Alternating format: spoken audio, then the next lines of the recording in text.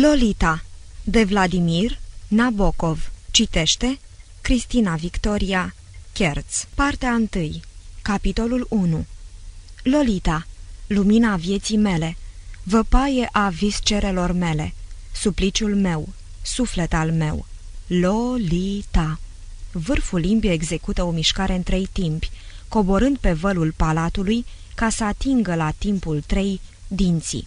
Lo-li-ta.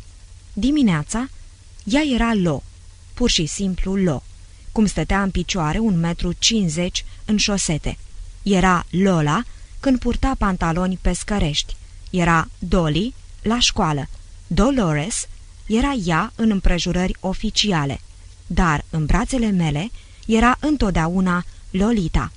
A mai fost cineva înaintea ei? Da, da, a fost. De fapt, Poate n-ar fi existat o Lolita dacă, într-o vară inițiatică, n-aș fi iubit o anumită fetiță, într-un principat la țărmul mării. Dar când? Când?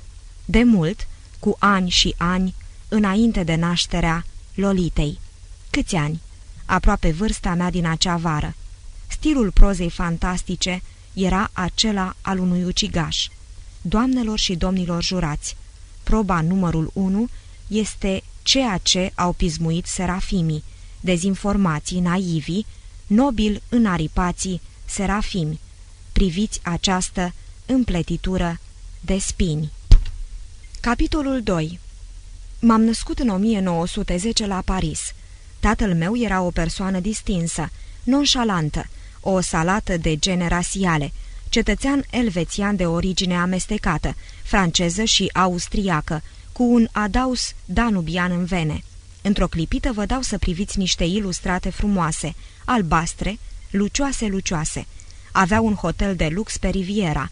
Tatăl său și doi dintre bunici făcuseră negoți cu vin, bijuterii și mătase. La 30 de ani s-a căsătorit cu o fată, englezoaică, fica lui Jerome Dunn, alpinistul, și nepoata a două persoane din Dorset, specializate în materii obscure – una în paleopedologie, cealaltă în harfe eoliene.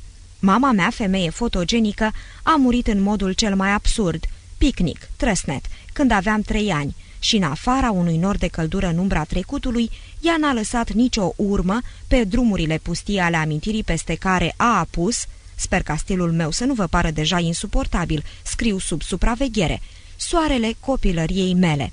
Vă amintiți de sigur imaginile amurgului, impregnate de miresme și destrămate de musculițe, așa cum călătorul ivit pe neașteptate destramă roiul de musculițe în suspensie, deasupra unui gard viu înflorit, la poalele unei coline în crepusculul verii, căldură de catifea, musculițe de aur, dansând.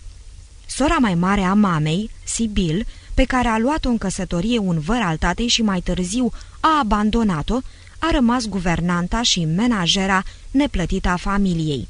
Mai târziu am aflat că iubise pe tata și acesta îi speculase jovial sentimentele într-o zi ploioasă, uitând totul după ce se înseninase. Țineam foarte mult la ea în ciuda rigidității, fatala rigiditate a unora din regulile ei. Voia să devin, când soarta avea să decidă, un văduv mai reușit decât tata. Tanti Sibil avea ochi de azur tiviți cu roz și tenul ca de ceară. Scria poezie. Era superstițioasă în chip poetic. Știa, după cum ne spunea dânsa, că va muri la scurt timp după ce eu voi fi împlinit 16 ani. Și așa a fost. Soțul ei, mare comis voiajor în branșa parfumurilor, și-a petrecut cea mai mare parte a timpului în America, unde a înființat în cele din urmă o firmă și a dobândit ceva avere. Am fost un copil fericit, sănătos. Trăiam în lumea minunată a cărților ilustrate, a nisipurilor curate, a portocalilor, a panoramelor maritime și a chipurilor zâmbitoare. Hotelul Mirana se rotea în jurul meu ca un fel de univers particular, cosmosul văruit de sub infinitul albastru strălucitor. Mă iubea toată lumea, Mă răsfăța toată lumea, de la spălătorii de vase încinși cu șorțuri până la potentații în costume sport. Doamne din America, mai vârstnice, sprijinite în baston, se înclinau peste mine ca turnul din Pisa – Principese rusoaice, ruinate, îmi cumpărau bomboane scumpe, deși nu erau în stare să-i achite tatei hotelul. El, mon cher petit papa, m-a plimbat cu barca. M-a învățat să merg cu bicicleta, să not, să mă scufund, să schiez pe apă. Mi-a citit Don Quixote și Mizerabili. Iar eu îl adoram, îl respectam și mă bucuram pentru el ori de câte ori îi surprindeam pe servitorii discutând despre diferitele doamne, prietenele lui, ființe frumoase și afabile, care mă dezmierdau, mă giugiuleau și vărsau lacrimi nestemate pentru veselul orfan de mamă. Am învățat la o școală englezească, la câteva mile depărtare de casă. Acolo am jucat tenis, am bătut mingea, am luat note excelente și m-am înțeles de minune cu colegii și cu profesorii. După câte îmi amintesc, singurele evenimente sexuale certe s-au produs înainte să împlinesc 13 ani, adică înainte de a o vedea pe Anabel, și au fost o discuție solemnă, decentă și pur teoretică despre surprizele pubertății, purtată în grădina de trandafire a școlii cu un băiețel american, fiul unei actrițe de cinema faimoasă pe timpul acela, pe care el o vedea a rare ori în lumea tridimensională. Și niște reacții interesante ale organismului meu în fața anumitor fotografii contrast cu zone scoase în relief, cu infinită delicateță, din volumul de lux La beauté humaine de Pichon, șterpelit de mine din biblioteca hotelului, de sub un munte de grafics care aveau coperte marmoreene. Mai târziu, tata mi-a dat în stilul lui elegant și fermecător toate informațiile despre sex, de care credea că am nevoie. Aceasta se întâmpla cu puțin înainte de a mă trimite în toamna anului 1923 la un liceu din Lyon, unde urma să petrecem trei ierni.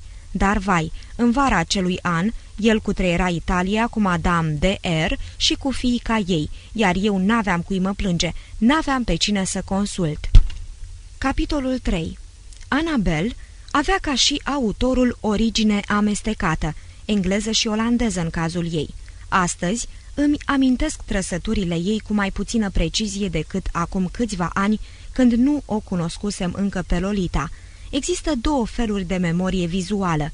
Primul, când recompui îndemânatic, cu ochii deschiși, o imagine în laboratorul minții, și atunci o văd pe Anabel în termeni generali, cum ar fi piele de culoare a mierii, brațe subțiri, păr castaniut, un soare băiețească, gene lungi, gură mare ispititoare.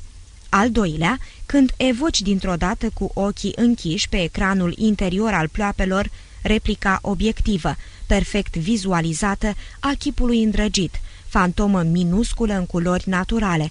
Așa o văd eu pe Lolita. Permiteți-mi așadar să o descriu pe Anabel rezumându-mă pedant la afirmația că era o fetiță drăgălașă, mai mică decât mine cu câteva luni. Părinții Anabelei erau vechi prieteni ai mătușii mele și tot atât de austeri ca ea. Închiriaseră o vilă în apropierea hotelului Mirana. Domnul Leit, Wache și Chel și doamna Leit, născută Vanessa Van Ness, grasă și pudrată. Doamne, cât îi mai uram! La început eu și Anabel discutam despre treburi oarecum indiferente. Ea lua în căușul palmelor nisipul fin, înălța brațele și lăsa apoi să se scurgă printre degete. Creierele noastre erau acordate cu ale tuturor preadolescenților europeni inteligenți din epoca și din clasa noastră socială și de aceea cred că nu se poate atribui mult geniu individual interesului arătat de noi pentru pluralitatea lumilor locuite, pentru tenisul internațional, infinit, solipsism și așa mai departe. Delicatețea și fragilitatea puilor de animale ne provocau o suferință intensă.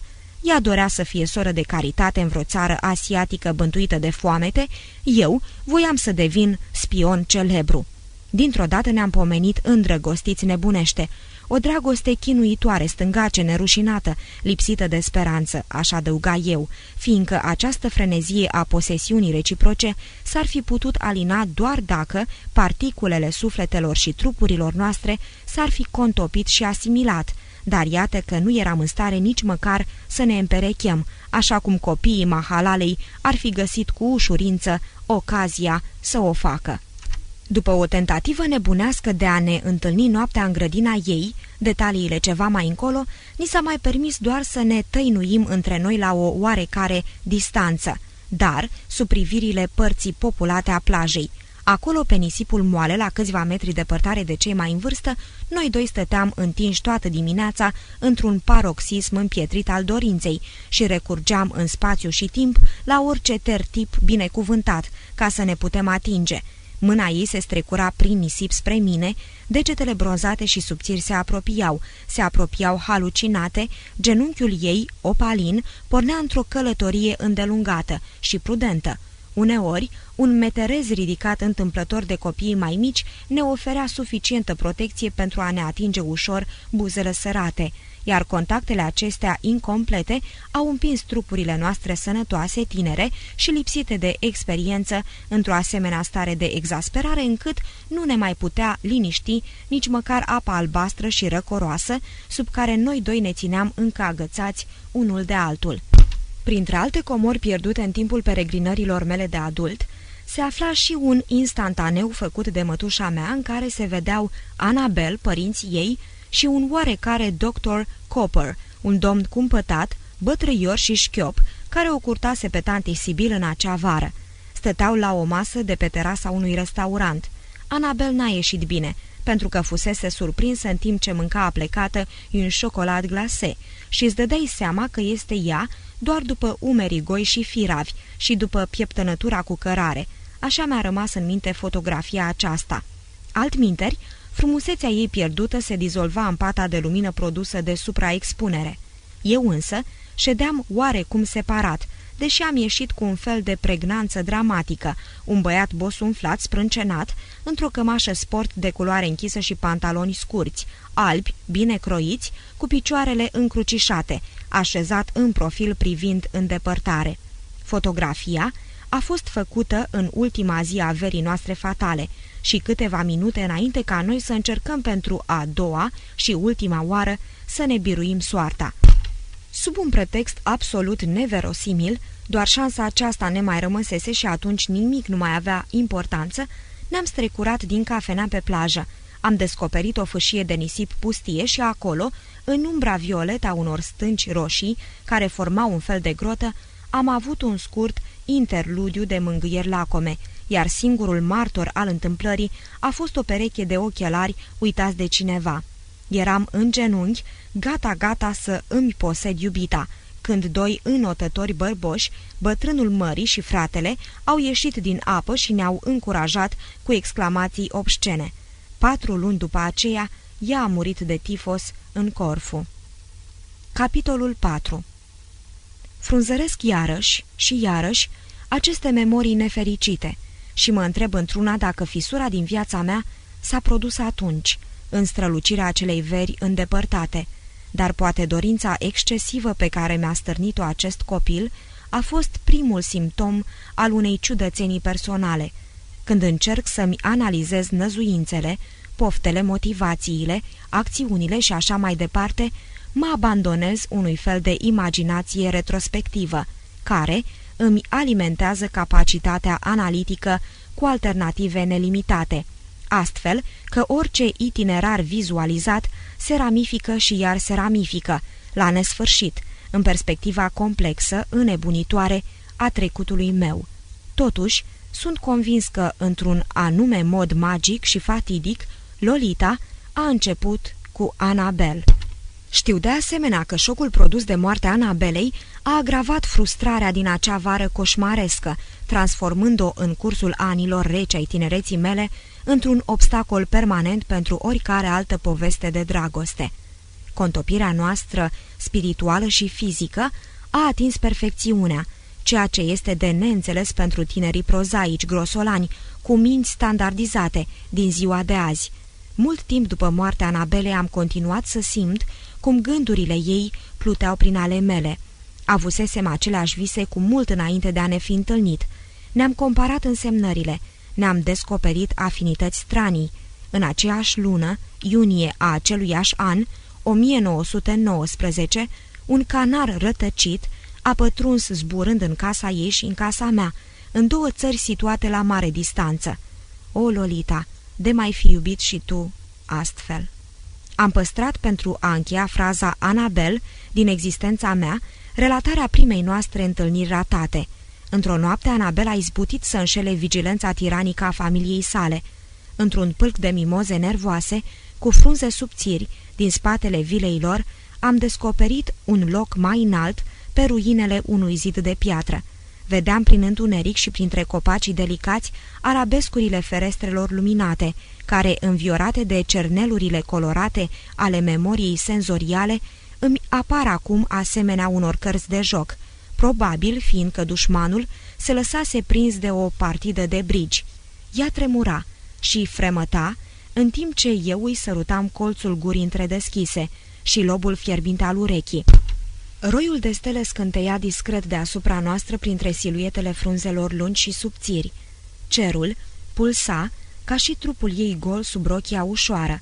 Am văzut cum chipul îi se proiecta pe cer cu uimitoare claritate, ca și cum ar fi emis o radiație proprie timidă. Picioarele, frumoasele ei picioare vii, erau ușor depărtate și când mâna mea a descoperit ceea ce căuta, trăsăturile copilărești ale Anabelei au înflorit într-o expresie visătoare, stranie, de plăcere și de suferință. Stătea puțin mai sus decât mine și când extazul ei solitar o împingea să mă sărute, capul îi se pleca într-o mișcare somnolentă, blândă, aproape dureroasă, iar genunchii ei goi împrindeau și strângeau încheietura mâinii și apoi îi dădeau din nou drumul și gura ei înfiorată, schimonosită de tăria unei licori misterioase, se apropia de obrazul meu sorbind șuierat aerul. Încerca să-mi aline chinul dragostei, frecându-și cu violență buzele arse de buzele mele. Apoi, iubita mea se retrăgea scuturându-și cu o mișcare nervoasă părul și se apropia iarăși, enigmatică, lăsându-mi pradă gura, în timp ce eu, cu o generozitate care i-ar fi oferit totul, inima, gâtul, viscerele, i-am dat să țin în mâna ei neîndemânatică sceptrul pasiunii mele. Mi-a rămas în minte o mireasmă de pudră. O furase, cred, de la camerista spaniolă a mamei sale. Un parfum de mosc, dulceag ieftin.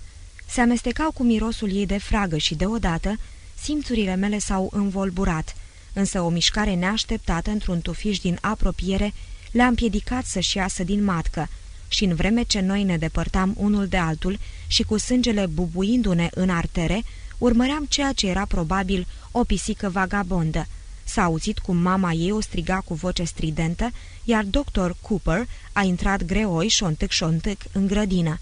Dar pâlcul de mimoze, aburirea stelelor, freamătul, văpaia, nectarul și durerea mi-au rămas în minte, iar fetița aceea cu trup bronzat și limbă fierbinte m-a obsedat de atunci în permanență, până când, în cele din urmă, după 24 de ani, am rupt vraja și am reîncarnat-o pe Anabel în altă fată. Capitolul 5 Privite retrospectiv, zilele tinereții se îndepărtează de mine într-o spulberare de crâmpeie decolorate și parcă identice, asemenea șervețelelor întrebuințate pe care dimineață călătorul de pe platforma ultimului vagon le vede cum se învolburează în urma trenului. În relațiile epidermice curente am fost lucid, ironic și operativ – în anii studenției la Londra și Paris, fetele cu tarif m-au mulțumit pe deplin. Am trecut prin facultate învățând conștiincios, meticulos, cu o încăpățânare de catâr, dar n-am reușit să ies din comun. Mai întâi mi-am zis, ca multe alte talente manche, să-mi fac o carieră în psihiatrie, dar nici de asta n-am fost în stare. M-a biruit o ciudată oboseală. Ca doctor mă simțeam vai atât de încorsetat. Și așa am virat brusc spre literatura engleză colac de salvare pentru atâția poeți ratați care își omoară timpul la vreo catedră universitară, profesori îmbrăcați în haine de tued și trăgând din pipă. Parisul mi se potrivea. Discutam filmele sovietice cu expatriații, am stat cu uraniștii la Dumago, am publicat eseuri întortocheate în reviste obscure, am compus pastișe. Fräulein von Kulp poate revine cu mâna pe clanță, n-am să urmez, nici fresca, nici acel pescăruș. Lucrarea mea intitulată Tema prustian într-o scrisoare trimisă de Keats lui Benjamin Bailey a atras aprecierile câtorva savanți care o citiseră. M-am apucat de o istoară abrejed la poezie engleză, pentru o importantă casă editorială, și apoi am început să compilez manualul de literatură franceză pentru studenții vorbitori de engleză, folosind comparații extrase din scriitori englezi, lucrare ce avea să-mi ocupe deceniul 1940-50, ultimul ei volum fiind aproape gata de tipar în momentul arestării mele. Mi-am găsit o slujbă. Am predat engleza unui grup de adulți din Otoi. După aceea, câteva ierni la rând, am fost angajat la o școală de băieți. Din când în când profitam de relațiile mele cu anumiți activiști sociali și psihoterapiști și vizitam împreună cu ei diferite instituții, orfelinate sau școli de corecție, unde puteam privi insistent și nepedepsit puberele palide cu genele încurcate, care îmi aminteau de cea dăruită doar în vise. Cred că a sosit momentul să-i fac cititorului câteva observații generale. Unele fete între 9 și 14 ani își dezvăluie în fața unor peregrini fascinați de două sau de mai multe ori, mai în vârstă decât ele, adevărata lor natură, care nu este umană, ci nimfică, adică demoniacă. Îmi propun să le spun nimfete acestor ființe alese. Se va observa că înlocuiesc termenii spațiali cu termeni temporali. De fapt, aș cere cititorului să înțeleagă 9 și 14 ca limite, ca hotare, plajele reflectorizante și stâncile trandafirii ale unei insule fermecate bântuite de nimfetele de care vorbeam și înconjurată de marea imensă acoperită de ceață.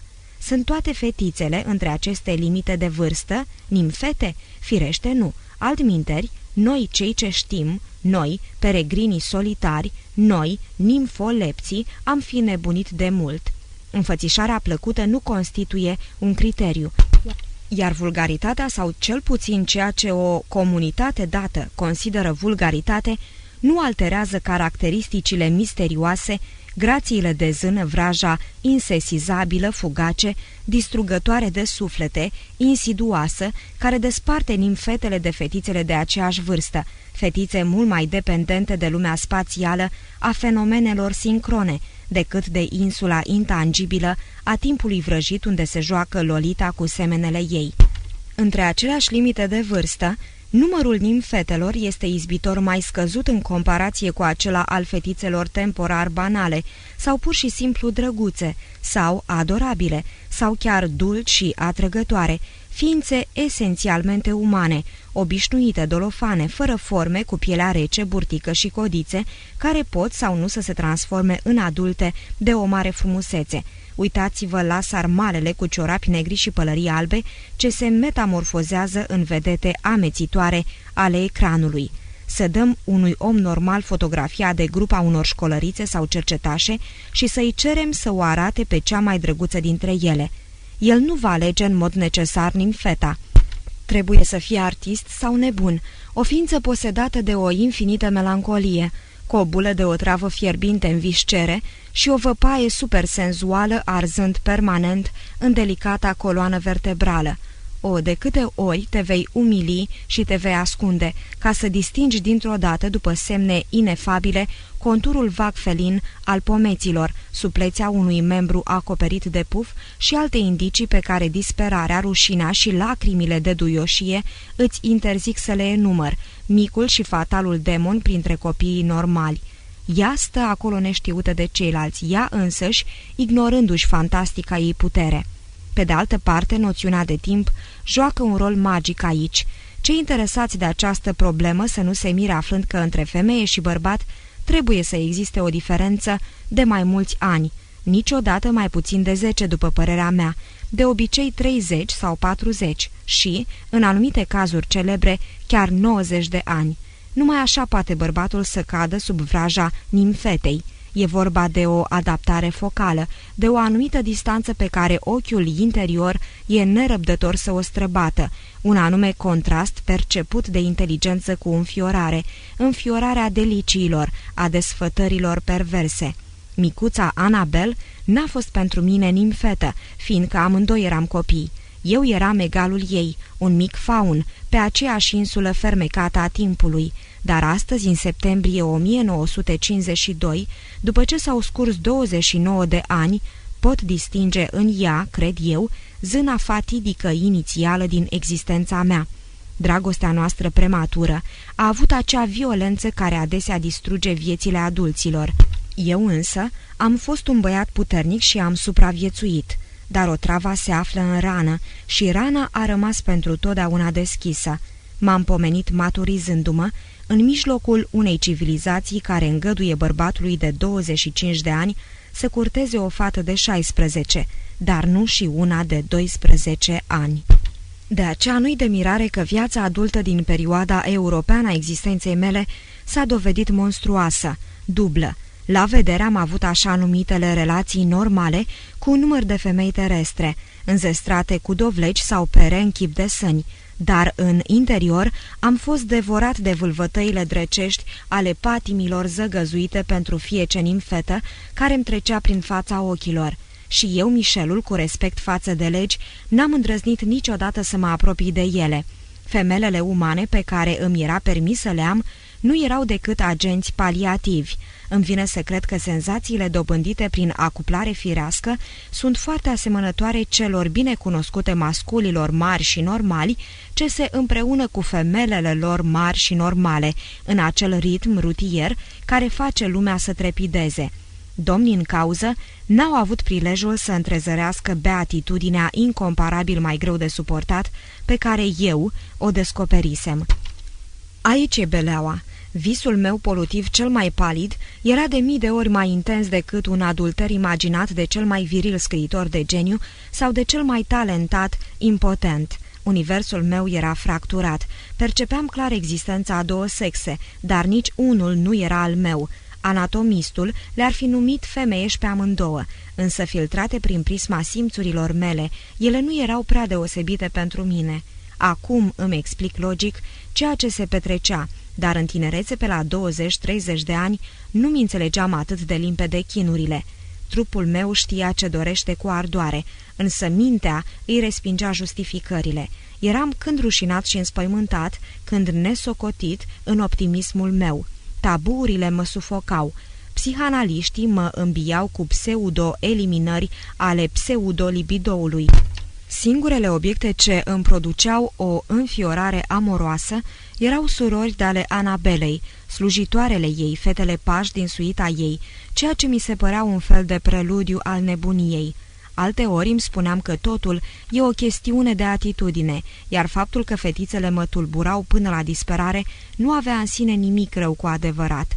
Permiteți-mi să reamintesc cititorilor că în Anglia, legea privitoare la copii și persoane tinere, adoptată în 1933, definea termenul fetiță astfel, o fată care depășește 8 ani, dar este sub 14 ani. Pentru intervalul de la 14 la 17 ani, legea utilizează conceptul persoană tânără. Pe de altă parte, în Massachusetts, Statele Unite ale Americii, copilul delicvent este din punct de vedere tehnic copilul între 7 și 17 ani, care, în plus, se asociază de regulă cu persoane vicioase sau imorale. Hugh Broughton, polemist din timpul domniei lui James I, a demonstrat că Rahab devenise târfă la șase ani, foarte interesant, veți zice, și veți aștepta să fac o criză cu spume la gură. Dar nu, n-ați ghicit. Jocul e altul. Eu arunc la țintă, într-un recipient, licăririle gândurilor fericite. Vă ofer și alte imagini. Iată-l pe Vergiliu, care a cântat nimfeta în tonalități sincere, dar prefera probabil peritoneul unui ciobănaș. Priviți, aici sunt două din fiicele prea nubile ale regelui Ehnaton și ale reginei Nefertiti. Cuplul regal avea șase puiandri, a căror îmbrăcăminte se reduce doar la multe coliere din perle strălucitoare. Ele stau destinse pe perne și trupurile lor de cățelușe tuciurii, părul tăiat scurt și tăciunii ochilor ne apar nealterate după 3000 de ani. Iată mirese în vârstă de 10 ani, obligate să șadă pe fascinum, fildeșul viril din templele studiilor noastre clasice. Căsătoria și coabitarea înainte de vârsta pubertății nu sunt nici acum neobișnuite în anumite provincii indiene. Bătrânii Lepcha, în vârstă de 80 de ani, se împreună cu fete de 8 ani și nimeni nu se formalizează. La urma urmelor, Dante s-a îndrăgostit nebunește de Beatrice, fetișcana sclipitoare, fardată și grațioasă, îmbrăcată într-o rochie purpurie și împodobită cu multe bijuterii. Beatrice avea 9 ani și întâmplarea s-a petrecut în 1274 la Florența, în timpul unui banchet, în vesela lună a lui Mai. Iar Laura, de care se îndrăgostise nebunește Petrarca, era o nimfetă blondă de 12 ani, care se zbenguia prin polen și praf, o floare în plin zbor pe frumoasa câmpie văzută de pe dealurile din Vaucluse. Hai să fim formaliști și civilizați. Humbert s-a străduit din răsputeri să fie bun, s-a străduit cu adevărat. Humbert avea un respect profund pentru copiii obișnuiți, pentru puritatea și vulnerabilitatea lor și n-ar fi atentat în niciun caz la inocența unui copil dacă ar fi existat cel mai mic risc de scandal. O, dar cum îi mai bătea inima când spiona în mulțimea inocentă un copil demon? Enfant, charmant e furb, cu priviri neguroase și buze seducătoare, umede. Ai zece ani de pușcărie dacă te pune diavolul să arăți că te uiți la ea. Și astfel viața își continua cursul. Humbert era perfect capabil să întrețină relații cu Eva, dar îl mistuia patima pentru Lilith. Perioada de înmugurire a sânilor apare de vreme, 10 ani și 7 luni, în lanțul schimbărilor somatice care însoțesc pubertatea, iar următorul punct de maturare de care dispunem e apariția părului pubian pigmentat, 11 ani și 2 luni. Recipientul meu e plin acum, am câștigat jocul. Naufragiul, un atol. Sunt singur cu copilul unui călător care s-a anecat. Dragule, e doar un joc, dar ce minunate erau aventurile mele imaginare trăite în timp ce ședeam pe o bancă tare în parc și mă prefăceam că sunt cufundat în lectura unei cărți tremurătoare. Nimfetele se jucau nestingherite în jurul savantului pașnic taciturn, de parcă ar fi fost o statuie familiară sau o parte din jocul de umbre și lumini proiectat de un arbore bătrân. Odată, o frumusețe perfectă și minionă în rochie din tartan și-a proptit pe bancă cu un zornăit piciorul blindat, sprijinindu-și de mine brațul gol subțiratic, pentru a-și strânge cureaua de la patina cu rotile iar eu m-am dezintegrat în soare cu cartea mea în chip de frunză de viță, în timp ce cârlionții ei castanii se revărsaseră peste genunchiul jupuit și umbra frunzelor ce mă adăpostea pulsa și se topea pe mădularul ei care radia căldură lângă obrazul meu cameleonic. Altădată o școlăriță roșcată a planat deasupra mea în metrou și revelația perișorului ca flacăra de la subțioară mi-a rămas în sânge săptămâni la rând – Aș putea alcătui o listă substanțială cu asemenea romanțe miniaturale și unilaterale. Unele s-au încheiat într-o puternică mireasmă de infern. De, de pildă, privind din balcon, observam întâmplător o fereastră luminată de pe partea cealaltă a străzii și ceea ce părea a fi nimfetă surprinsă pe când se dezbrăca în fața unei oglinzi care colabora cu mine. Izolată astfel, îndepărtată, viziunea dobândea un farmec deosebit de ațățător, care mă împingea să zoresc spre satisfacția mea singuratică. Brusc, diabolic, conturul gingaș al nudității pe care o admirasem se transforma în brațul gol, dezgustător, luminat de o lampă, al unui bărbat îmbrăcat sumar care își șcitea ziarul lângă fereastra deschisă spre noaptea fierbinte, umedă, lipsită de speranță. Săritul corzii, șotronul, Ah, bătrâna aceea negru așezată pe banca mea, pe scaunul de tortură al desfătării mele. O nimfetă tocmai dibuia pe sub mine căutând o bilă pierdută, care m-a întrebat dacă mă doare stomacul, cotoroanța naibii. Ah, lăsați-mă în pace în parcul meu cu pubere, în grădina acoperită cu mușchi, lăsați-le să se joace veșnic în jurumi și să nu se facă niciodată mari. Apropo, M-am întrebat adesea ce se întâmplă mai târziu cu nimfetele. Nu cumva în această lume forjată din încrucișarea cauzelor și efectelor, palpitul pe care l-am furat de la ele le-a afectat viitorul? Nimfeta. Fusese a mea și n-a aflat niciodată. Perfect, dar fapta mea nu va avea repercursiuni mai târziu? Nu i-am influențat oare soarta implicându-i imaginea în voluptățile mele? Iată ce izvor de mari și groaznice interogații. Am aflat totuși cum arată aceste nimfete frumoase, înnebunitoare, cu brațe firave când se fac mari. Țin minte că într-o după-amiază cenușie de primăvară mă plimbam pe o stradă animată din apropierea bisericii la Madeleine. O fată măruntă și zveltă venea cu pași mici și iuți pe tocurile ei înalte. După ce a trecut de mine, amândoi am întors capul în același timp. Ea s-a oprit și eu am acostat-o. Îmi ajungea cam până la nivelul părului de pe piept. Avea fața mică, rotundă, cu gropițe în obraj, cum au adesea fetele din Franța. Mi-au plăcut genele lungi și rochia croită pe corp, care învelea într-o teacă gri perlată trupul tânăr cu un ce copilăresc, ecoul nimfic, fiorii reci ai desfătării, spasmul din viscerele mele, combinat cu fâțiala profesionistă a fundului ei mic și agil. Am întrebat-o cât cere și mi-a răspuns prompt cu precizia melodioasă a unui clinchet de argint. O pasăre, o adevărată pasăre. Son. Am încercat să mă tocmesc, dar a sesizat dorința însingurată groaznică din privirile mele care coborâseră mult, mult, spre fruntea ei rotundă și pălăria ei rudimentară. O bentiță, un buchet de flori, și clipind cu înțeles a spus, Tampis, și a dat să plece. Cu trei ani mai înainte aș fi văzut-o probabil cum se întorcea de la școală. Imaginea aceasta m-a hotărât.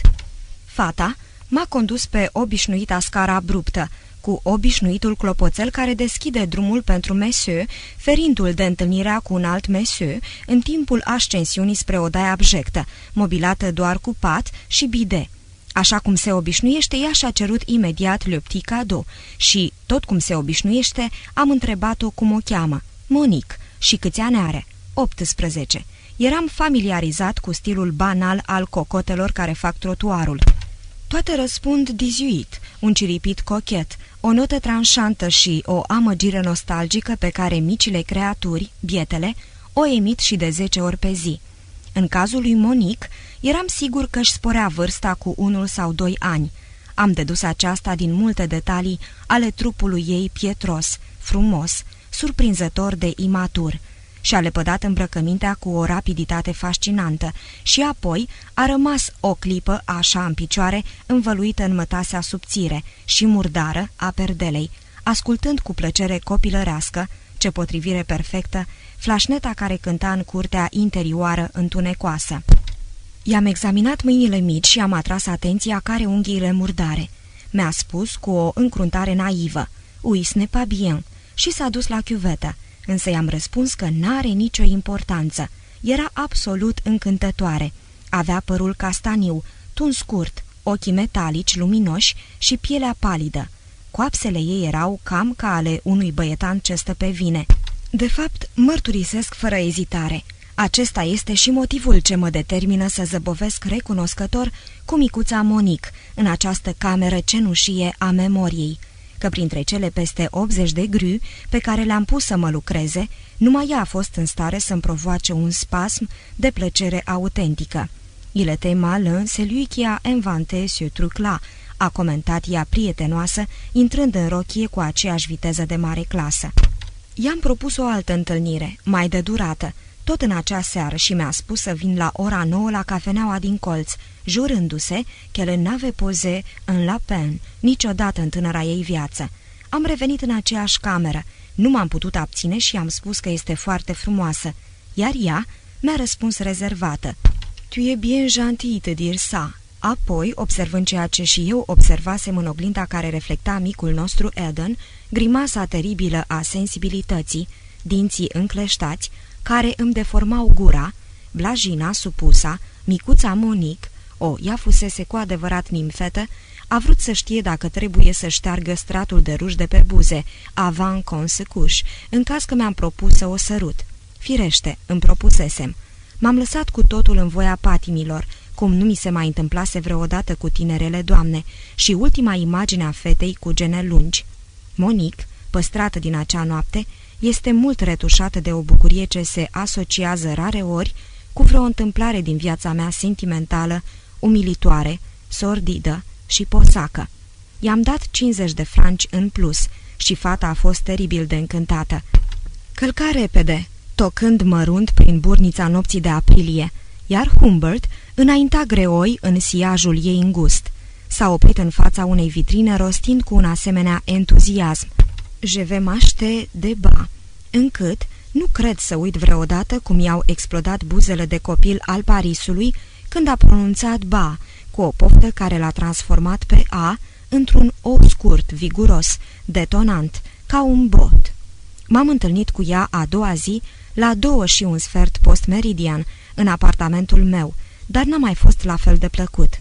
Monic devenise peste noapte mai puțin juvenilă, mai femeie, cel puțin așa mi s-a părut.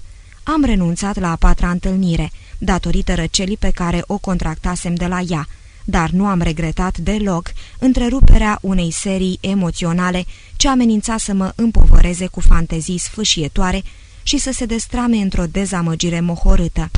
Rămân așadar Monic, fata zveltă, cu piele de mătase, așa cum a fost ea un minut sau două, nimfeta delicventă străluminând prin târfa tânără și prozaică. Scurta relație cu Monic a declanșat un lanț de gânduri previzibile bănuiesc pentru cititorul care îmi cunoaște toate dedesubturile.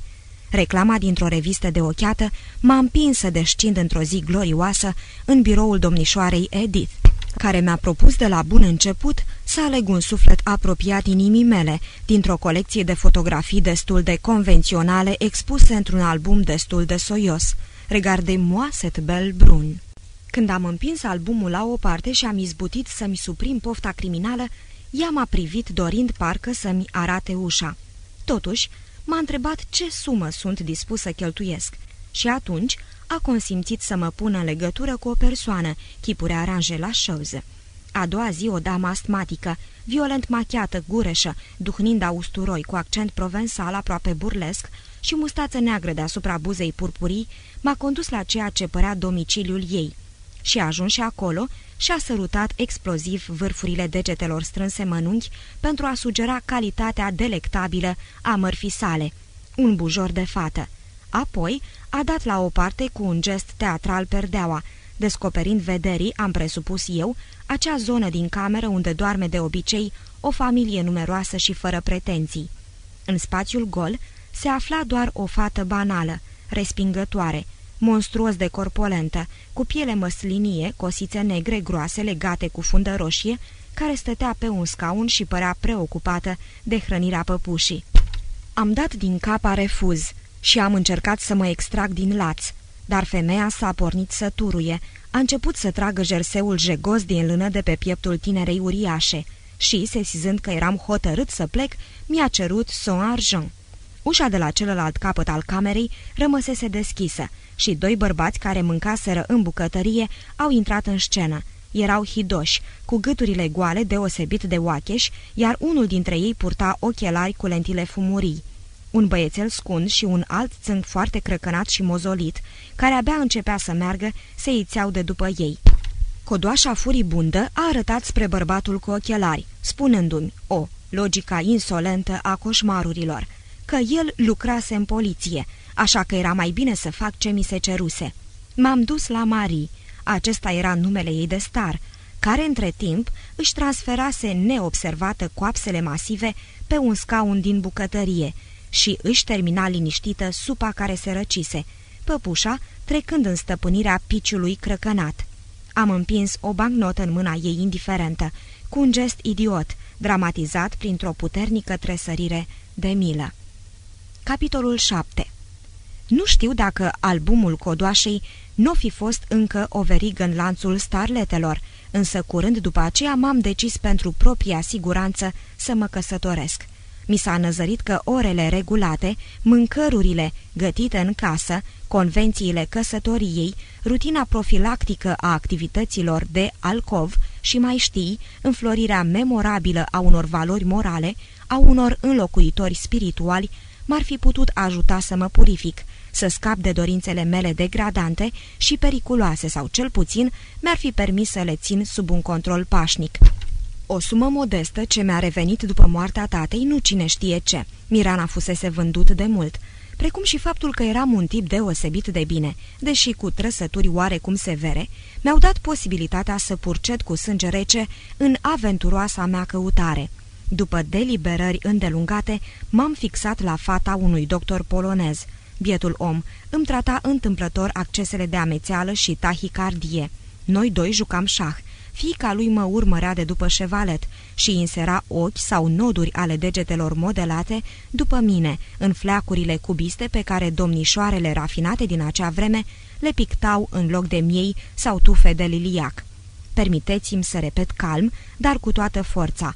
Am fost și sunt încă un mascul deosebit de arătos, cu mișcări lente, înalt, păr negru, mătăsos și un fel de a fi melancolic, dar cu atât mai seducător. Virilitatea excepțională a trăsăturilor unui subiect reflectă adesea ceva tenebros și congestiv, care ține de ceea ce are de ascuns individul. Ăsta era cazul meu.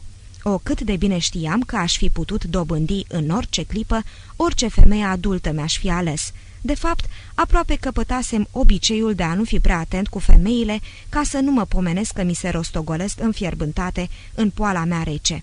Dacă aș fi fost un francez moyen și aș fi avut slăbiciune pentru doamnele temperamentoase, aș fi găsit, poate, cu ușurință, ființe mult mai atrăgătoare decât Valeria, printre multele frumuseți mintite care tălăzuiau în jurul stâncii mele neînduplecate.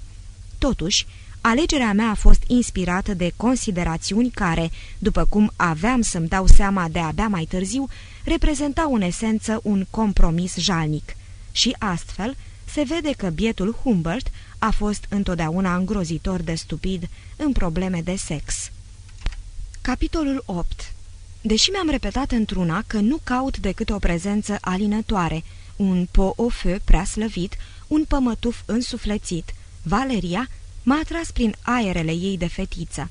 Nu se comporta ca o fetiță pentru că mi-ar fi ghicit năravul, ci pur și simplu acesta era stilul ei, iar eu m-am lăsat ademenit.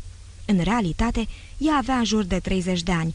N-am stabilit niciodată exact ce vârstă avea, întrucât chiar și pașaportul ei mințea și își pierduse virginitatea în împrejurări care variau odată cu dispoziția ei evocatoare. Cât despre mine eram un naiv, așa cum numai un tip pervers poate să fie. Părea vaporoasă și nostimă.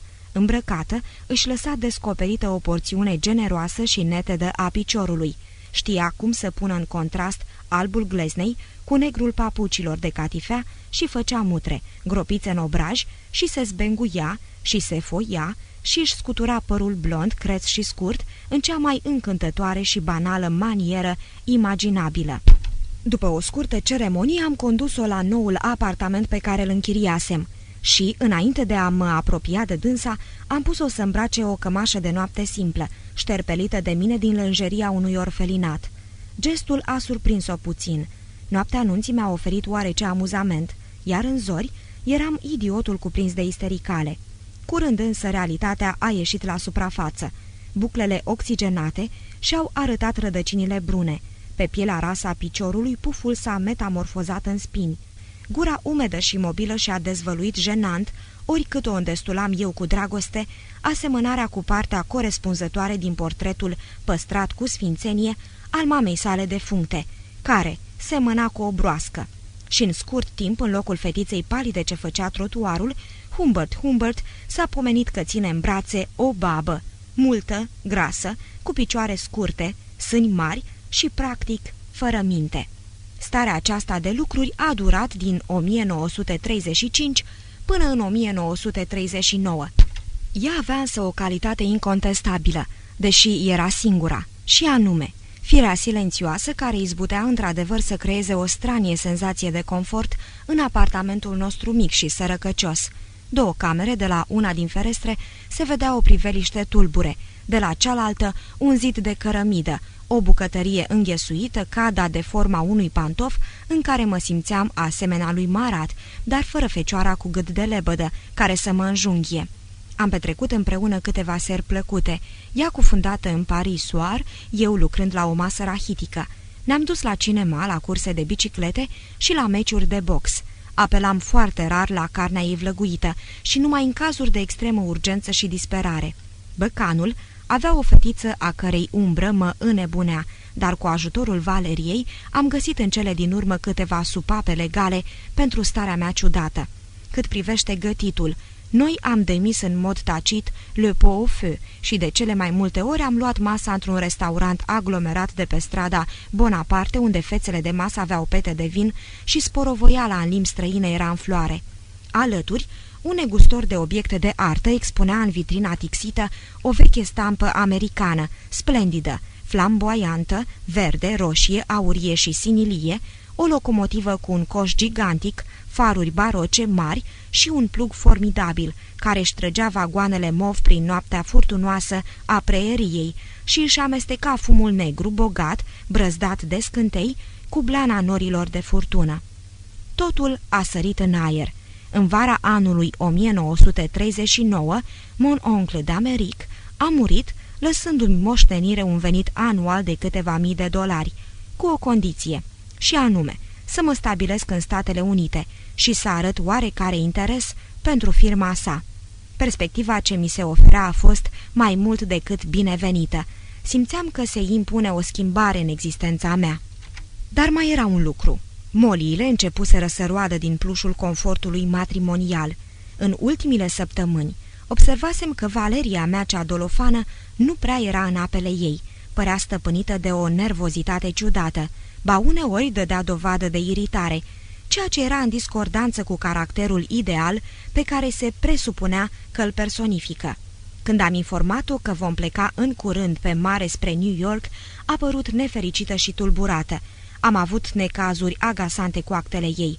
Avea un pașaport Nansen, sau mai bine zis nonsens, care dintr-un anumit motiv, partea ce îi revenea ei din solida cetățenie elvețiană a soțului, ne bloca demersurile am hotărât să ne așezăm la coadă la prefectură și să împlinim și alte formalități, și din această cauză ea a devenit teribil de apatică.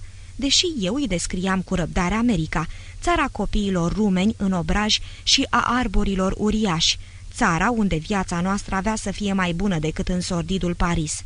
Într-o dimineață, după ce ieșisem dintr-o clădire administrativă cu actele aproape gata, Valeria, care mergea lângă mine clătinându-se, a început să dea energic din capul ei de pudel, fără să rostească un cuvânt. Am lăsat-o câteva momente, apoi am întrebat-o dacă simte că o frământă ceva. Mi-a răspuns, traduc din franceza ei, care era în închipui la rândul ei o traducere a vreunei platitudini slave. În viața mea a apărut un alt bărbat. Mm, urâte cuvinte pentru urechile unui soț. Mărturisesc că m-au buimăcit. Să o bat zdravăn pe stradă, acolo și atunci, cum ar fi procedat orice mitocan cum se cade? Imposibil. Anii de suferințe tainice mă deprinseseră cu un autocontrol suprauman, așa că am băgat-o într-un taxi care ne urmărise curtenitor în timp ce luam curba și în această intimitate relativă i-am sugerat discret să-și explice cuvintele nesăbuite. Mă sufoca o furie crescândă dar nu pentru că aș fi nutrit sentimente deosebite față de această figură nostimă, Madame Humbert, ci fiindcă doar eu aveam dreptul de a hotărâ în toate împrejurările, legale și ilegale. Și poftim acum ea, Valeria, nevasta de comedie, se pregătea cu neobrăzare să dispună după bunul ei plac de liniștea și soarta mea. I-am cerut să-mi spună cum se numește iubitul ei. I-am repetat întrebarea, dar ea a continuat să bălmăjească burlesc, turuind într-una despre nefericirea ei în relația cu mine și anunțându-mi intenția de a divorța imediat. Mechesc se!" am strigat în cele din urmă și i-am izbit genunchiul cu pumnul, iar ea m-a privit în ochi fără să tresare, ca și cum răspunsul se dispensa de cuvinte. Apoi a ridicat ușor și repede din umeri și a arătat spre ceafa groasă a șoferului. Taximetristul a oprit în fața unei cafenele mici și s-a prezentat – nu-mi mai amintesc numele lui ridicol, dar îl văd încă foarte clar, deși au trecut atâția ani de atunci. Un rus alb, îndesat, ex-colonel cu mustață stufoasă și părul tuns perie. În Paris erau mii de asemenea indivizi care practicau meseria caragiosului ăstuia. Ne-am așezat la o masă. Țaristul a comandat vin, iar Valeria și-a pus un șervețel ud pe genunchi și a continuat să trâncănească, dar nu cu mine, ci întru mine turna cuvintele în acest recipient impunător cu o volubilitate pe care nu i-am bănuit-o vreodată. Din când în când îndrepta o cascadă în slavonă către iubitul ei impasibil. Situația absurdă a devenit și mai stupidă când taxicolonelul a oprit-o pe Valeria cu un zâmbet posesiv și a început să-și expună concepțiile și planurile lui. În franceza lui îngrijită, dar cu accent îngrozitor, ex-colonelul a descris universul iubirii și al muzicii, în care își propunea să pătrundă, ținându-se de mână cu Valeria, soția copil.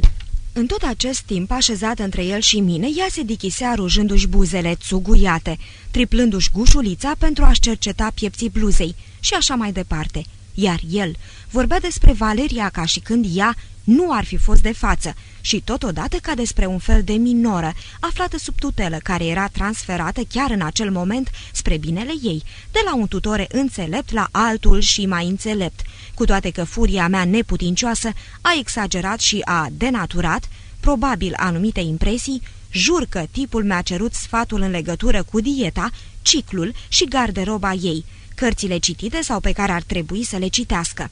Cred, spuse el, că o să-i placă Jean-Christophe. Ce ziceți? O, un adevărat savant, domnul Taximovici. Am pus capăt trâncănelii sugerându-i Valeriei să-și împacheteze numai decât lucrușoarele și searbădul colonel s-a oferit galant să-i le ducă el acasă cu mașina. Revenit la statutul său profesional, s-a îndreptat cu familia Humbert spre locuința lor și pe drum Valeriei nu i-a stat gura – iar Humbert cel groaznic s-a sfătuit cu Humbert cel mic dacă Humbert, Humbert trebuia sau nu să ucidă. Pe cine? Pe ea, pe iubitul ei, pe amândoi sau pe niciunul? Țin minte că odinioară m-am antrenat cu pistolul unui coleg de facultate. În perioada Cred că n-am povestit despre asta, dar n-are importanță. Când cochetam cu ideea de a mă delecta cu surioara lui, o nimfetă diafană, cu părul prins într-o bentiță neagră, propunându-mi ca după aceea să mă sinucid. Acum însă mă întrebam dacă merita cu adevărat să o împușc, să o strâng de gât, ori să o onec. Valencica, așa îi spunea colonelul, avea picioarele foarte fragile, așa că m-am decis să o cotonogez groaznic de îndată ce vom rămâne singuri. Dar n-am rămas. Valencica vărsa acum torente de lacrimi, mânjite de policromia scursă a fardului. A început să umple la nimeral un cufăr, două valize și o cutie de carton gata să plesnească. Iar eu îmi imaginam cum o să-mi pun bocancii de munte și o să-i trag un șut zdravăn în fund. Însă îmi era imposibil să-mi pun în aplicare planul, din cauza afurisitului de colonel care bântuia într-una în jurul nostru. N-aș putea să spun că individul s-a purtat cu insolență sau cum nu se cuvine. Din potrivă, a dat dovadă de o politețe discretă de modă veche, oferind o mică reprezentație complementară la spectacolul în care fusesem implicat și a punctat mișcările cu tot soiul de scuze pronunțate stropșit, scuzați-mă, îmi permiteți și așa mai departe. S-a întors plin de tact când Valeria și-a cules chiloții roz de pe frânghia de deasupra căzii părea omniprezent. Fizicul îi semula pe anatomia apartamentului. Acum se cuibărea în fotoliul meu și îmi citea ziarul. Apoi descurca un șnur înodat, își răsucea țigara, număra lingurițele, se ducea la baie, își ajuta metresa să împacheteze ventilatorul electric primit de la tatăl ei sau căra bagajele în stradă. Mă rezemasem cu șoldul de pervaz și îmi încrucișasem brațele, măcinat de ură și de plictis. În fine, au ieșit amândoi din apartamentul care se cutremura. Vibrația ușii trântite după ei se reverbera în nări, biet surogat al dosului de palmă pe care ar fi trebuit să îl șterg peste mutră, așa cum se întâmplă în filme. Jucându-mi rolul cu stângăcie, m-am îndreptat călcând apăsat spre baie, să verific dacă nu mi-au luat cumva apa de toaletă englezească. Nu, nu o luaseră. Însă am observat cu mare scârbă că fostul consilier al țarului nu trăsese apa după ce își deșertase conștiincios bășica udului. Băltoaca solemnă de urină străină și chiștocul maroniu de țigară ce se dezintegra în ea m-au șocat ca o insultă finală. Am început să caut încrâncenat o armă. De fapt, acum sunt dispus să admit că era vorba doar de politețea rusească a clasei de mijloc, cu oarecare iz oriental probabil, care îl determinase pe bunul colonel Maximovici, mi-am amintit deodată numele lui, o persoană foarte convențională cum sunt ei toți, să învăluie în tăcere decentă nevoia sa intimă, pentru a nu sublinia dimensiunile modeste ale apartamentului, cu iureșul cascadei revărsate peste țărâitura proprie. Pe moment nu m-am gândit la această motivație și, bodogănind furios, am scotocit prin bucătărie căutând un instrument mai potrivit decât mătura. Apoi am renunțat și am ieșit val vârteș din casă. Decis era o hotărâre eroică, să-l atac cu pumnii. Nu sunt pugilist, deși natura m-a înzestrat cu forța. În schimb, Maximovici era lat în umeri și părea turnat în bronz. Pe strada pustie, doar un stras căzut în noroi amintea de plecarea soției mele, un nasture pe care îl păstrase degeaba timp de trei ani într-o cutie prăpădită. Astfel, am scăpat cu nasul intact. Nu contează. Un tip din Pasadena mi-a spus cândva că doamna Maximovici, Zborovski, murise prin 1945 în chinurile facerii. Cuplul ajunsese cum necum în California și acolo fusese întrebuințat pe un salariu excelent la experimentul condus timp de un an de un distins etnolog american. Se urmăreau reacțiile umane și rasiale la dieta cu banane și curmale într-o poziție constantă de patru labe. Doctorul care mi-a dat informația s-a jurat că văzuse cu ochii lui cum obeza Volecica și colonelul ei, cărunt și corpolent la momentul acela, se tărau conștiincios pe podelele bine măturate, ale unei suite de camere puternic luminate. Într-una erau fructele, în alta apa, în a treia salatele și așa mai departe în compania altor patru pede angajate, care proveneau din grupuri sociale nevoiașe sau neajutorate. Am consultat Review of Anthropology ca să aflu rezultatele testelor, dar, după cât se pare, ele n-au fost date încă publicității. Aceste produse științifice au firește nevoie de timp ca să dea roade. Nădăjduiesc că ilustrațiile care vor însoți studiul vor fi de bună calitate, deși e puțin probabil ca o bibliotecă de închisoare să găzduiască asemenea lucrări erudite. În ciuda aprobării obținute de avocatul meu, sunt nevoit să mă mulțumesc cu o bibliotecă ilustrativă pentru eclectismul inept care patronează secția cărților achiziționate de pușcării.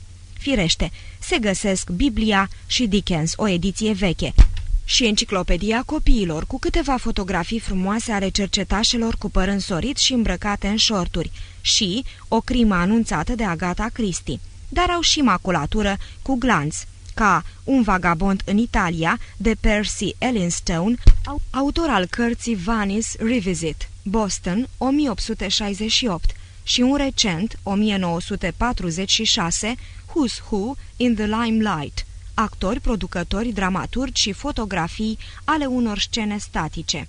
Noaptea trecută am răsfoit ultimul volum citat și m-am delectat cu una din acele secvențe uluitoare pe care logicienii le detestă și poeții le îndrăgesc. Transcriu o bună parte din pagină.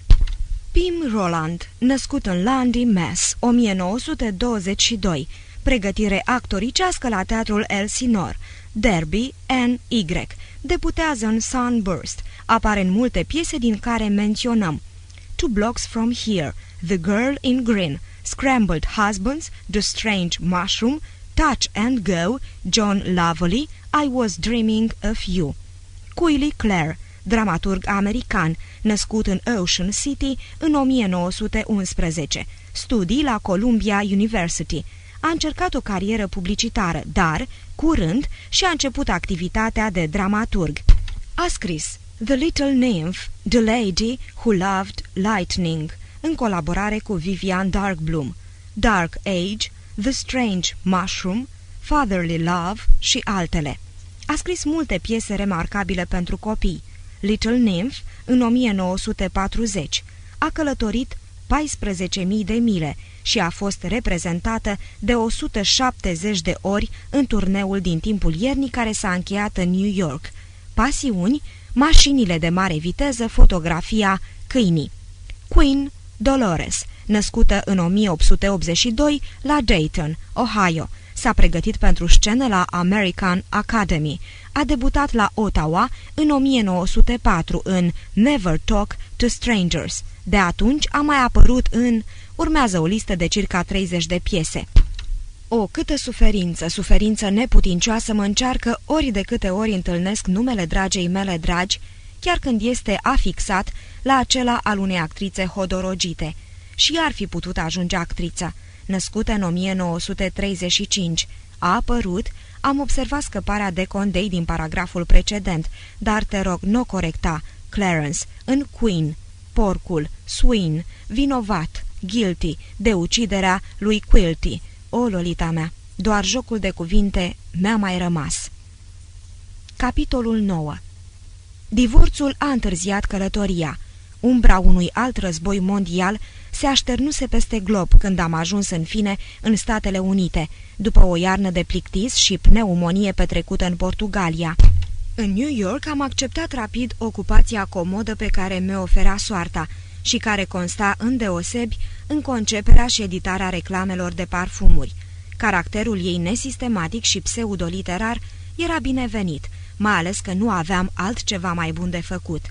Pe de altă parte, o universitate new-yorkeză din timpul războiului m-a îndemnat să-mi completez istoria comparativă a literaturii franceze pentru studenții vorbitori de limbă engleză.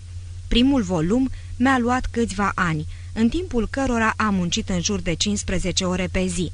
Zilele acelea îmi apar acum rânduite fie în lumină intensă, fie în umbră îngustă, lumina ținând de mângâierile cercetării în biblioteci somtuoase, umbra de dorințele mele chinuitoare și de insomniile despre care am vorbit destul. Cititorul mă cunoaște și își poate lesne imagina neliniștea și fierbințeala care mă cuprindeau când încercam să trag cu ochiul la nimfetele ce se jucau în Central Park, vai, întotdeauna la distanță, precum și sila, produsă de lustrul secretarelor dezodorizate, aduse peste mine de un băiat de viață din birou.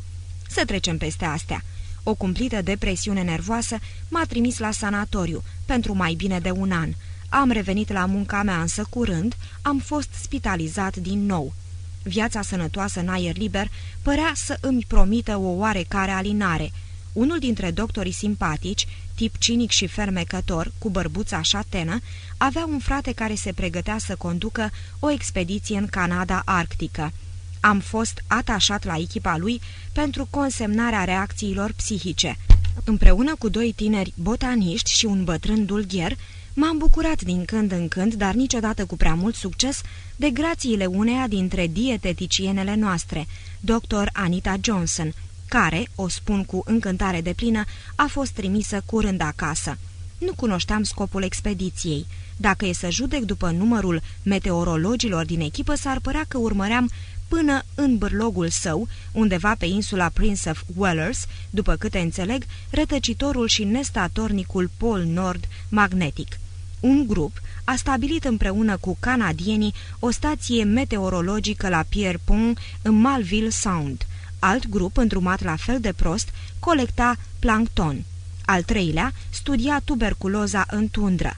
Bert, fotograful nostru, un tip instabil, cu care am făcut într-o vreme o mulțime de corvezi și el avea anumite tulburări psihice, susținea că mai mari expediției noastre, adevărații lideri pe care nu i-am văzut niciodată, voiau să studieze influența ameliorării climaterice asupra blănii de vulpe polară.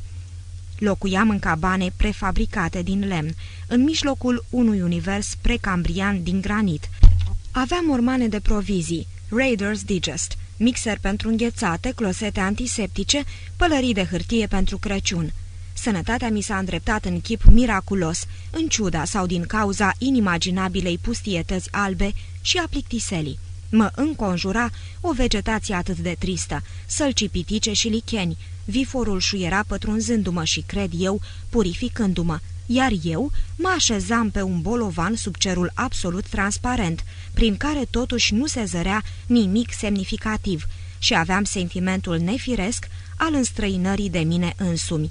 Nu mă înnebunea niciun fel de tentație. Micile eschimoase dolofane lucioase, mirosind a pește, cu părul oribil, negru ca pana corbului și fețe de cobai, nu trezeau în mine nici măcar dorința slabă pe care mi-o stârnise Dr. Johnson – regiunile polare, nu cunosc nimfetele. Am lăsat altora mai bun decât mine misiunea de a analiza derivele ghețarilor, gremlinarilor și criminalilor și o vreme m-am străduit să consemnez ceea ce în naivitatea mea mi se păreau a fi reacții. Am observat de pildă că visele sub soarele din miez de noapte sunt intens colorate, fapt confirmat și de prietenul meu fotograful. Se presupunea de asemenea că mi voi interoga colegi în legătură cu un număr de teme importante. De exemplu, îi voi întreba despre dorul de patrie, teama de animale necunoscute, fanteziile culinare, emanațiile nocturne, hobby-urile, alegerea programelor radio, schimbările de concepție și așa mai departe. S-au săturat însă în asemenea hal, încât curând am abandonat definitiv proiectul și de-abia spre sfârșitul celor 20 de luni de muncă rece, cum a numit-o în glumă unul dintre botaniști, am încropit un raport fantezist și plin de savoare, pe care cititorul îl va găsi poate în Annals of Adult Philosophics pe anul 1945 sau 1946, precum și în numărul din Arctic Explorations, consacrat acestei expediții deosebite, care, în concluzie, după cum am aflat mai târziu de la doctorul meu binevoitor, nu căutase zăcămintele de cupru sau de altceva de pe insula Victoria, întrucât natura adevăratului ei scop a fost secretă. Sâc. Așa că vă rog să-mi permiteți să mai adaug doar că oricare o fi fost obiectivul ei, expediția și-a îndeplinit misiunea.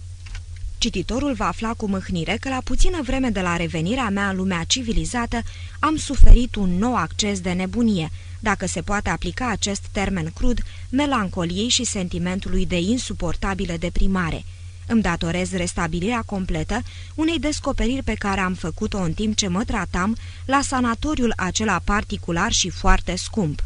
Am descoperit că secretul desfătării sănătoase constă în a-i lua la vale pe psihiatri, îi conduci cu dibăcie, nu-i lași să-și dea seama că le cunoști trucurile meseriei, inventezi pentru ei vise complicate, în stil pur clasic, care îi fac pe ei, distilatorii de vise, să viseze și să se trezească urlând. Îi săcăi cu scheme primare, închipuite, și nu le permiți nici măcar să-ți întrezărească adevărata suferință sexuală.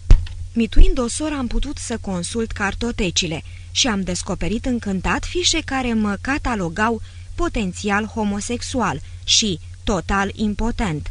Distracția era desăvârșită, iar rezultatele în cazul meu atât de roze, încât am rămas încă o lună după ce mă îndrăvenisem, dormind admirabil și mâncând ca o școlăriță. Apoi a mai adăugat o săptămână, oferindu-mi plăcerea de a prelua un nou venit, o autoritate, o celebritate dislocată și, cu siguranță deranjată, cunoscută pentru talentul de a-și face pacienții să creadă că au asistat la propria lor zămislire. Capitolul 10 După ieșirea din sanatoriu, am încercat să găsesc o localitate rurală din Noua Anglie sau un orășel somnolent, un biserică albă, unde să-mi pot petrece o vară cufundându-mă în studiu. Luasem cu mine o cutie doldora de note și scăldându-mă într-un iaz din vecinătate. Munca a început să mă intereseze din nou, adică strădaniile mele cărturărești, fiindcă participarea activă la parfumurile postume ale unchiului fusese redusă la minimum. Unul dintre foștii săi angajați, vlăstarul unei familii distinse, mi-a propus să petrec câteva luni în casa verilor săi scăpătați, domnul McCow, pensionar și soția lui, care voiau să închirieze catul de sus unde locuise discret o mătușă defunctă. Mi-a spus că au două fetițe, una foarte mică, cealaltă de 12 ani, și o grădină frumoasă în apropierea unui iaz frumos, iar eu mi-am zis că ideea era perfect, perfectă. Am corespondat cu oamenii aceștia asigurându-i că sunt o persoană potolită și am petrecut în tren o noapte fantastică, închipuindu-mi în cele mai mici detalii în feta căreia îi voi da lecții în franceză și mângâieri în humberteză. La gara miniaturală unde am descins cu geamantanul meu cel nou și scump, nu mă aștepta nimeni. La telefon nu mi-a răspuns nimeni. Totuși, până la urmă, un mâcău buimac cu hainele ude și-a făcut apariția la singurul hotel din Ramsdale, orașul verde și roz, și m-a informat că tocmai i-ar sese casa din temelii. Cine știe, poate din cauza incidentului sincron care îmi devastase cu o noapte înainte arterele. Familia, mi-a spus el, se refugiase la o fermă proprietatea sa, luând și mașina, însă o prietenă a soției, doamna Hayes, o persoană distinsă de pe Lone Street, number 342, se oferise să mă găzduiască. Doamna care locuia vis-a-vis -vis de casa Hayes îi împrumutase lui Mcău limuzina, o dihanie uimitor de demodată, având capota pătrățoasă și un negru jovial la volan. Singura rațiune a venirii mele se spulberase. așa că aranjamentul amintit mai sus mi s-a părut lipsit de sens. Bine, va trebui să-și construiască din nou casa. Ei, și cei cu asta? Nu plătise asigurarea cuvenită? Eram furios, dezamăgit și plictisit, dar fiind european politicos, nu l-am putut refuza și am fost expediat în Lone Street cu mașina aceea funebră. De altminteri mă temeam că McCow ar putea să imagineze un mijloc și mai complicat ca să scape de mine. L-am văzut cum se depărta grăbit, iar șoferul meu a clătinat din cap, chicotind ușor. En rut, m-am jurat să nu rămân în niciun caz în Ramsdale, ba nici măcar să nu-mi treacă prin minte și să iau chiar în ziua aceea avionul spre Bermude, Bahamas sau Blaze. Perspectivele desfătării pe plajele tehnicolore îmi gâdilaseră mai de mult și raspinării, dar vărul lui Mâcău îmi abătuse brusc șirul gândurilor, cu propunerea lui bine intenționată, însă, cum se vedea acum, absolut nefolositoare fiindcă tot vorbeam de viraje bruște, în timp ce luam curba ca să intrăm pe Lone Street, era cât pe ce să călcăm un câine, suburban și arțăgos, unul dintre cei ce stau și pândesc mașinile. Ceva mai încolo s-a ivit casa Hayes, o construcție albă oribilă care părea prăfuită și veche, mai mult cenușie decât albă, acel gen de locuință unde știi că în loc de duș vei găsi un furtun de cauciuc fixat la robinetul băii. I-am făcut semn șoferului în speranța că va demara imediat și voi putea face cale întoarsă neobservat la hotelul și bagajele mele, dar tipul a trecut pe cealaltă parte a străzii de unde îl strigase o bătrână doamnă care stătea pe veranda ei. Ce puteam să fac? Am apăsat pe butonul soneriei. M-a primit o slujnică neagră, care m-a abandonat pe preș și s-a năpustit înapoi în bucătărie, unde ardea ceva ce nu trebuia să ardă. Holul din față era împodobit cu clopoței la ușă, cu o drăcovenie ochioasă din lemn, ceva de origine mexicană comercială și cu o reproducere după Arlesion, banalitatea preferată a clasei de mijloc, cu ifose artistice. În dreapta, o ușă dată de perete îți permitea să vezi living-ul, cu alte bagatele mexicane așezate într-o vitrină de colț și o sofa lipită de perete. În capătul holului începea o scară interioară și în timp ce îmi ștergeam fruntea, de-abia acum îmi dădeam seama cât de cald era afară și mă holbam așa, doar ca să mă uit la ceva, la o minge de tenis veche și cenușie așezată pe un cufăr de stejar de sus, din capul scării a venit vocea de contralto a doamnei Hayes, care, aplecându-se peste balustradă, s-a interesat drăgălașă. Sunteți domnul Humbert?" Câteva fire de scrum de țigară au căzut de acolo ca un adagio. Curând, doamna însăși a coborât treptele. Întâi sandalele, apoi pantalonii de camping, bluza de mătase galbenă și figură colțuroasă, în această ordine, în timp ce arătătorul ei scutura încă țigara. Cred că aș face mai bine să o descriu complet ca să scap de o grijă. Sărmana doamnă avea în jur de 35 de ani, frunte lucioasă, sprâncene pensate și trăsături destul de comune, dar nu lipsite de farmec, care s-ar defini ca o replică palidă a Marlenei Dietrich. Aranjându-și ușor cocul de culoarea bronzului, m-a condus în salon, unde am discutat un minut despre incendiul de la Măcău și despre avantajul de a locui în Ramsdale. Ochii depărtați și verzi ca marea explorau interlocutorul într-un mod nostim, evitându-i cu grijă privirile. Zâmbea doar printr-o ridicare bruscă, persiflatoare a sprâncenei, și în timp ce vorbea se descolăcea de pe sofa și făcea într-una mișcări impetuoase, spasmodice, între trei scrumiere și tava sobei din apropiere, unde zecea coaja cafenie a unui măr, apoi se strângea la loc, îndoindu-și un picior sub ea. Era fără îndoială dintre acele femei ale căror cuvinte lustruite pot reflecta influența unui cerc de lectură sau de bridge sau orice alt formalism ucigător, însă niciodată sufletul lor. Femei lipsite complet de umor, femei total indiferente în sinea lor față de numeroasele subiecte dintr-o conversație de salon, însă foarte exigente în privința regulilor de desfășurare a unor asemenea conversații, sub al căror ciolofan strălucitor se pot detecta ușor frustrări nu foarte atrăgătoare. Îmi dădeam perfect de bine seama că dacă aș fi devenit printr-o întâmplare crudă chiriașul ei, s-ar fi apucat metodic să realizeze cu mine ceea ce însemnase probabil întotdeauna pentru ea primirea unui chiriaș, și m-aș fi trezit prins din nou în lanțul uneia dintre acele anoste aventuri amoroase pe care le cunoșteam atât de bine. Dar nici vorbă să mă stabilesc acolo.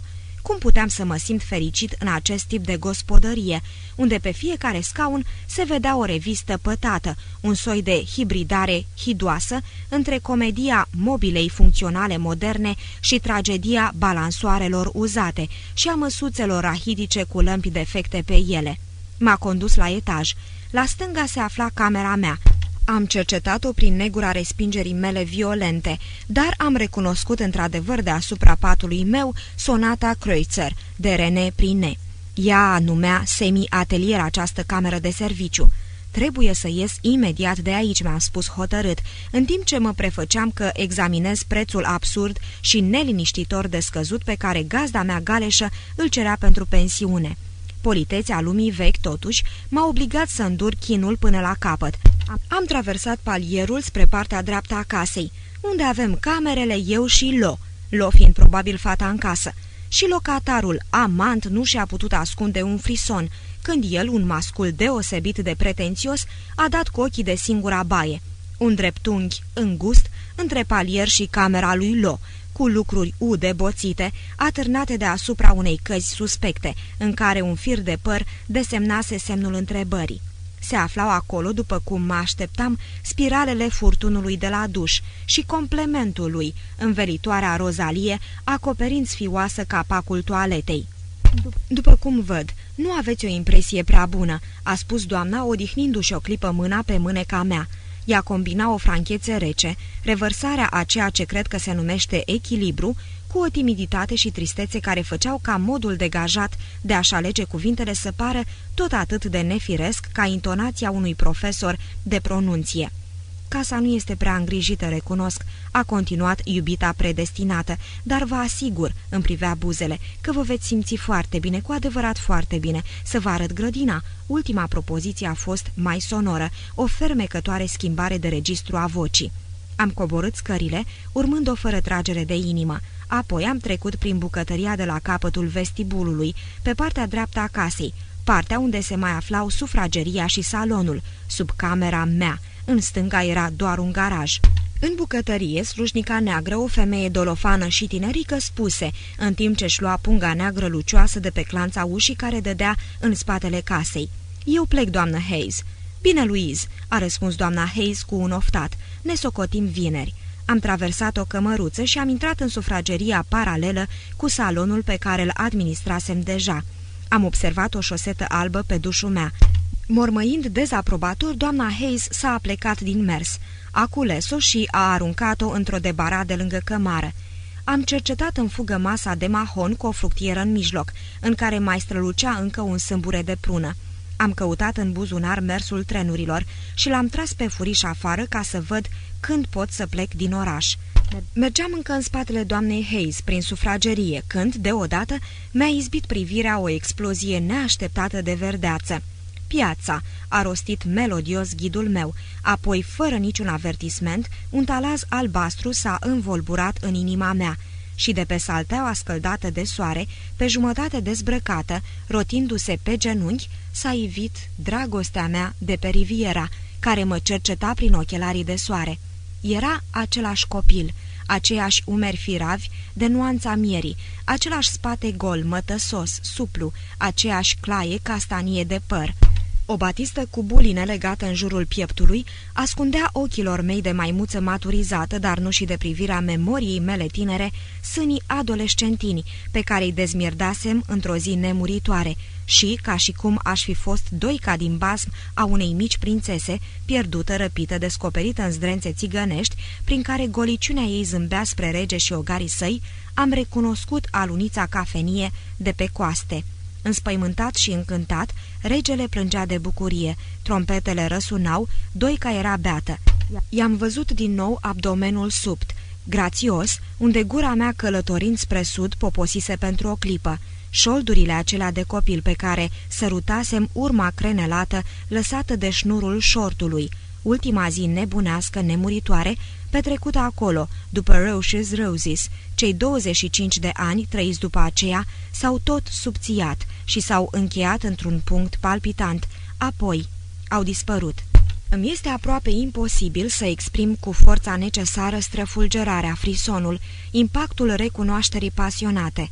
În clipa luminată de soare, când privirea mea alunecă peste copilul îngenunchiat, ochii ei clipeau prin lentilele întunecate reci, micul her doctor care urma să mă vindece de toate durerile.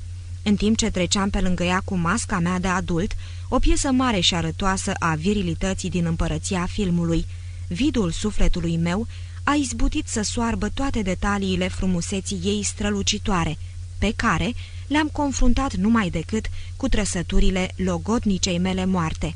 Ceva mai târziu, firește, ea, această Lolita, Lolita mea, va eclipsa total prototipul. Vreau doar să subliniez că descoperirea mea nu era decât consecința fatală a principatului de la țărmul mării, din trecutul meu chinuit. Între cele două evenimente se înșiră doar bârfeli, gafe și false rudimente de bucurie, care s-au contopit prin ceea ce aveau în comun. Nu-mi fac totuși niciun fel de iluzii. Pentru judecătorii mei totul va părea fără doar și poate o scenă din mascarada produsă de un nebun obsedat de Le Fruit Vert. În fond, mi-e egal. Tot ce știu este că în timp ce doamna Hayes și eu coboram treptele intrând în grădina liniștită, genunchii mei păreau reflexii ale genunchilor din apa vălurită. Buzele îmi erau de nisip și... Elo, fata mea, spuse ea, iar aceștia sunt crinii ei. Da, am zis, da, sunt frumoși, frumoși, frumoși. Capitolul 11 Proba numărul 2 e jurnalul de buzunar, legat în imitație de piele neagră, cu anul 1947, imprimat cu aur, în colțul din stânga sus al copertei. Elegant obiect, produs de Blank Blank Co., Blankton, Massachusetts. Parcă îl am aievea în fața ochilor.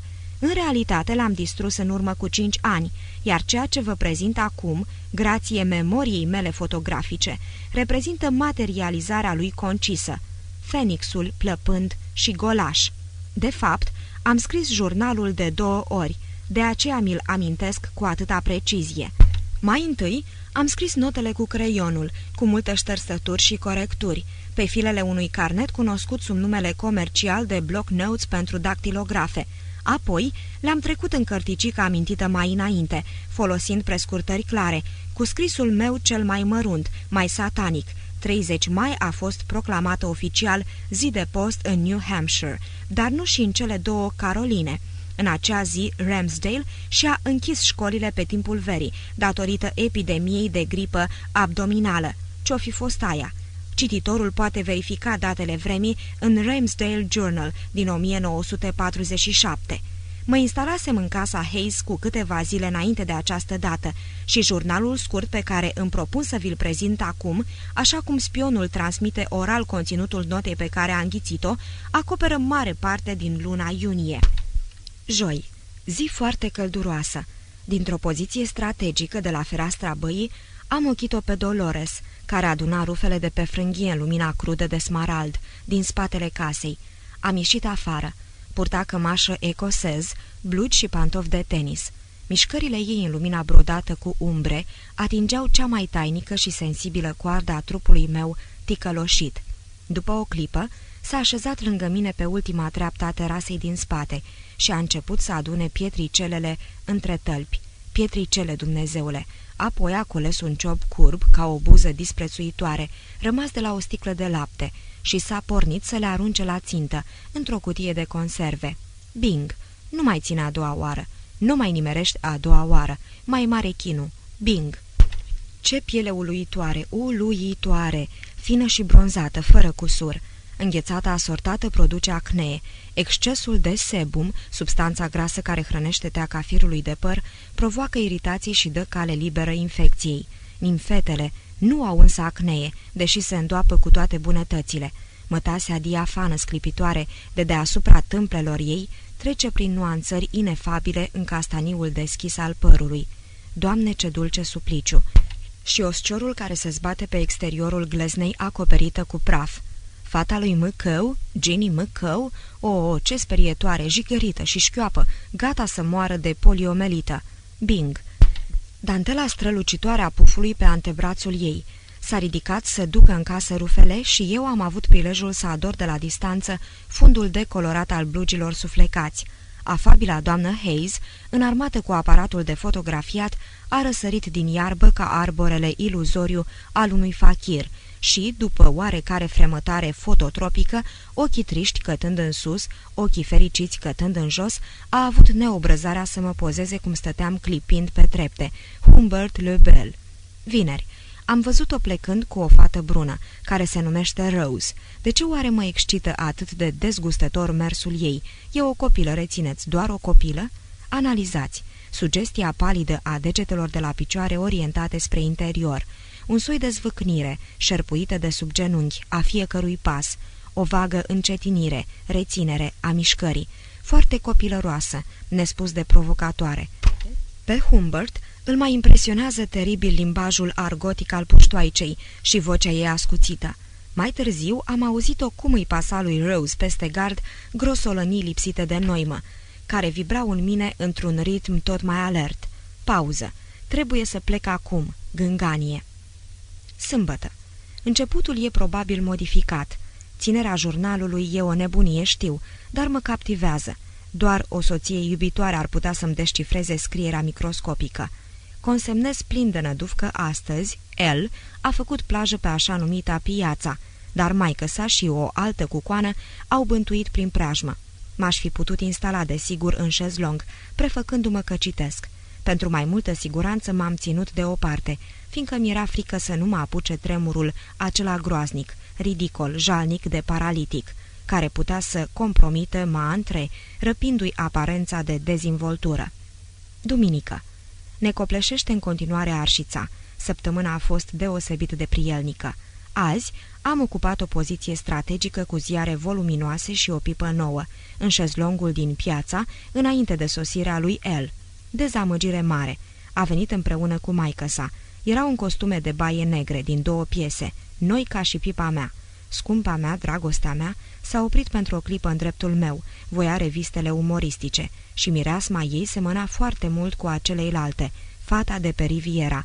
Era însă mai intensă, cu nuanțe mai aspre, o aromă toridă care mi-a tulburat pe dată bărbăția. Dar s-a îndepărtat repede, smulgându-mi de supriviri partea aceea râvnită și s-a retras pe saltea lângă mama ei cu trup de focă.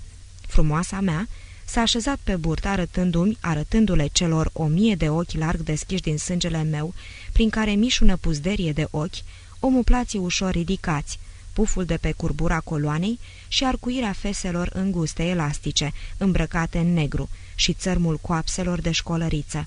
Eleva în clasa a șaptea se delecta în tăcere cu desenele verzi-albastre din revistele umoristice.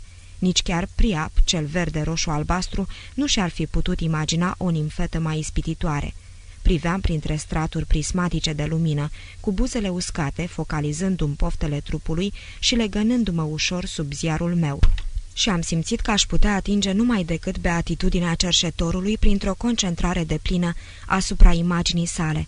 Dar, asemenea răpitoarelor care preferă prada în mișcare uneia nemișcate, mi-am propus ca jalnica împlinire – să coincidă cu una din diferitele mișcări copilărești pe care le făcea, când și când în timp ce citea de pildă, când încerca să se scarpine pe spate și își descoperea subțioara. Dar Hayes, grăsana, a risipit brusc vraja întorcându-se spre mine ca să-mi ceară un foc și lansându-se într-o conversație aiurită despre cartea unui șarlatan ce se bucura de popularitate. Luni, delectatio morosa. Zilele mohorâte s-au petrecut în deznădejde și durere. Azi, după masă, trebuia să ne ducem, mama Hayes, Dolores și eu, la oglinda iazului, să facem baie și plajă, dar dimineața Sidefie a degenerat la amiază în ploaie și Lo s-a isterizat. S-a constatat că în New York și Chicago vârsta media pubertății la fete este 13 ani și 9 luni. Există totuși unele diferențe individuale, vârsta variind între 10 ani sau chiar mai puțin și 17 ani. Virginia nu împlinise 14 ani când a fost posedată de Henry Edgar, care îi dădea lecții de algebră. Eu îmi imaginez aceasta. Și-au petrecut luna de miere la Petersburg, Florida. Monsieur Pou Pou, cum îl numea pe poetul poet, băiatul din clasa de la Paris a lui Monsieur Humbert Humbert. Sunt înzestrat cu toate caracteristicile care, potrivit celor ce au studiat interesele sexuale ale copiilor, declanșează reacții tulburătoare la fetițe, liniile energice ale chipului, mâini musculoase, voce profundă și sonoră, umeri lați. În plus, după cât se spune, există oarecare asemănări între mine și un vocalist sau actoraș pe care Lo îl iubea la nebunie. Marți. Ploaie. Iazul ploilor. Mămica s-a dus după cumpărături. El se afla pe undeva pe aproape, știam. Am manevrat în taină și am dat peste ea. Era în dormitorul maicăsii. Intrase ceva în ochiul stâng pe care îl ținea deschis cu degetele ca să scoată ce era acolo. Rochie cadrilată. Îmi place într-adevăr mireasma îmbătătoare a pielii ei bronzate. Totuși, cred că ar trebui să-și spele mai des părul. În acel moment, ne aflam amândoi în aceeași baie verde și caldă a oglinzii, în care se reflectau doar vârful unui plop, noi doi și cerul. Am prins-o puternic de umeri, apoi delicat de tâmple și am întors-o cu fața spre mine. Ia aici, zise ea, îl simt. Țăranca elvețiană folosește vârful limbii. Îl scoate cu vârful limbii? Mhm, să încerc? Firește, spuse ea. Mi-am trecut ușurel vârful tremurător al limbii în jurul globului ocular sărat, care se rostogolea. Așa, așa, spuse clipind, gata, s-a dus. Și acum celălalt? Aiurezi, începu ea. Nu mai e nim... Dar a observat rictusul buzelor mele care se apropiau. Bine, spuse ea binevoitoare. Și Humbert, cel serios, s-a plecat peste chipul bronzat, apăsându-și gura pe pleoapa ce se bătea. A izbucnit în râs și a zbugit-o pe lângă mine ieșind din cameră. Inima mi se pulverizase. Niciodată în viața mea, nici când dezmierdam iubita copil în Franța. Niciodată. Noapte. N-am simțit nici când un asemenea chin. Aș vrea să-i descriu chipul, felul de a fi și nu pot, fiindcă patima mă urbește când o simt aproape. Nu sunt deprins să stau cu nimfetele firar să fie. Dacă închid ochii, văd numai câte un fragment imobil din făptura ei, un stop cadru, imaginea neașteptată a unui membru frumos, genunchiul care iese de sub rochia de tartan, când Lo se așează să-și lege și returile. Dolores Hayes, nu mă întrepa vozambră, mama ei care e convinsă că știe franțuzește. Sunt poet amezur și am compus un madrigal în care îi cântam funinginea genelor, ochii cenușii indiferenți, cei cinci pistrui asimetrici de pe nasul obraznic, puful blond de pe membrele bronzate. Dar l-am distrus și nu mi-l amintesc astăzi. Pot să descriu trăsăturile lui Lo doar în termeni foarte comuni, reiau jurnalul. Aș spune că avea păr castaniu și buze roșii ca dropsurile roșii linse, cea de jos destul de cărnoasă. O, de ce nu sunt scriitoare ca să o pun să-mi pozeze goală în lumina pură? În schimb, sunt deșiratul, ciolănosul Humbert Humbert, cu piept păros, sprâncene negre stufoase, cu accent excentric și cu o hazna de monștri pestilențiali care colcă-i ascunși în spatele zâmbetului inept de băiețaș. Dar nici ea nu este copilul plăpând, dintr-un roman feminin. Natura dubla nimfetei mele, a oricărei nimfete probabil mă nebunește. E vorba de amestecul dintre inocența visetoare și tandră și un soi de vulgaritate stranie, ce și șare rădăcinile în istețimea insolentă a reclamelor și ilustrațiilor din reviste, în radicalismul vag al slujnicelor adolescente din Anglia, mirosind a margarete strivite și a transpirație, și în târfele foarte tinere deghizate în copii din bordelurile de provincie. Încă o dată, toate acestea se combină cu delicatețea aleasă, neîntinată, care răzbate prin mosc și mocirlă, prin murdărie și moarte. O, Doamne, Doamne! Faptul cel mai straniu este că ea, Lolita aceasta, Lolita mea, a individualizat pofta trupească străvechea scriitorului, astfel că mai presus de toți și de toate tronează Lolita. Miercuri. Ascultă, te rog să o convingi pe mama să ne ia mâine la oglinda iazului. Am reprodus textual cuvintele pe care mi le-a spus șuierat și voluptos iubirea mea de 12 ani, când am dat nas în nas pe veranda din față. Eu ieșeam, ea intra. Soarele de după amiază, diamantul alb, orbitor, cu puzderie de spini irizanți, tremura reflectându-se pe spatele rotund al unei mașini parcate. Frunzișul unui ulm imens își juca umbrele suave pe zidul casei placat cu șiță. Doi plopi fremătau și susurau. Se deslușea zgomotul inform al traficului îndepărtat. Un copil striga Nancy, Nancy. În casă, Lolita își pusese discul preferat, Little Carmen, pe care eu îl numeam dirijorii pigmei, ceea ce o făcea să reacționeze pufnind cu indignare prefăcută la poanta mea de prost gust. Joi. Seara trecută, doamna Hayes, Lolita și cu mine am stat în piața. Înserarea caldă se dizolvase în întunericul senzual. Bătrâna fată povestise cu lux de amănunte intriga unui film pe care îl văzuse împreună cu Lo în timpul iernii. Boxerul decăzuse cumplit, dar l-a întâlnit pe bătrânul și bunul preot, care fusese și el boxer în vremea tinereții lui robuste și putea încă să pocnească zdravă în păcătoșii. Ședeam pe jos pe niște perne, iar Lo se afla între cucoană și mine. Se înghesuise între noi, scumpa. M-am lansat la rândumi într-o relatare hazlie a aventurilor mele arctice. Muza invenției mi-a pus în mâini o armă și am împușcat un urs alb care s-a lăsat moale la pământ și a spus doar ah.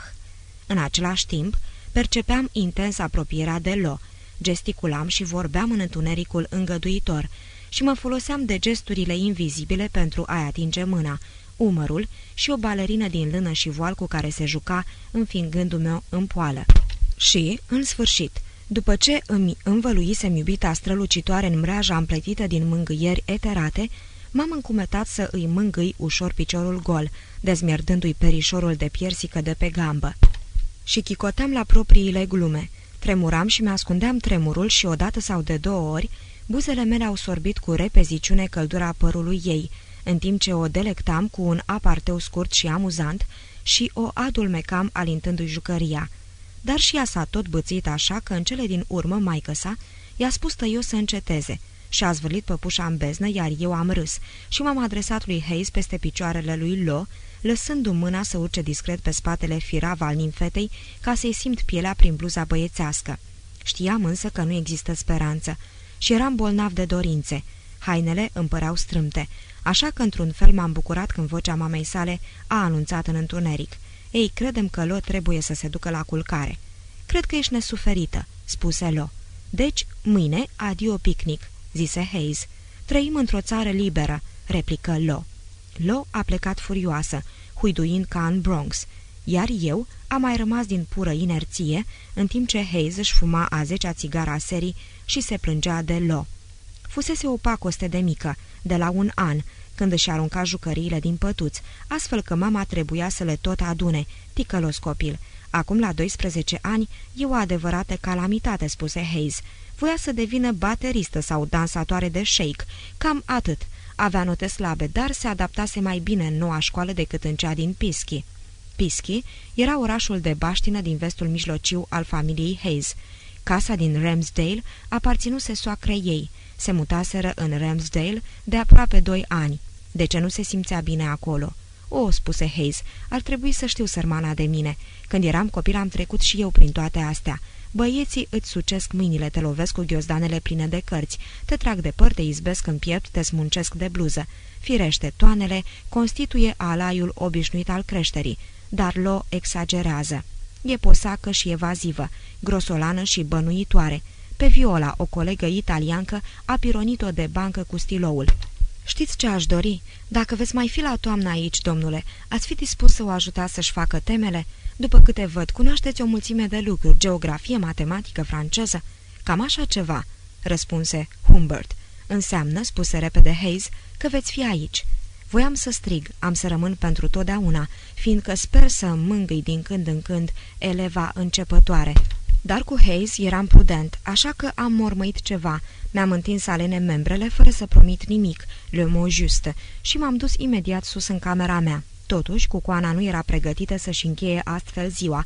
Mă lungisem pe patul meu rece, strângeam cu amândouă mâinile lângă obraz, neluca în miresmata lolitei, când am auzit cum proprietărea sa neobosită luneca tiptil spre ușa mea.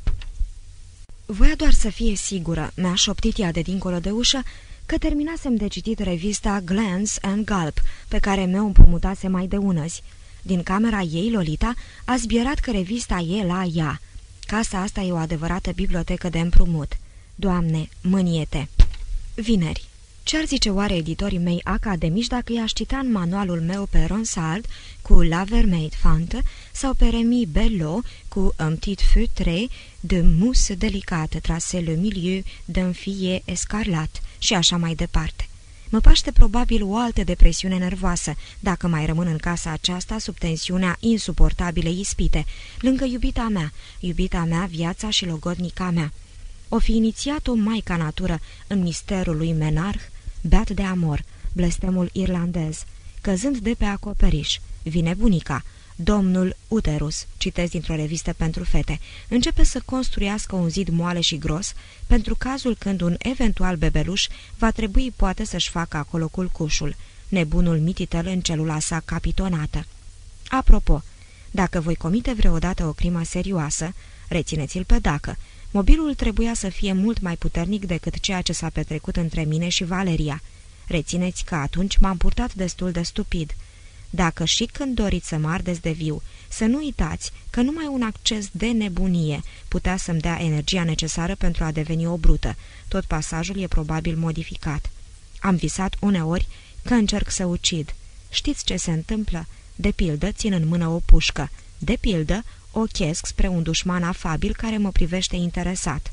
O, apăs pe trăgaci, perfect, dar gloanțele cad moale, unul după altul din gura bleaga țevii. Singurul meu gând în acele vise era să-mi ascund fiascoul, să nu-l sesizeze dușmanul meu, care încet, încet începea să se înfurie. Astă seară la cină, mâța bătrână mi-a spus privind pieziș cu persiflare maternă spre lo. Tocmai descriam cu mare vervă mustața tăiată scurt pe care încă nu mă hotărâsem să mi-o las. Mai bine renunțați, altminter știu eu pe cineva care o să ia razna de tot. Lo a împins de o parte farfuria cu pește fiert, mai mai să răstoarne cana cu lapte și a ieșit ca o furtună din sufragerie. Credeți că v-ar plictisi tare?" zise Hayes, să mergeți mâine cu noi la scăldat la oglinda iazului? Firește, dacă Lo își cere iertare pentru impolitețe." Mai târziu, am auzit ușe trântite puternic și alte sunete care veneau din grotele zguduite de cutremurul înfruntării acerbe dintre cele două rivale. Nu și-a cerut iertare. S-a dus iazul. Poate n-am fi distrat. Sâmbătă. De câteva zile în timp ce scriu în camera mea, las ușa crăpată, dar capcana a funcționat de-abia azi. După ce s-a agitat îndelung, a ezitat și a șters picioarele insistent, se jena că venise neinvitată și voia să nu se observe. A intrat în odaie, s-a învârtit, s-a răsucit și, în fine, a început să examineze încârligăturile pe care le așternusem pe o foaie de hârtie. Păreau să o intereseze – o, nu erau produsul pauzei inspirate pe care o face literatul între două paragrafe, ci hieroglifele hidoase. Ea nu avea cum să le descifreze, ale poftelor mele funeste. Și-a plecat cărlionții peste masa la care stăteam. Humbert, Humbert și-a petrecut patern brațul pe după mijlocul ei, iar vizitatoarea neprihănită s-a lăsat încetișor pe unul din genunchii mei, în timp ce ținea foarte aproape de ochi bucata de hârtie.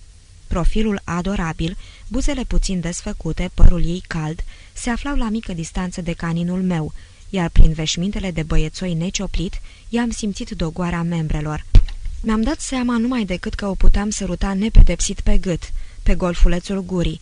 Știam că mă va lăsa, ba chiar va închide ochii cum ne învață Hollywoodul.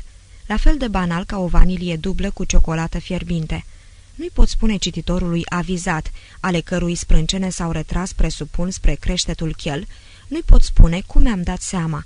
Urechea mea de maimuță a sesizat probabil involuntar o modificare ușoară în ritmul respirației ei, pentru că acum nu se mai uita de fapt la mâzgăleala mea, ci aștepta curioasă și calmă, o nimfeta mea diafană, ca lucatarul plin de vrajă și de dorințe să treacă la fapte. S-ar putea ca unei copile cititoare asiduă a revistelor cinema, expertă în detalii filmate cu încetinitorul cu mișcări de vis, să nu-i se pară prea ciudată situația, cred eu, când un prieten adult arătos, foarte viril, prea târziu. Casa a început dintr-o dată să vibreze. Vocea gureșei lui Iz îi relata doamnei Hayes, care de-abia intrase în casă, despre nu știu ce mortăciune găsită de ea și de Leslie Thompson în pivniță și micuța Lolita nu putea să rateze o asemenea poveste. Duminica Nestatornică, țâfnoasă, veselă, neîndemânatică, fermecătoare, având acea grație picantă a puberelor cu făptura teribil de ademenitoare, dau New England pentru un condei de scriitoare, de la funda neagră și clamele care îi țineau părul, până la cicatricea mică din josul gambei netede, unde o lovise cu rotilele patinelor un băiat din Peschi, cu o palmă mai sus de șoseta albă din bumbac.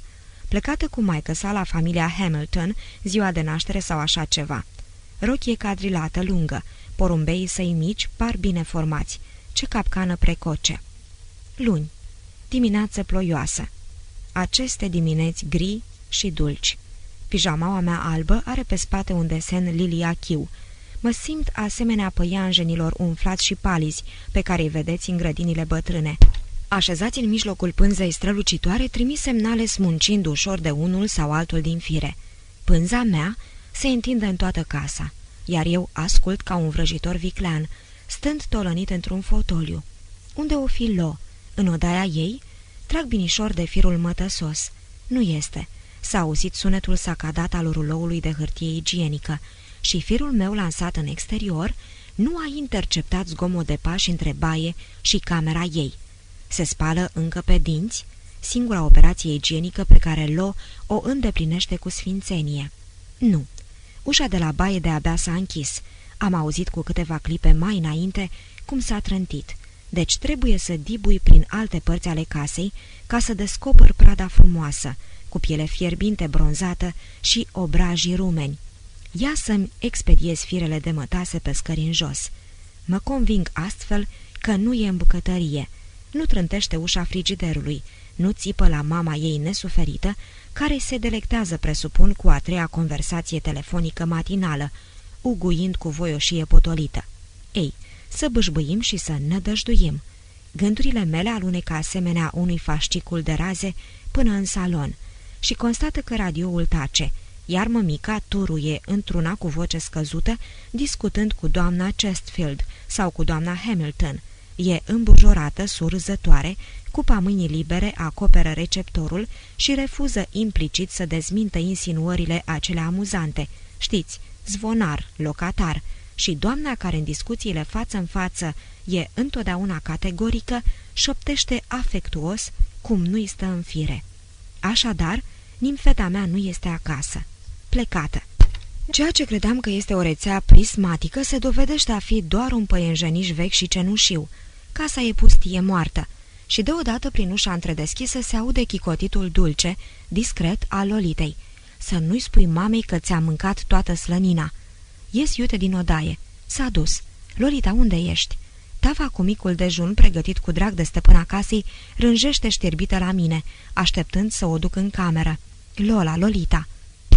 Marți. Norii au amânat din nou picnicul de la iazul acela inaccesibil, intrigile destinului. Ieri am probat în fața oglinzii o nouă pereche de kilos de baie. Miercuri. După amiază Hayes, pantofi decenți, taior, mi-a spus că se duce în oraș să cumpere un cadou pentru prietena uneia dintre prietenele ei și m-a întrebat dacă n-aș fi dispus să o însoțesc. Eram atât de priceput la stofe și parfumuri. Să alegeți mirasma dumneavoastră preferată, a sfărâit ea. Ce mai putea spune Humbert, care lucra în branșa parfumurilor? Mă prinsese la înghesuial între veranda din față și mașină. Hai, grăbiți-vă, spuse, în timp ce eu mă chinuiam să-mi aplec trupul meu mare ca să mă strecor înăuntru și căutam cu disperare un pretext pentru a scăpa. Pornise motorul și înjura monden un camion care o bloca. A dat cu spatele și apoi a întors după ce îi adusese bătrânei invalide domnișoara de vis-a-vis -vis, un scaun cu rotile nou-nouț. Deodată vocea ascuțită a Lolitei a țâșnit pe fereastra salonului. Hei, unde vă duceți? Vin și eu, stați așa!" Nu băga în seamă, scheună Hayes, forțând motorul. Dar vai, ce necaz pe șoferița mea în urlie. Lo ajunsese la portiera de pe partea mea și trăgea de ea. E inadmisibil, începu Hayes, dar Lo s-a și aruncat înăuntru în culmea încântării. Alo, mișcă-ți fundul, îmi spuse Lo. Lo, strigă Hayes privindu-mă cu coada ochiului, în speranța că o voi împinge afară pe Lo Mojica. Ei, poftim, strigă Lo. Nu o făcea pentru prima oară când a fost proiectată brusc pe banchetă, de mașina care s-a năpustit înainte. E inadmisibil, reluă Hayes, băgând furioasă în viteza a doua, ca un copil să fie atât de bădăran și atât de insistent, doar știe că nu este dorită și nici măcar n-a făcut baie. Dosul palmei mele atingea blugii copilei. Era desculță. Pe unghiile degetelor de la picioare se vedeau urme de o jăvișinie, iar degetul mare era înfășurat în leucoplast. Și, doamne, ce n-aș fi dat să pot săruta lăbuțele cu degetele lungi de maimuță? Deodată și-a stricurat mâna în mâna mea și eu am ținut și am strâns lăbuța fierbinte tot timpul drumului, fără să fim văzuți de supraveghetoarea noastră. Aripile nasului, marleneiesc, al șoferiței strălucea, deoarece tainul de pudră se risipise sau se consumase. Monologa elegant despre circulația locală, zâmbea din profil, își țuguia buzele din profil, își bătea genele rimelate din profil, iar eu mă rugam să nu mai ajungem niciodată la magazin. Dar am ajuns. Mai am de relatat doar, primo, că la întoarcere Hayes cea mare a exilat-o pe Hayes cea mică pe bancheta din spate și secundo că doamna s-a decis să păstreze preferința Humbert pentru dosul urechilor ei frumoase. Joi. La începutul tropical al lunii, plouă cu piatră și câinii văzduhului latră. Într-un volum din Young People's Encyclopedia am găsit o foiță pe care creionul unui copil începuse să copieze harta Statelor Unite. Pe partea cealaltă a foii, în dreptul conturului neîncheiat al Floridei și Golfului, era o listă trasă la mimeograf, cu nume care se refereau evident la clasa ei din școala de la Ramsdale. E un poem pe care îl știu pe de rost. Angel Grace, Augustine Floyd, Bill Jack, Bale Mary, Buck Daniel, Byron Margaret, Campbell Alice, Carmen Rose, Hamilton Rose, Hayes Dolores, Honeck Rosalind, Knight Kenneth, McCoe Virginia, McChrystal Vivian, McFate Aubrey, Miranda Anthony, Chestfield Phillips, Clark Gordon, Cohen John, Cohen Marion, Duncan Walter, Falter Ted, Fantasia Stella, Flashman Irving, Fox George, Glaive Mabel, Godale Donald, Green Lucinda, Miranda Viola, Rosato Emil, Schlenker Lena, Scott Donald, Sheridan Agnes, Sherva Oleg, Smith Hazel, Talbot Edgar, Talbot Edwin, Wine Lul, Williams Ralph, Windmuller Louise. Un poem, un adevărat poem. Ce straniu, ce plăcut să o descoper pe această Hayes Dolores. Ea, în minunatul pavilion al numelor, cu bodyguards de roze, o prințesă de basm între domnișoarele de onoare. Numele acesta așezat printre multe altele îmi dă fior pe șirea spinării. De ce? Încerc să analizez. De ce mă tulbură într-atât încât mă podidesc lacrimile fierbinți, opalescente mari, lacrimile pe care le varsă poeții și îndrăgostiții? De ce? Din cauza anonimatului duios al numelui în mantie oficială, Dolores, și a permutării abstracte a numelui de botez și a celui de familie, care seamănă cu o pereche nouă de mănuși deschisă la culoare sau cu o mască. Care să fie cuvântul cheie? Mască?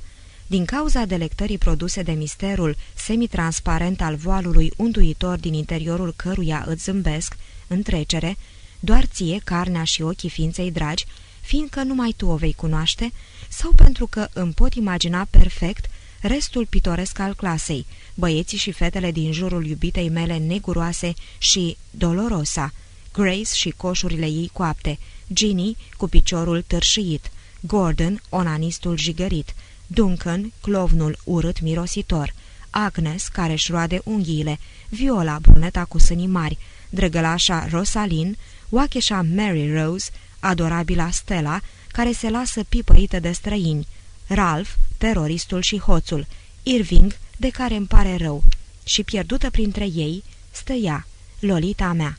Profesorii o detestă, dar ochii băieților îi mângâie gâtul și părul. Vineri. De s-ar produce odată un dezastru înspăimântător, cu tremur, explozie spectaculoasă. Mama sa este eliminată, spulberată imediat și pentru vecie, împreună cu tot ce se găsește pe o rază de patru mile. Lolita scâncește în brațele mele. Fiind un bărbat liber, mă bucur de ea printre ruine. Surprinderea ei, explicațiile mele, demonstrațiile, gemetele, plăsmuiri idiote și zadarnice. Un Humbert viteaz s-ar fi jucat cu ea în modul cel mai scârbos. De pildă ieri când venise din nou în camera mea ca să-mi arate desenele ei artă școlară. Sau, Ar fi putut să o cumpere, să o corupă și treaba se aranja. Un individ simplu și practic ar fi recurs la surogate comerciale. Cine știe unde vrea să ajungă? Eu însă nu știu. Sunt îngrozitor de timid, deși am trăsături virile.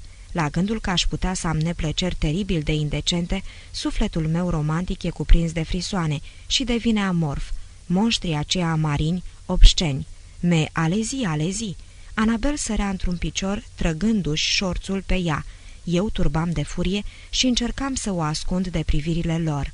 Aceeași dată, mai târziu, foarte târziu, am aprins lumina pentru a întrerupe un vis, care avea un antecedent clar.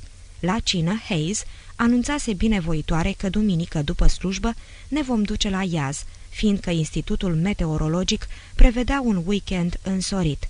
Stăteam lungit pe pat, pierdut în reverii erotice și înainte de a adormi, mă gândeam cum să profit de picnicul ce se anunța. Încercam să imaginez un plan. Îmi dădeam seama că Hayes o ura pe prietena mea, fiindcă Lo se îndrăgostise de mine. Așa că planul meu pentru ziua când ne vom duce la Iaz își propunea să dea satisfacție mamei, dar când mi se va oferi prilejul, voi spune că mi-am uitat ochelarii de soare sau ceasul în luminișul acela de colo și mă voi pierde cu nimfeta mea în pădure. Ajuns aici, realitatea s-a retras, s-a vaporizat. Căutarea ochelarilor s-a transformat într-o mini-orgie liniștită, cu Lolita, care, spre surprinderea mea, se dovedea versată, veselă, coruptă și docilă. Pe la trei dimineața am înghițit un somnifer și numai decât un vis parodic, dar care nu-l continua pe cel anterior, mi-a înfățișat un soi de limpezime semnificativă, iazul la care nu fusesem niciodată. Era glazurat cu o poșghiță de gheață de culoarea smaraldului, pe care încerca să o spargă cu târnăcopul un eschimos ciupit de vărsat. Și totuși, pe malurile nisipoase ale iazului înfloreau mimoze importante și leandri. Dr. Blanche Schwarzman mi-ar fi dat un sac de bani ca să-și sporească fișele cu un asemenea vis libido. Din păcate, restul visului era complet eclectic. Hayes cea mare și mica Hayes călăreau în jurul iazului, călăream și eu săltând conștiincios în șa, cu picioarele depărtate și arcuite, deși între ele nu se afla calul, ci doar aerul elastic, o mică scăpare datorată neatenției agentului oniric. Sâmbătă. Inima îmi bate și acum foarte tare. Sunt încă agitat și amintirea întâmplării din vis îmi smulge gemete stinse. Vedere din spate. Imaginea fugară a pielii strălucitoare dintre tricou și chiloții de gimnastică albi.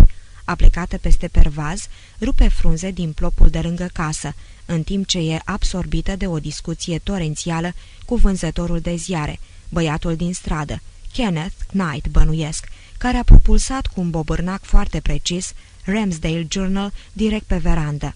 Asemenea unui mim, m-am dus pâș-pâș, târâș grăbiș spre ea. Brațele și picioarele deveniseră suprafețe convexe și eu înaintam între ele, nu pe ele, mă apropiam lent cu un mijloc neutru de locomoție. Humbert, păianjenul rănit. Mi s-a părut că s-au scurs multe ore până să ajung la ea.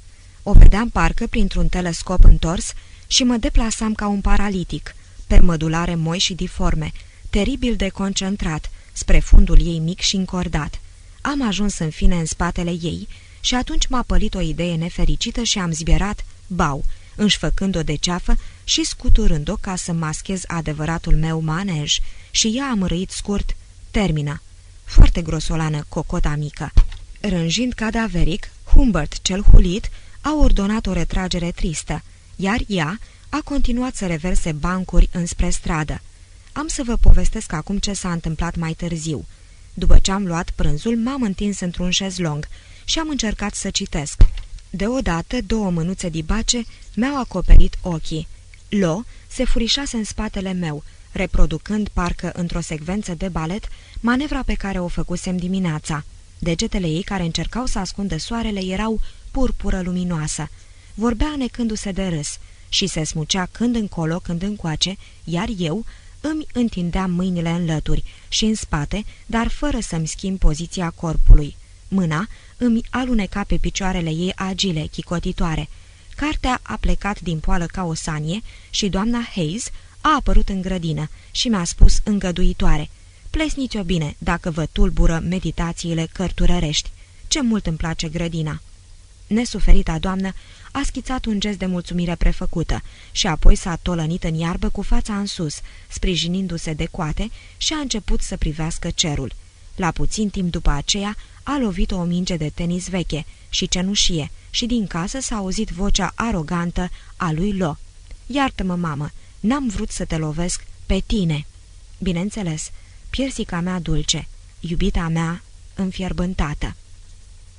Capitolul 12 Aceasta a fost ultima din cele vreo 20 de însemnări ale jurnalului. Se observă din ele că schema se repeta în fiecare zi, în ciuda inventivității diavolului. Mai întâi tarturul mă ispitea. Apoi, tot el mi se punea în cale și mă abandona cu o durere surdă în rădăcina însăși a ființei mele. Știam exact ce voiam să fac și cum să procedez ca să nu vatăm castitatea unui copil. În definitiv, căpătasem ceva experiență în viața mea de pederosis, îmi posedam vizual nimfetele pepite din parcuri, îmi croisem prudent și bestial drumul, până la colțurile cele mai aglomerate și încinse ale autobuzelor pline de eleve care stăteau în picioare, dar, timp de trei săptămâni, nu mi-am putut duce până la capăt nici una din mașinațiunile mele patetice. Agentul perturbator era de obicei doamna Hayes, pe care nu speria atâta gândul că aș vrea să profit de Lo, ci, așa cum va remarca cititorul, acela că Lo s-ar putea simți mult prea bine în prezența mea. Pasiunea pentru această nimfetă, prima nimfetă din viața mea pe care aveam în sfârșit posibilitatea să o ating cu ghearele mele stângace, îndurerate, timide, m-ar fi debarcat din nou într-un senatoriu, dacă diavolul nu și-ar fi dat seama că trebuia să-mi acorde o alinare, un respiro, în cazul când n-ar fi dorit să se joace o vreme mai îndelungată cu mine. Cititorul a remarcat de sigur ciudatul miraj al iazului, ar fi fost logic ca Aubrey McFate, cum ar plăcea să-l poreclesc pe diavolul acela care era destinul meu, să-mi pregătească o masă la iarbă verde, lângă plaja făgăduită, în pădurea mult visată. În fapt, doamna Hayes făcuse o promisiune necinstită, fiindcă nu-mi spusese că va veni și Mary Rose Hamilton, o adevărată frumusețe mică și oacheșă, și că astfel cele două nimfete se vor trage de o parte, șușotind între ele, jucându-se și distrându-se singure, în timp ce doamna Hayes și chiriașul ei arătos vor conversa potolit pe jumătate goi, departe de ochi iscoditori. Întâmplător, ochi iscodeau într-adevăr și gurile mielițau. Cât de ciudată este viața! Ne grăbim să îndepărtăm urțitoarele pe care aveam de gând să le chemăm în ajutor. Gazda mea se hotărâse, până să descind eu în carne și oase, să aducă la Ramsdale pe domnișoara Fallon, o celibatară bătrână a cărei mamă fusese bucătăreasă la familia Hayes, ca să stea cu Lolita și cu mine. Între timp, doamna Hayes, care avea vocație de funcționară, își va căuta un serviciu convenabil în orașul cel mai apropiat. Doamna Hayes văzuse foarte limpede întreaga situație. Ochelaristul, cocârjatul Herr Humbert, va sosi cu valizele lui central europene și se va adăposti după un maldăr de cărți, adunând praful în ungherul lui. Fiica mică, urâtă și neiubită, se va afla sub supravegherea strictă a domnișoarei Fallon, care o mai ținuse odată pe Lo sub aripa ei de uliu. Lo își amintea vara anului 1944 cu un tremur de indignare, iar doamna Hayes se va angaja ca recepționeră într-un oraș mare și elegant. Planul ei a fost torpilat de un eveniment destul de banal – Domnișoara Fallon și-a fracturat femurul în Sevenach, Georgia, chiar în ziua când soseam la Ramsdale. Capitolul 13 După sâmbăta descrisă mai înainte a urmat o duminică minunată, așa cum prezisese meteorologul. Am scos tava cu resturile de la micul dejun pe scaunul de lângă odaia mea, pentru ca gazda să le poată lua când dorește, și punând cap la cap ceea ce auzisem de la balustrada palierului, unde mă strecurase în pinișor în papucii mei vechi, singurele lucruri vechi pe care le adusesem cu mine, am dedus următoarea situație. Se produsese un nou tărăboi. Doamna Hamilton telefonase că fiica ei are temperatură. Doamna Hayes și-a informat fata că picnicul se amâna. Înfierbântată, mica Hayes a informat-o pe Hayes cea mare și rece că dacă e așa, n-are decât să se ducă singură la biserică. Mama a spus, e în regulă și a plecat. Ieșisem pe palier imediat după bărbierit, cu urechile pline de săpun, în pijamaua mea albă cu model albăstrui, nu Lilia Chiu, pe spate. Numai decât m-am șters de săpun, mi-am parfumat părul și subțiorile, am tras pe mine un halat de mătase purpurie și, dondănind nervos, am coborât scările în căutarea lui Lo. Îi rog pe cititorii mei avizați să urmărească atent scena pe care mă pregătesc să o reiau.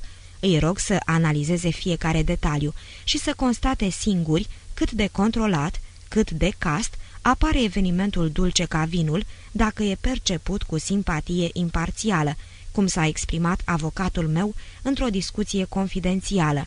Sarcina mea este extrem de ingrată.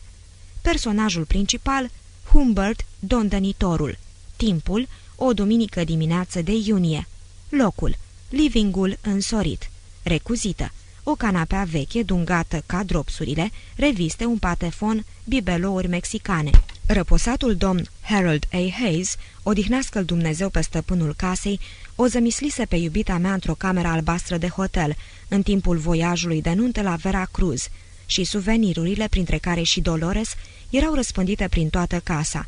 În acea zi a purta o rochie dintr-un imprimeu drăguț roz, în care o mai văzusem doar o singură dată, cu fustă amplă, corsaj strâmt, mâneci scurte cu carouri în alte nuanțe de roz, și pentru a completa gama coloristică, își făcuse buzele și ținea în căușul palmelor un măr frumos, obișnuit, roșu ca acela din grădina raiului.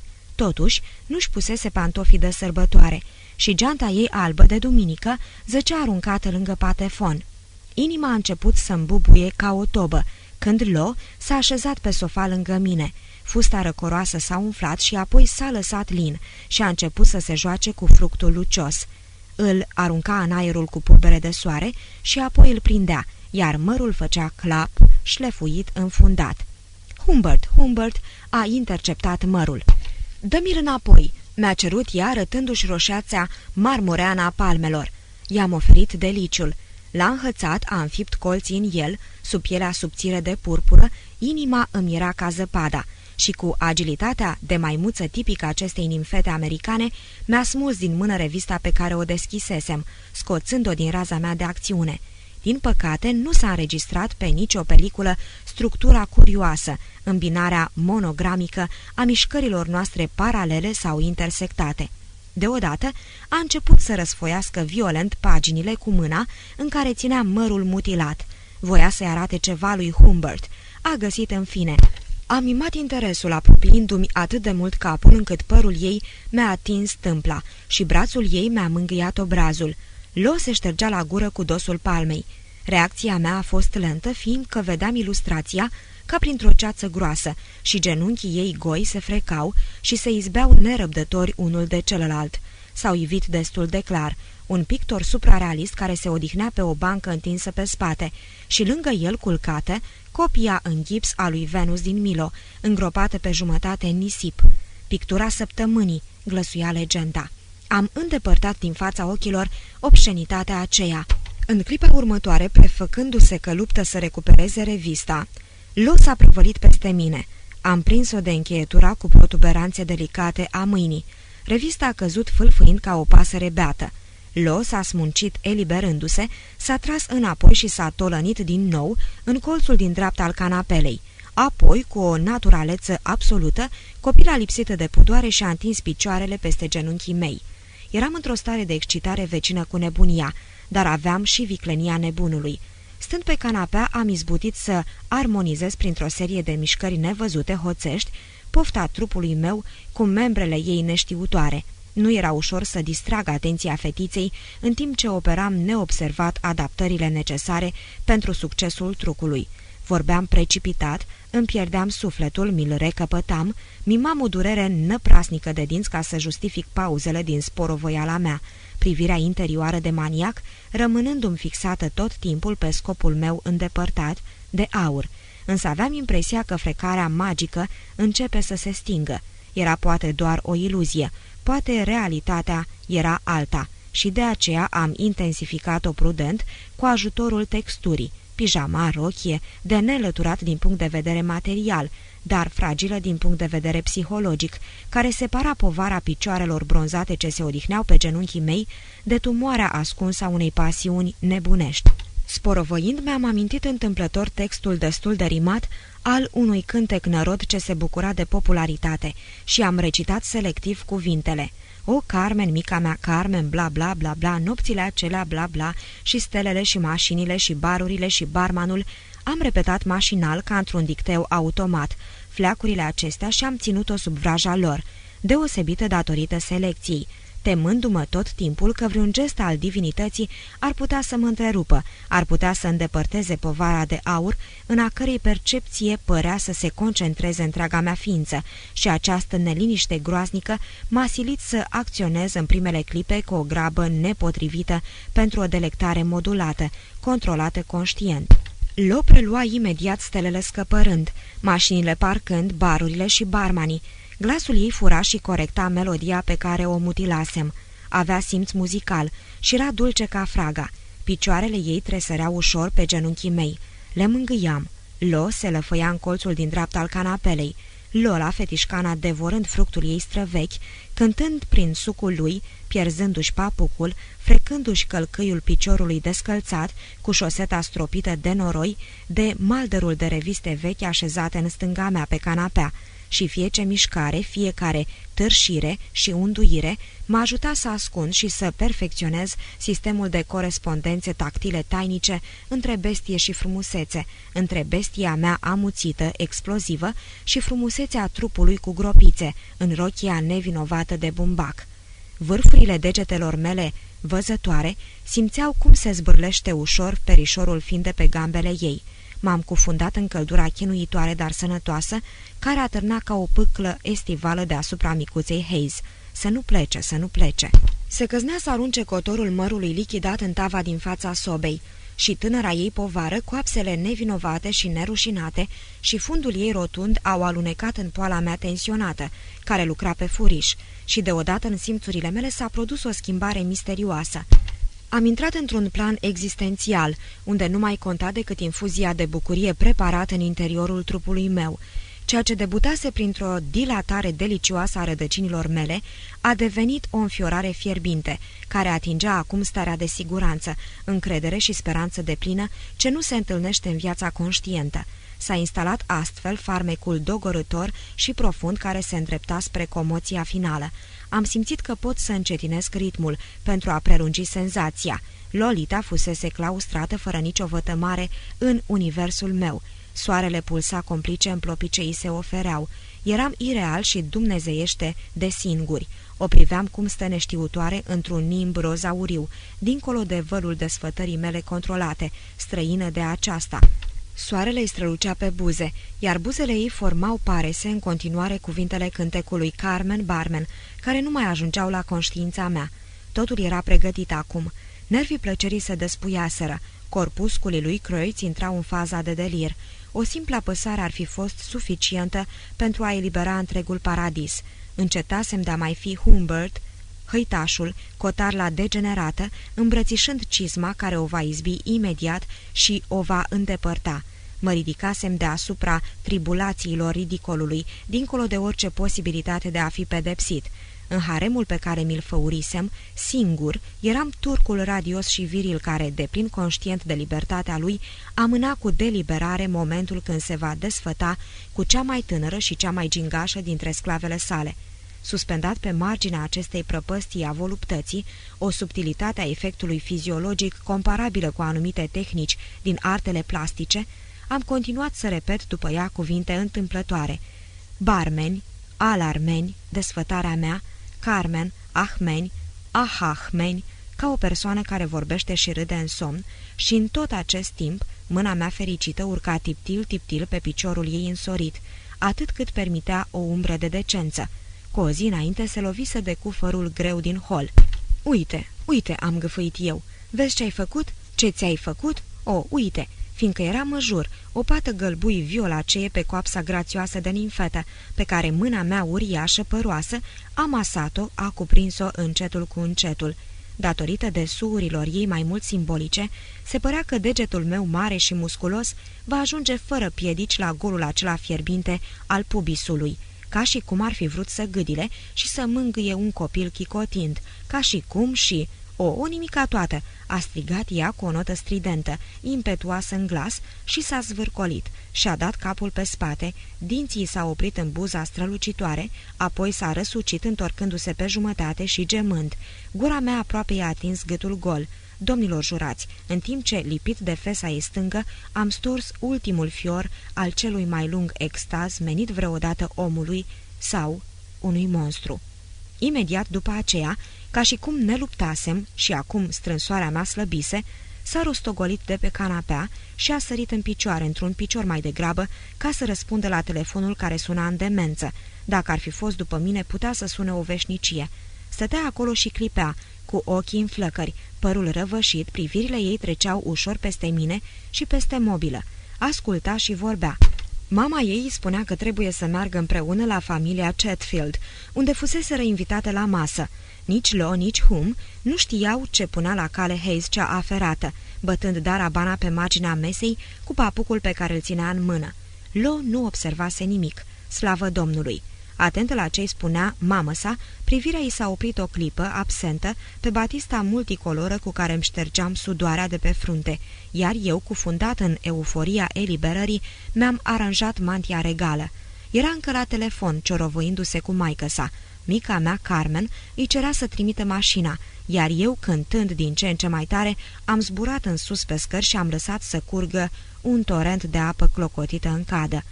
În acest moment aș putea să vă redau cuvintele șlagărului așa cum mi le amintesc, deși nu cred să le fi știut bine vreodată. Iată-le! O, micuța mea Carmen, Carmencita mea, bla bla bla bla, nopțile acelea, bla bla, barurile și barmanii, mașinile și stelele și o, draga mea, și îmbrățișările noastre, cumplitele, și orașul, bla bla, unde atât de vesel, braț la braț ne-am dus, și ultima ceartă, bla bla, și arma care te-a ucis, o, Carmena mea pe care o țin în mâini, arma mea. Și-a scos pistolul calibrul 32, presupun, și a trecut un glonte prin ochiul metresei sale. Capitolul 14 Am luat masa în oraș, îmi era o foame de lup. Când m-am întors, casa era pustie, fără lo. Mi-am petrecut după amiaza meditând, complotând, digerând fericit experiența din acea dimineață. Eram mândru de mine, șterpelisem nectarul unui spasm, fără să bruschez simțul moral al copilei.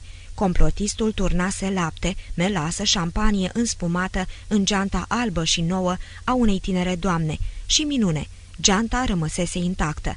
Ați văzut cum am construit visul meu mărșav, pasionat, păcătos și totuși, Lolita n-a fost întinată, iar eu eram în afara oricărei primejdii.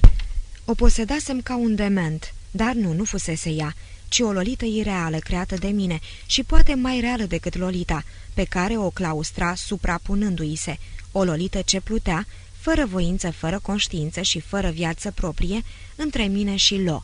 Copila nu știa nimic, nu-i făcusem niciun rău, nimic nu mă oprea să-mi repet isprava de azi, care nu afectase căci ea fusese imaginea pâlpâitoare de pe ecranul televizorului, iar eu, cocoșatul umil ce se masturbează în întuneric.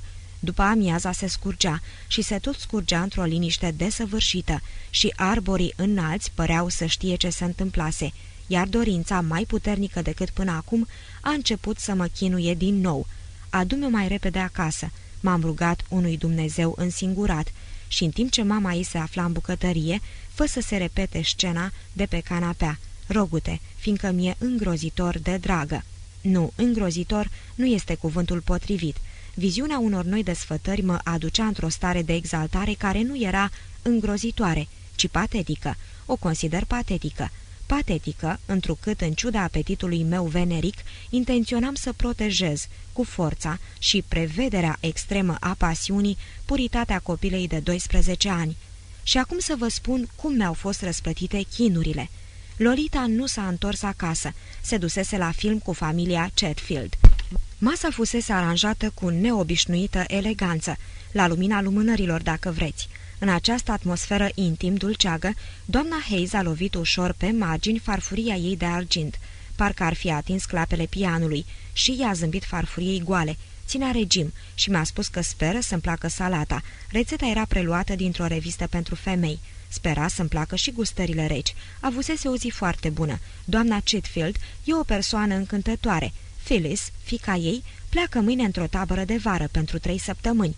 Lolita va pleca joi, așa s-a hotărât. Nu vor aștepta până în iulie, cum se stabilise inițial. Va rămâne acolo și după plecarea lui Phyllis, până la deschiderea școlii. Splendidă perspectivă, inima mea. O, am fost descumpănit, fiindcă asta însemna să-mi pierd pur și simplu iubita și tocmai acum când fusese în mare taină cu adevărat a mea.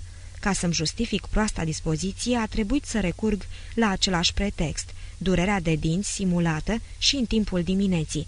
Era probabil un molar enorm cu un acces cât o sticlă de maraschino. Avem, spuse Hayes, un dentist excelent, vecinul nostru de fapt, Dr. Quilty, Unchiul său, vărul dramaturgului, cred.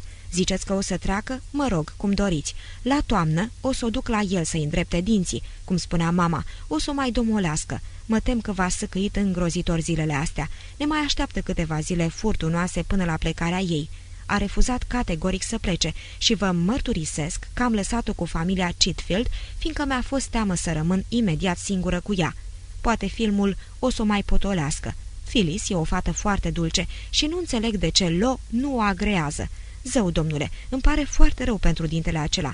Dacă vă mai doare și mâine dimineață, cred că ar fi rezonabil să-mi permiteți să vorbesc cu Ivor Quilty. Știți, cred că e mult mai sănătos să stai într-o tabără de vară și, mă rog, e mult mai rezonabil, zic eu, decât să tânjești pe pajiști suburbane, să folosești rujul mamei, să te ții după domnii studioși și să-ți sară țandăra din temir ce.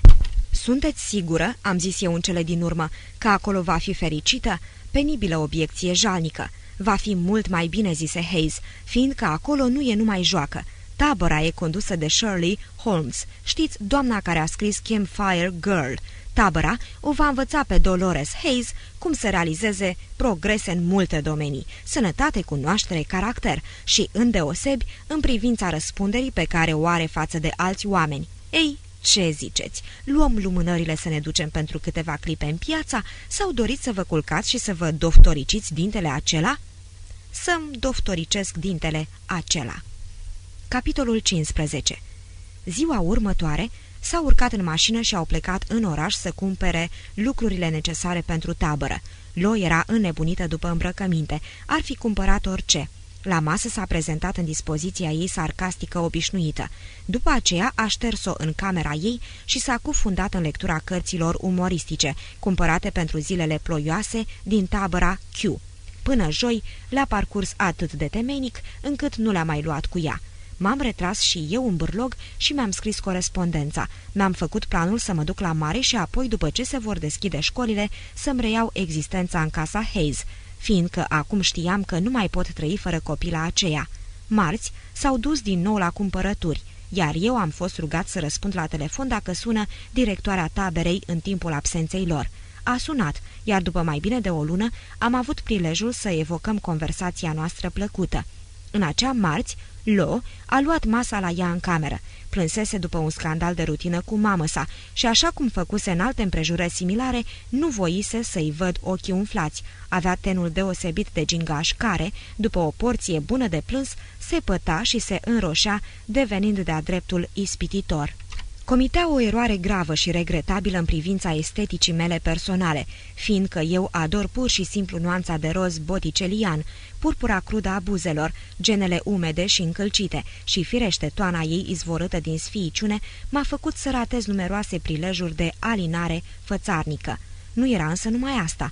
Stăteam în întuneric pe verandă, vântul puternic stinsese lumânările ei roșii și Hayes mi-a spus, râzând sinistru, că o anunțase pe loc că iubitul ei, Humbert, aproba întru totul ideea taberei.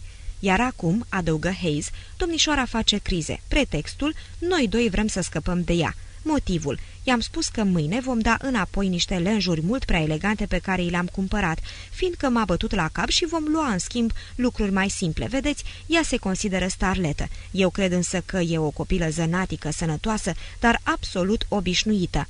Iată mărul discordiei noastre. Miercuri, am reușit să o prind pe lo pentru câteva secunde. Era pe palier în flanelă de corp și short alb. M-am străduit să-i spun câteva cuvinte prietenoase și amuzante, însă ea a pufnit țâmpnoasă și nu s-a uitat la mine.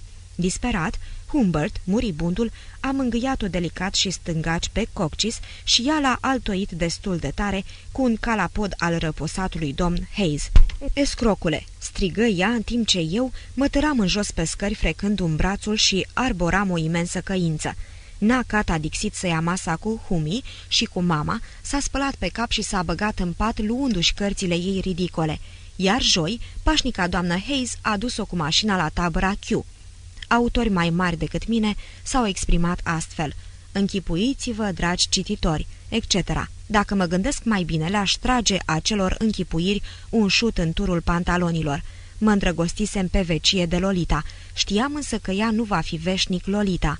Pe 1 ianuarie împlinește 13 ani. Peste 2 ani și ceva nu va mai fi nimfetă și se va transforma într-o fată tânără și apoi în colegiană, grozăvia grozăviilor. Cuvintele pe vecie se refereau numai la pasiunea mea, la Lolita cea eternă, așa cum o reflecta sângele meu.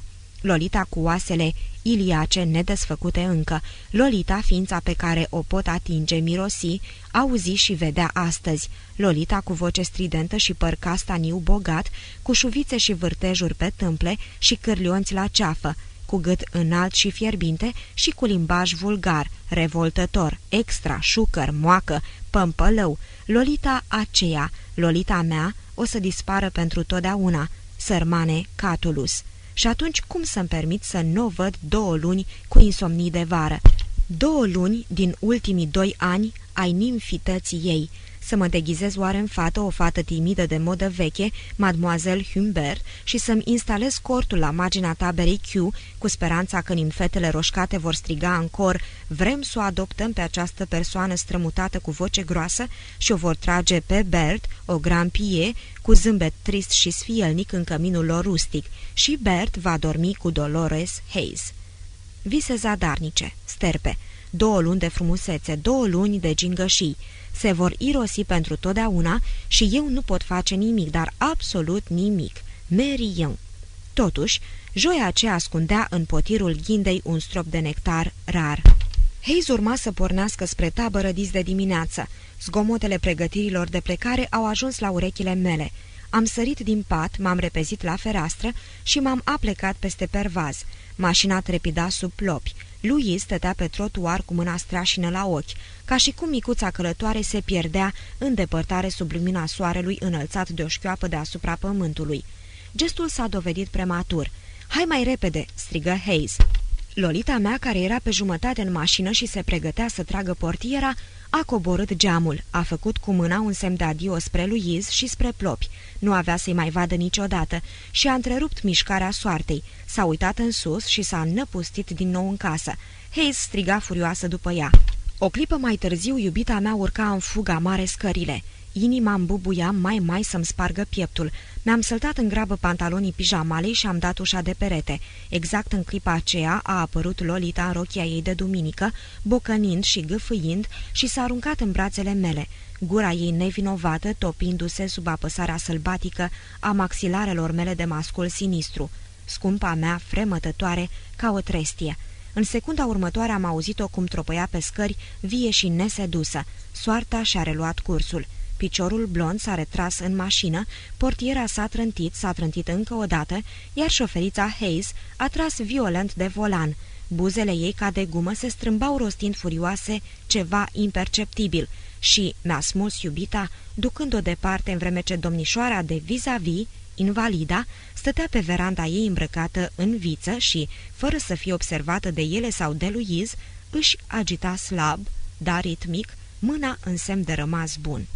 Capitolul 16 Palma îmi era plină de amintirea ființei de ivoriu a Lolitei, plină de amintirea tactilă a spatelui ei, preadolescentin, arcuit, de senzația aceea a alunecării pe fildeș pe care mi-a transmis-o prin rochia subțire pielea ei în timp ce o îmbrățișam, iar mâna mea îi mângâia frenetic trupul.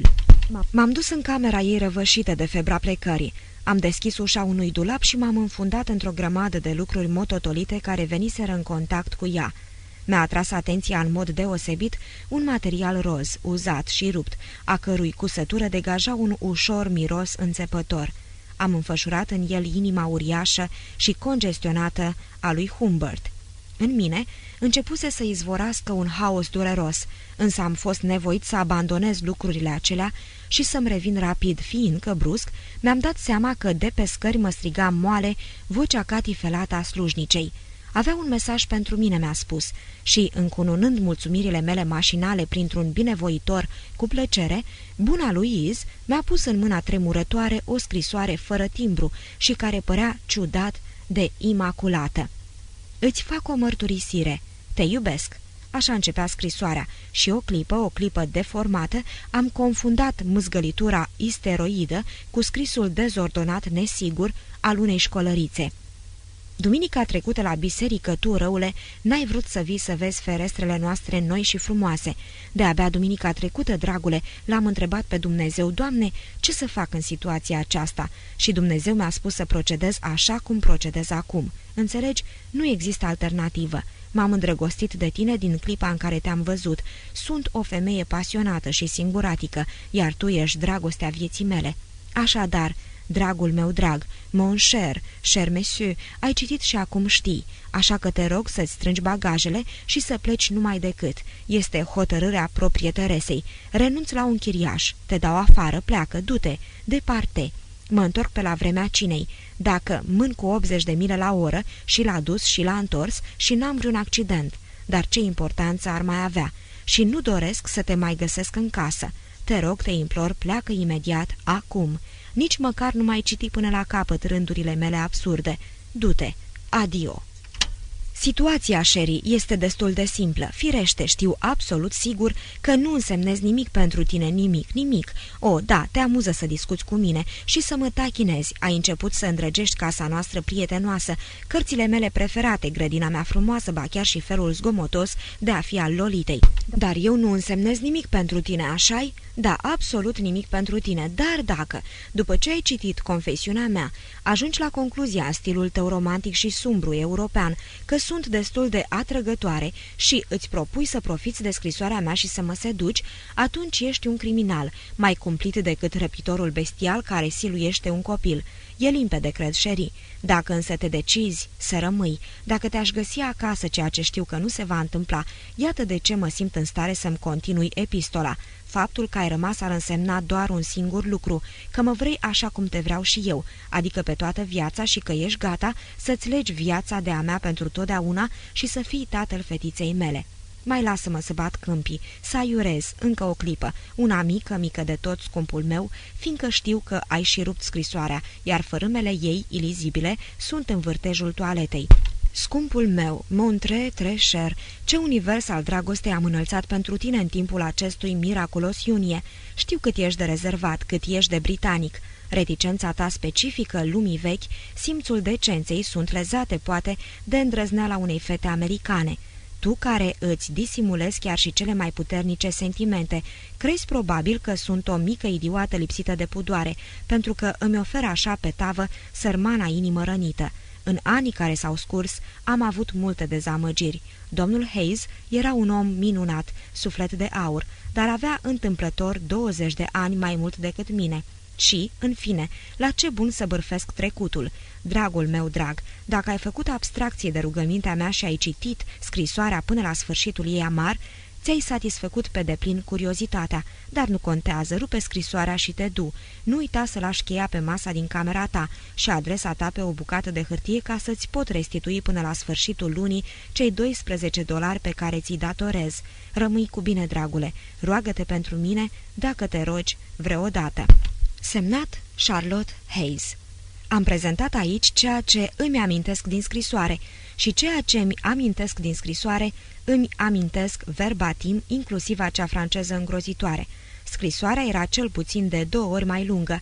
Am lăsat deoparte un pasaj liric pe care l-am cam sărit la momentul acela, despre fratele Lolitei. Murise la doi ani, Lolita avea pe atunci patru ani. L-aș fi îndrăgit, spunea ea. Ce aș mai putea adăuga? Să văd. A, da, nu este imposibil ca vârtejul toaletei, unde a ajuns într-adevăr scrisoarea, să reprezinte contribuția mea prozaică. M-a implorat, probabil, să înalț un rug special și să o dau flăcărilor. În primul moment am simțit repulsie și dorința de a mă retrage. Apoi însă parcă mi s-a așezat pe umăr mâna liniștitoare a unui prieten, îndemnându-mă să mă mai gândesc. Asta am și făcut. M-am trezit din buimăceală și am constatat că mă găseam încă în camera lui Lo. Deasupra patului, pe perete, între mutra unui cântăreț charmant și genele unei actrițe de cinema, era fixată o reclamă de dimensiunile unei pagini, smulsă dintr-o revistă ilustrată. Reprezenta un tânăr soț cu părul negru și privirea stinsă în ochii săi irlandezi. El prezenta un halat creat de cutărică și ducea o tavă în formă de pod, creată de cutărică, cu micul dejun pentru două persoane. Legenda scrisă de reverendul Thomas Morrill îl numea eroul cuceritor. Doamna cucerită în întregime nu era arătată, se săltase pe perne, probabil ca să-și primească jumătatea ei de tavă. Nu se înțelegea prea bine cum avea să se strecoare pe sub pod partenerul ei de pat fără să păteze ceva. Lo trasase o săgeată haioasă spre fața devastată a iubitului și scrisese cu litere mari H.H. Și, într-adevăr, în ciuda unei diferențe de câțiva ani, asemănarea era izbitoare. Sub aceasta se afla o altă ilustrație, tot o reclamă colorată. Un distins dramaturg fuma maestos o țigarată drom, fuma totdeauna drom. Asemănarea mi s-a părut palidă. Sub ilustrație se întindea patul cast al lui Lo, așternut cu reviste umoristice. Emailul de pe rama patului sărise pe alocuri, lăsând deschise răni negre, mai mult sau mai puțin rotunde, pe lacul alb. M-am asigurat că Louise plecase și m-am lungit în patul lui Lo ca să recitesc scrisoarea. Capitolul 17 Domnilor din juriu, n-aș putea să jur că nu-mi trecuse prin cap și înainte, care exista anumite sentimente legate de afacerea în curs, dacă mi este permis să inventez o expresie. Mintea mea nu le reținuse sub formă logică sau în vreo relație cu ocaziile pe care mi le aminteam cu precizie, dar n-aș putea să jur, repet, că nu m-am hârjonit cu ele, ca să lansez o altă expresie, în negura gândului, în bezna pasiunii mele. Au existat probabil momente, au existat fără îndoială momente, așa cum îl cunosc eu pe Humbert al meu, când am supus unei cercetări detașate ideea de a mă căsători cu o văduvă coaptă, în speță Charlotte Hayes, care nu mai avea niciun fel de neamuri în lumea largă și cenușie, doar ca să-mi satisfac patima pentru fata ei. Lo, Lola, Lolita.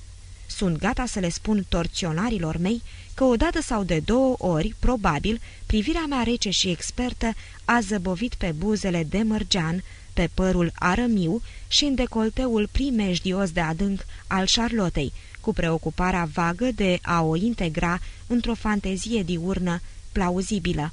Mărturisesc totul sub tortură, tortură imaginară probabil, dar cu atât mai îngrozitoare.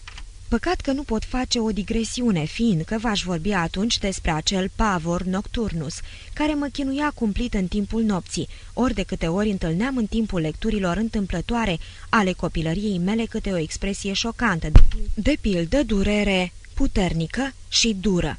Un adevărat geniu al pedepsirii inventatorul ei, sau cuvinte înspăimântătoare misterioase, insiduoase, ca traumă, eveniment traumatic și transept, dar povestirea mea este și așa destul de confuză. După câteva momente am distrus scrisoarea. M-am dus la mine în odaie și am început să reflectez, răvășindu-mi părul, aranjându-mi halatul purpuriu și gemând printre dinții încleștați. Și deodată, deodată, domnilor din juriu, am simțit cum pe chipul meu se ivește un rânjet dostoevskian, desprins din însăși grimasa care îmi deforma gura, asemenea unui soare îndepărtat și teribil. Mi-am imaginat, în condiții noi de vizibilitate perfectă, mângâierile degajate pe care soțul mamei ar fi avut prilejul să le dăruiască cu prisosință lolitei lui. O voi strânge la piept de trei ori pe zi, în fiecare zi. Tulburările și necazurile mele vor fi alungate. Voi fi un bărbat sănătos. Să te țin pretine ușor pe genunchiul blajin, întipărindu-ți pe obrazul de catifea sărutul meu patern o Humbert, cel cu lecturi bogate. Apoi, luându-mi precauțiile necesare, pășind mental în vârful degetelor, ca să zic așa, am evocat-o pe Charlotte în chip de parteneră posibilă. Pe Dumnezeul meu, aș fi fost în stare să-i aduc eu însumi grepfruitul tăiat economicos pe din două, micul dejun fără zahăr. Humbert, Humbert, cel ce transpirase sub lumina albă, crudă, fioroasă, călcat în picioare de polițiști asudați care urlau la el, este gata să facem acum o altă declarație, chel mo, în timp ce își întoarce pe dos conștiința și îi smulge căptușala intimă. Nu plănuiam să mă căsătoresc cu biata Charlotte, ca să o elimin în mod vulgar, înfiorător și periculos, adică să o omor plasând cinci tablete de biclorură de mercur în vinul ei preprandial de Xerex sau ceva de genul acesta. Dar un gând farmacopeic, discret, înrudit, clinchetea într-adevăr în creierul meu sonor și înnourat. De ce să mă mulțumesc doar cu desfătarea modestă și mascată pe care o încercasem până acum? Mi s-au prezentat legănându-se și zâmbind alte viziuni ale destrăbălării mă vedeam administrându-le amândurora, mamei și fiicei, o puternică porțiune somniferică astfel încât să mă delectez cu nimfeta în timpul nopții, ferit de orice pedeapsă. Casa se zguduie de sfărăitul Charlottei, în vreme ce Lolita respiră imperceptibil în somn, nemișcată ca o fetiță pictată pe o pânză. Mamă, mă jur, Kenny nici măcar nu m-a atins.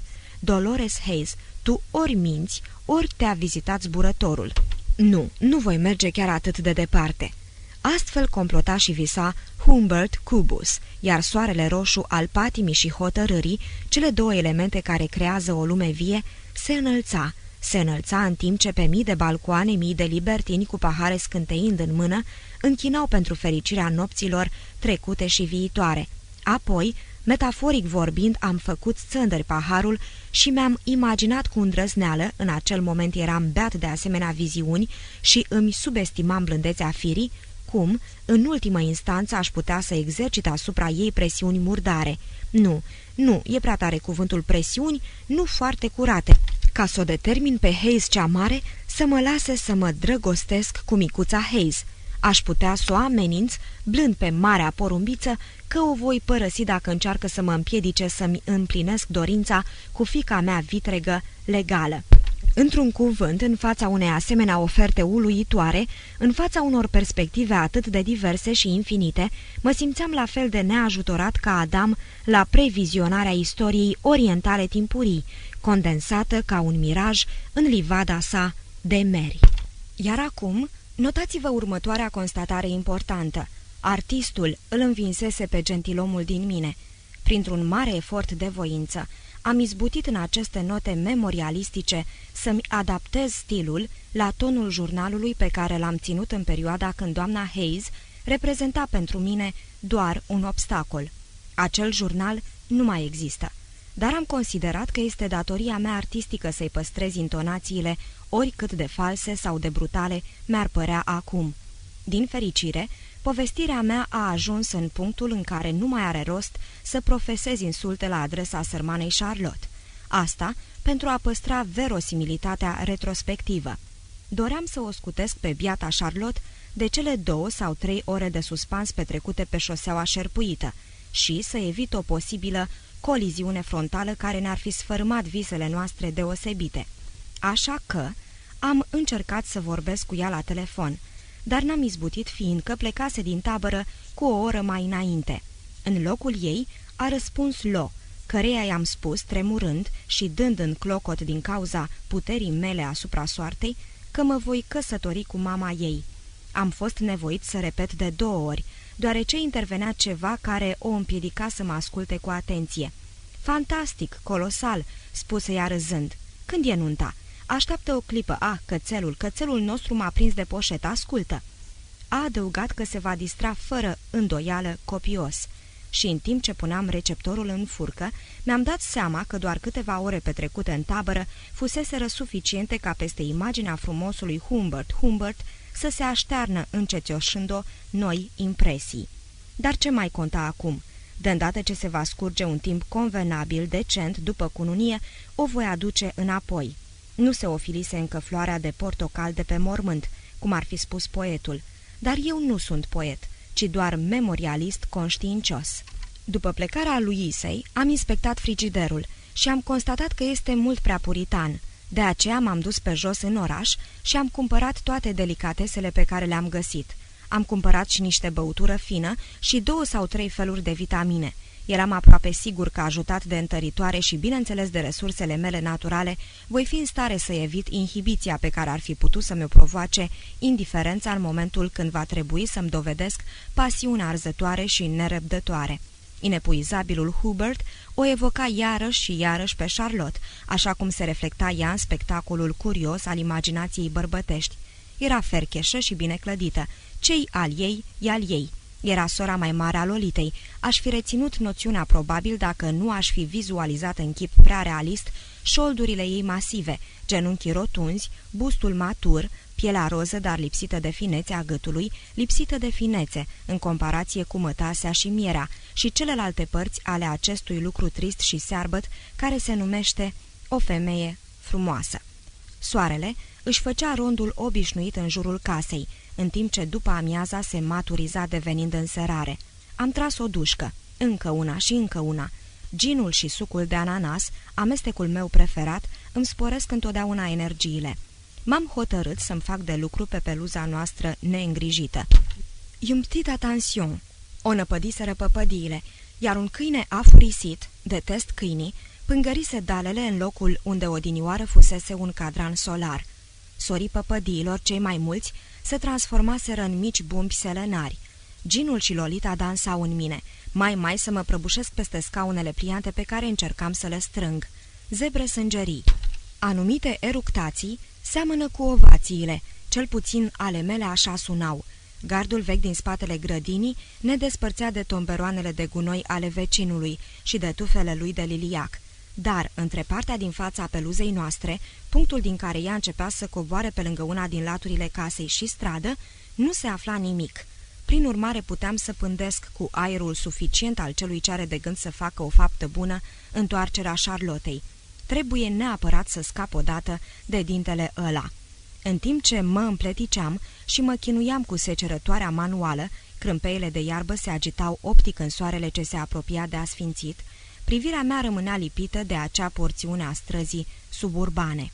Ea se arcuia ieșind de sub o boltă de arbori uriași, apoi se repezea spre noi, lăsându-ne la vale destul de brusc, pe lângă casa de cărămidă îmbrăcată în iederă a bătrânei domnișoare de vis-a-vis -vis, și pe lângă peluza ei povârnită, mult mai îngrijită decât a noastră, și dispărea după veranda noastră din față, pe care nu puteam vedea din locul unde trudeam și râgâiam fericit păpădiile pieriseră.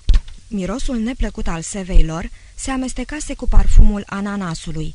Două fetițe, Marion și Mabel, cărora în ultima vreme le urmărisem venirile și plecările, dar cine ar fi putut să o înlocuiască pe rolita mea, se îndreptau spre bulevard, cel din care cobora precipitat strada noastră. Una împingea o bicicletă, cealaltă ciugulea ceva dintr-o pungă de hârtie. Discutau cât le ținea gura cu vocile lor însorite.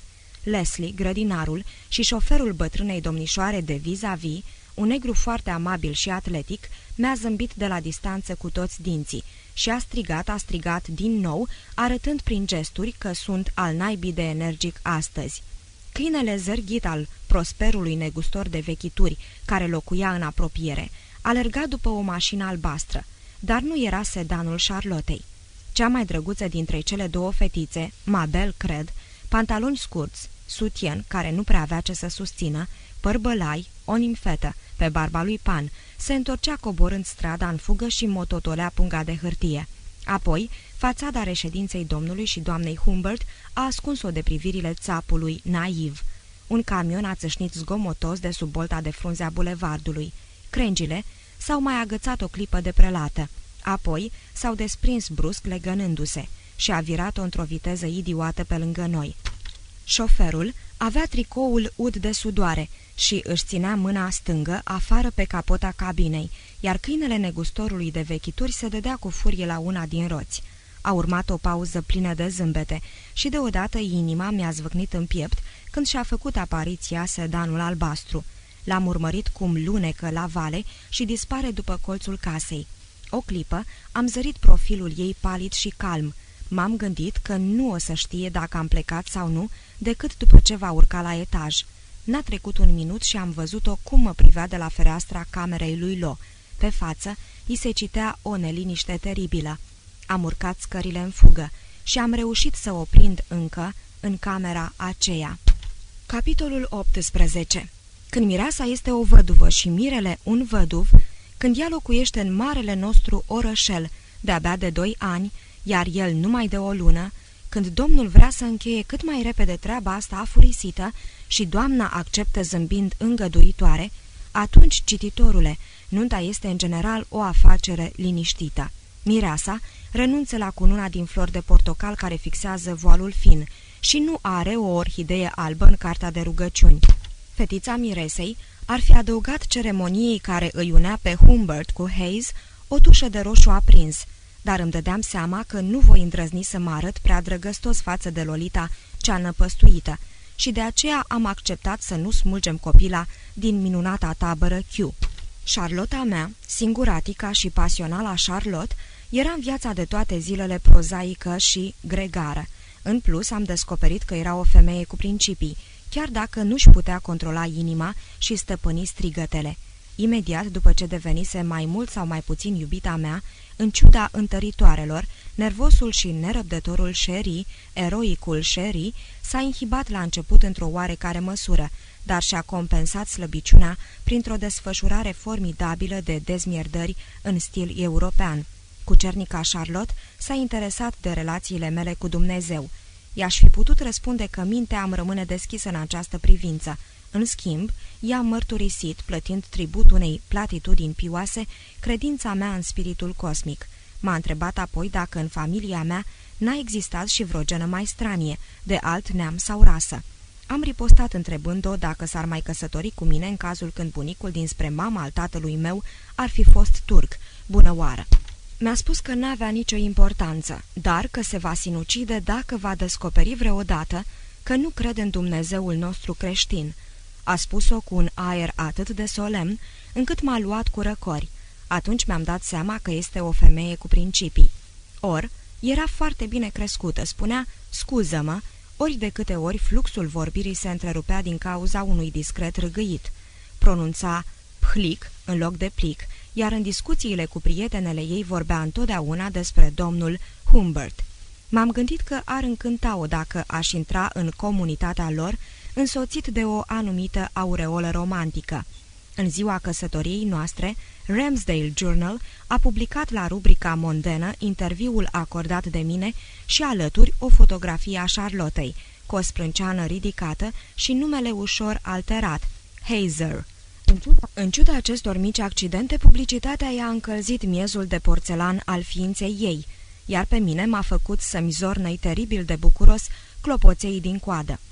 În cursul celor doi ani de ședere în Ramsdale, Charlotte se antrenase în activități bisericești și intrase în relații cu mamele cele mai serioase ale colegelor lui Lo, reușind să devină astfel o cetățeancă acceptabilă și acceptată, chiar dacă nu și de primă mărime. Însă până atunci nu apăruse niciodată la această rubrică fascinantă. Cel ce a introdus-o acolo am fost eu, domnul Edgar H. Humbert. L-am adăugat pe Edgar, așa, de Kiki, scriitor și explorator. Fratele lui Măcău, care mi-a luat interviul, m-a întrebat ce scrisesem. Nu mai țin minte ce i-am spus, dar a reieșit că scrisesem câteva cărți despre Păstărnac, Trocăl și alți poeți. Menționasem de asemenea că o cunoșteam pe Charlotte de mulți ani și mă înrudeam de departe cu primul ei soț. I-am dat să înțeleagă reporterului că între Charlotte și mine fusese o relație amoroasă în urmă cu 13 ani, însă ziarul nu publicase insinuarea mea. Rubricile mondene, i-am spus Charlottei, trebuie să conțină și câteva mici inexactități picante. Continuam povestirea aceasta ciudată. În momentul când am fost avansat din postura de chiriaș în aceea de iubit, am simțit oare doar amărăciune și repulsie? Nici de cum. Domnul Humbert mărturisește că vanitatea i-a fost oarecum gădilată. Ba a simțit cum pe pumnalul lui de complotist se prelinge elegant un fir anemic de duioșie, ceva asemănător remușcării. Nu mi-a trecut niciodată prin minte că doamna Hayes, care era destul de ridicolă, deși relativ frumoasă, cu credința ei oarbă în înțelepciunea bisericii și a cercului ei de lectură, cu manierismele dicțiunii și atitudinea ei rece, dură, disprețuitoare față de copila de 12 ani, Fetița adorabilă cu puf pe brațe se va transforma într-o ființă de-a dreptul înduioșătoare și neajutorată de îndată ce mâinile mele o vor cuprinde, ceea ce s-a întâmplat pe pragul camerei, a Lolitei, și se va retrage sfielnică înapoi, repetând într-una, Nu, nu, te rog, nu." Transformarea i-a priit, a început să arate mai bine. Zâmbetul ei artificial a devenit din acel moment strălucirea supremei adorații, o strălucire cu nuanțe blânde și umede. Și am constatat uimit asemănarea dintre aceasta și privirea încântătoare, goală, pierdută, pe care o avea loc când sorbea în transă o nouă combinație de sucuri la chioșcul de răcoritoare, sau când îmi admira în tăcere hainele scumpe, scoase întotdeauna ca din cutie. O urmăream de-a dreptul fascinat, când discuta cu alte doamne despre necazurile lor de mame și arbora grimasa națională a resemnării feminine, ochi dați peste cap, colțurile gurii lăsate, pe care o văzusem și la lo, dar în varianta copilărească. Beam amândoi câteva păhărele de whisky cu sifon, înainte de a intra în odaie, și ajutat de ele izbuteam să evoc fiica în timp ce mângâiam mama. Iată pântecul alb în care nimfeta mea fusese un pește mic arcuit, în 1934. Părul acesta vopsit cu grijă, atât de steril pentru mirosul și simțul meu tactil, căpăta în anumite momente la lumina lămpii, în patul cu postere, nuanța, dacă nu și substanța, buclelor lolitei. În timp ce îmi mânuiam soția nou-nouță, în mărime naturală, îmi spuneam într-una că din punct de vedere biologic, ea reprezenta ipostaza cea mai apropiată de Lolita. La vârsta Lolitei, Lot fusese o școlăriță la fel de ispititoare, ca și fica ei, așa cum o să fie într-o bună zi și fata Lolitei. Mi-am pus nevasta să scoată de sub o colecție de pantofi. Domnul Hayes avusese o adevărată pasiune pentru încălțăminte, după cât se părea, un album vechi, de 30 de ani. Voiam să văd cum arăta Lot când era copil și, în ciuda expunerii defectuoase și a rochiilor lipsite de grație, mi-am reconstituit o primă versiune, ușor încețoșată, a conturului, picioarelor, pomeților și a nasului cârn al Lolitei. Lotelita, Lolithen. Mi-am strecurat astfel privirile curioase prin gardurile vii ale anilor, iscodind ferestruicile slab luminate, iar când cea cu nobile sfârcuri și coapse masive mă pregătea pentru îndeplinirea obligației mele nocturne prin mângâieri focoase, jenante și naiv lascive, eu încercam disperat să regăsesc mireasma nimfetei în timp ce hămăiam prin lăstărișul pădurilor întunecate și în curs de vestejire.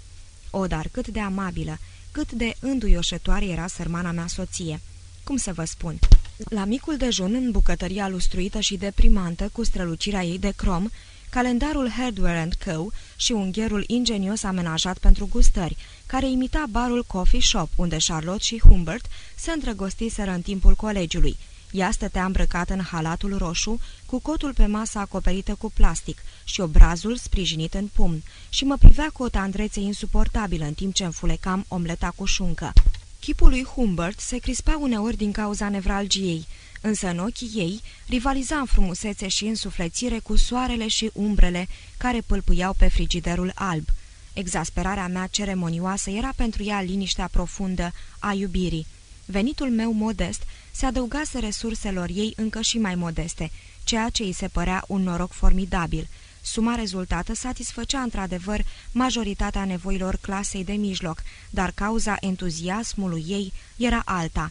Banii mei, chiar și banii, aveau strălucirea virilității mele și contul nostru comun îi se părea că seamănă cu acele bulevarde din sud, care la amiază au umbră deasă pe o parte și soare blând pe cealaltă pe toată lungimea lor, până la capătul perspectivei unde se profilează nedeslușit munții roz.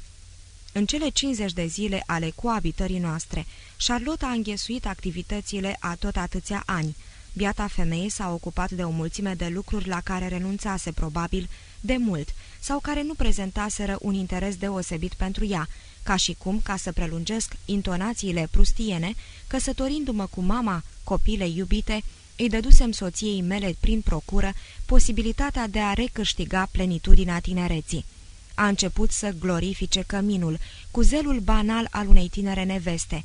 Știam pe de rost fiecare cotron al casei. Din acele zile când așezat în fotoliul meu, urmărisem mental deplasarea Lolitei și stabilisem de multă vreme un soi de relații emoționale cu odăile, zidurile, palierul, chiar și cu urâțenia clădirii, iar acum parcă simțeam cum dărăpănătura se strângea de frică, întrucât n-avea niciun chef să suporte baia de ecru și ocru și ferchezuiala nemiloasă pe care Charlotte se pregătea să-i o administreze. N-a ajuns până acolo, slavă Domnului, dar a consumat o groază de energie spălând jaluzele, ceruind șipcile storurilor venețiene, cumpărând jaluzele și storuri noi, ducându-le înapoi la prăvălie și înlocuindu-le cu altele, și așa mai departe, într-un permanent clar obscur de zâmbete și înnegurări, de ezitări și îmbufnări. Se dădea pricepută la cretoane și stambe, a schimbat culorile canapelei, canapeaua sacră, locul pe care cândva se deschisese un mugure de paradis în mine a aranjat mobila și a fost încântată când a descoperit într-un manual al bunului gospodar că este permis să desparți cele două comode dintr-o garnitură împreună cu lămpile aferente. Ca și autoarea cărții, că minul tău ești tu, Charlotte a început să urască taburetele și mesele cu picioare sfrijite. Încăperea cu o suprafață generoasă de sticlă și porțiuni întinse de perete, acoperite cu lambriuri masive din lemn, constituia prototipul masculin de cameră, câtă vreme cel feminin se caracteriza prin ferestre mai cochete și piese din lemn mai delicate. A înlocuit romanele pe care le citea la momentul când mă mutasem în casa ei, prin cataloage ilustrate, ghiduri pentru aranjarea casei.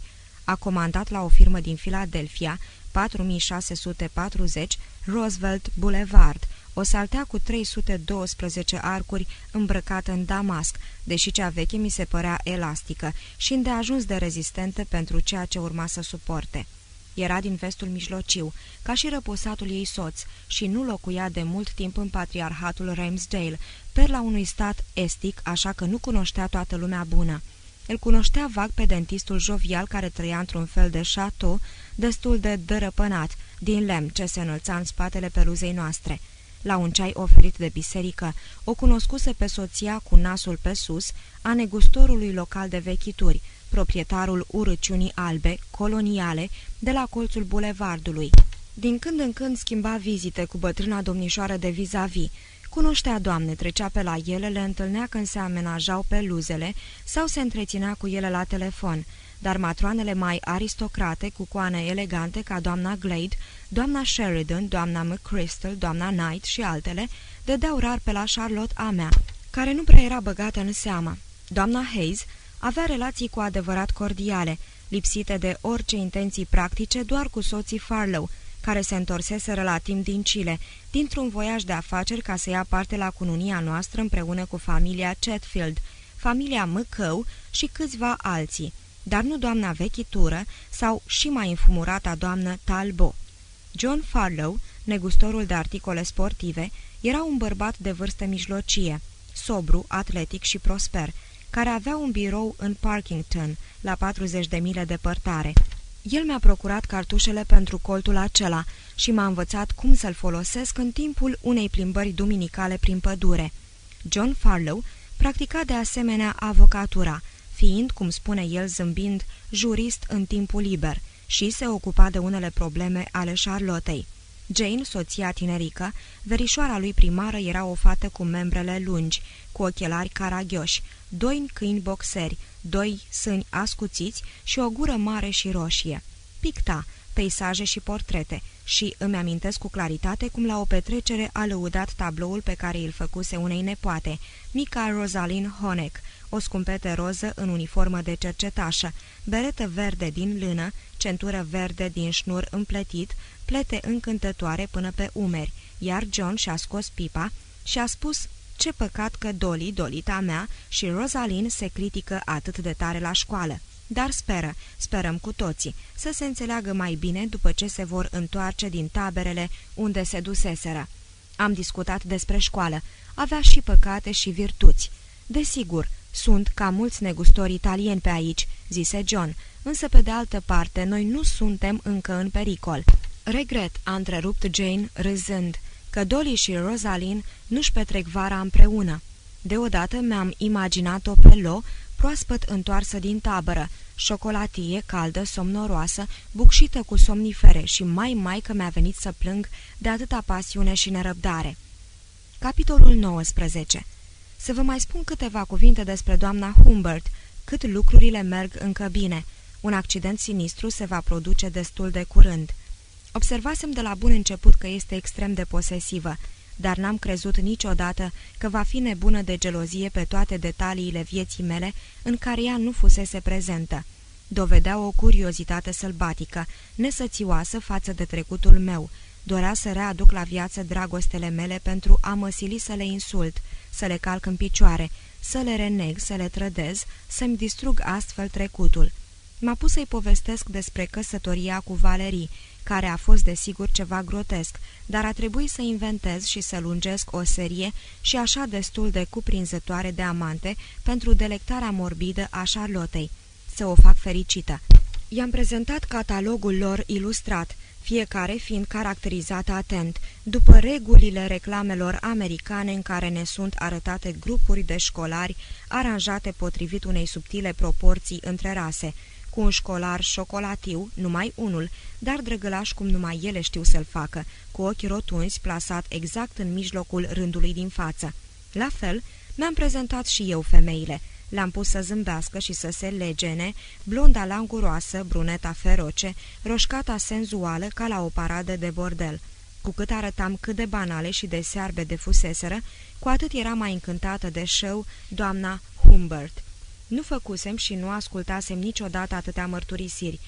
Sinceritatea și naivitatea comentariilor ei despre viața sentimentală, de la prima îmbrățișare până la luptele conjugale intime, contrastau izbitor, din punct de vedere etic, cu fluența compozițiilor mele, dar din punct de vedere tehnic cele două serii se înrudeau, întrucât ambele purtau amprenta acelorași producții de două parale, melodrame comerciale, psihoanaliză și istorioare ieftine, de la care eu preluam tipologia personajelor, iar ea modalitățile de exprimare. Anumite obiceiuri sexuale remarcabile ale lui Harold Hayes, dezvăluite de Charlotte, m-au amuzat copios, însă veselia mea i s-a părut deplasată. Altminteri, autobiografia ei era la fel de neinteresantă ca o autopsie. N-am întâlnit femeie mai sănătoasă ca ea, deși făcea mereu cure de slăbire. Despre Lolita mea vorbea rar, mai rar de fapt decât despre pruncul bărbătuș, blond și estompat, a cărui fotografie împodobea în exclusivitate dormitorul nostru mohorât.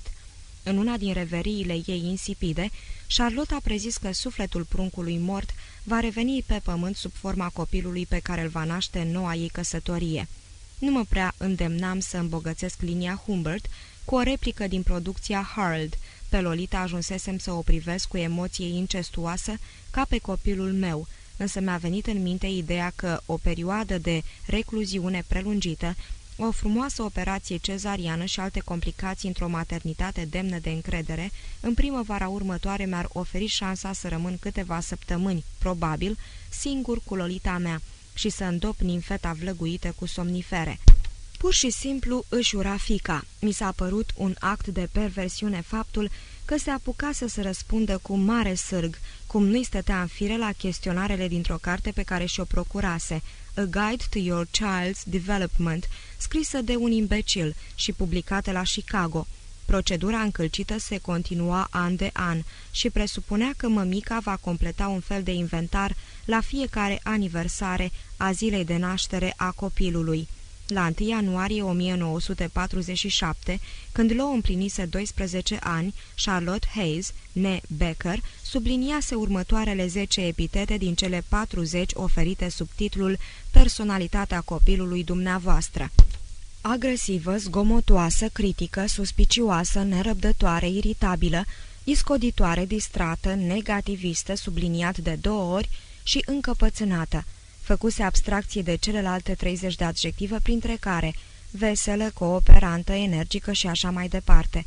Cu o brutalitate care altminter nu era caracteristică firii sale blânde, soția mea iubitoare ataca și înlătura lucrușoarele lui Lo, risipite prin diferite părți ale casei, unde încremeniseră ca niște iepurași hipnotizați. Habar n-avea buna doamnă că într-o dimineață când stomacul meu deranjat rezultat al încercării mele de a mă adapta la sosurile ei, mă împiedicase să o însoțesc la biserică, o înșelasem cu una din șosetele Lolitei. Ce să mai spun de atitudinea ei față de scrisorile savuroase ale iubitei mele? Dragă mami și Humi, sper că sunteți bine. Vă mulțumesc foarte mult pentru bomboane. Mi-am tăiat și scris din nou. Mi-am pierdut puloverul cel nou în pădure.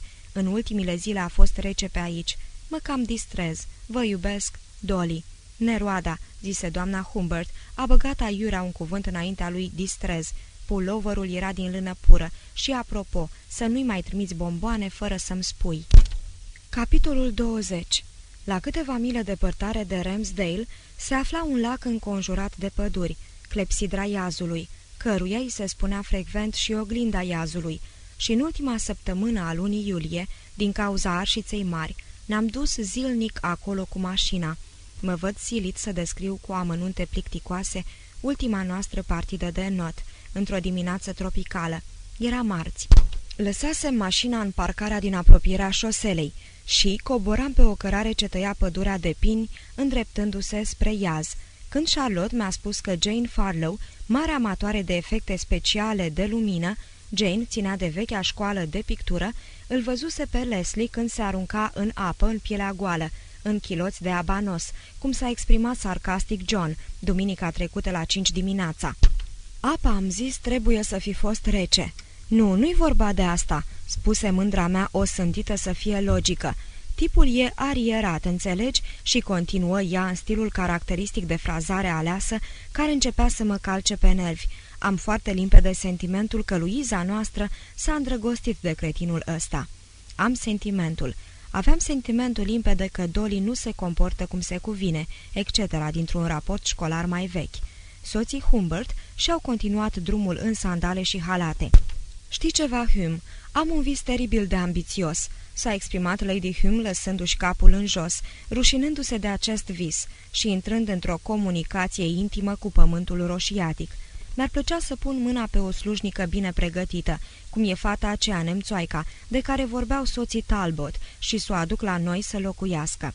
Unde, draga mea?" am zis. Haide, haide," spuse ea zâmbind caustic. Desigur, Sherry, subestimez posibilitățile casei Humbert. O vom instala în camera lui Lo. Oricum, voiam să transform vizuina asta într-o cameră de oaspeți. E odaia cea mai rece și mai meschină din casă. Ce tot vorbești?" am întrebat și pielea de pe pomeții obrajilor s-a întins și încordat. Mă ostenesc să consemnez chestia asta, fiindcă pielea fiicei mele reacționa la fel când Lo încerca sentimente asemănătoare de suspiciune, dezgust, iritare. Ei, cei, te chinui amintirile romantice?" m-a întrebat soția mea făcând aluzie la momentul când mi-a cedat pentru prima oară.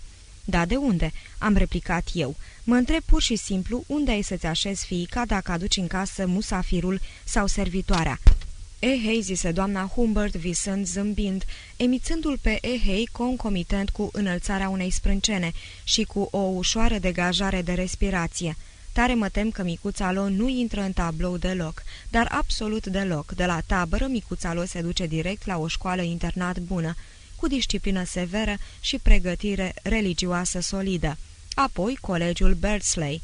M-am gândit eu la toate. Tu n-ai de ce să-ți frămânți mintea. A continuat spunând că ea, doamna Humbert, va trebui să-și biruie lenea obișnuită și să-i scrie surorii domnișoarei Fallen, care era profesoară la Saint Algebra. A apărut oglinda scânteietoare a iazului. I-am spus că mi-am uitat ochelarii de soare în mașină și că o ajung din urmă. Am crezut întotdeauna că ați frânge mâinile este un gest convențional, reminiscența vreunui ritual medieval, probabil, dar când am luat-o spre pădure ca să-mi las timp pentru disperare și cugetare disperată, acesta ar fi fost gestul. Privește, Doamne, lanțurile aceste, care s-ar fi apropiat cel mai mult de exprimarea mută a stării mele de spirit. Dacă în locul Charlottei ar fi fost Valeria, aș fi știut cum să țin sub control situația. Să țin sub control este expresia cea mai potrivită. În bunele zile de odinioară o convingeam pe Valeria să se răzgândească pe loc, răsucindu-i pur și simplu grăsunei încheietura fragilă a mâinii, cea pe care și-o sucise cândva căzând de pe bicicletă, însă așa ceva era de neconceput cu Charlotte. Charlotte, americănoaica nesărată, mă înspăimânta. Visul meu flușturatic de a o ține sub control prin pasiunea ei pentru mine se dovedea în întregime greșit. Nu îndrăzneam să întreprind nimic ca să nu-i se altereze imaginea a mea pe care se pornise să o venereze. Mă gudurasem pe lângă ea câtă vreme fusese paznicul strașnic al iubitei mele și ceva din umilirea aceea persista în comportamentul meu. Aveam totuși un atu. Charlotte nu știa nimic despre dragostea mea monstruoasă pentru Lo. O supărase slăbiciunea lui Lo pentru mine, dar n-avea cum să-mi ghicească sentimentele.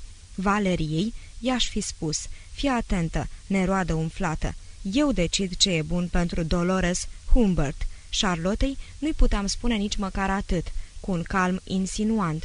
Scuză-mă, dragă, dar nu sunt de acord. Să mai dăm copilului o șansă.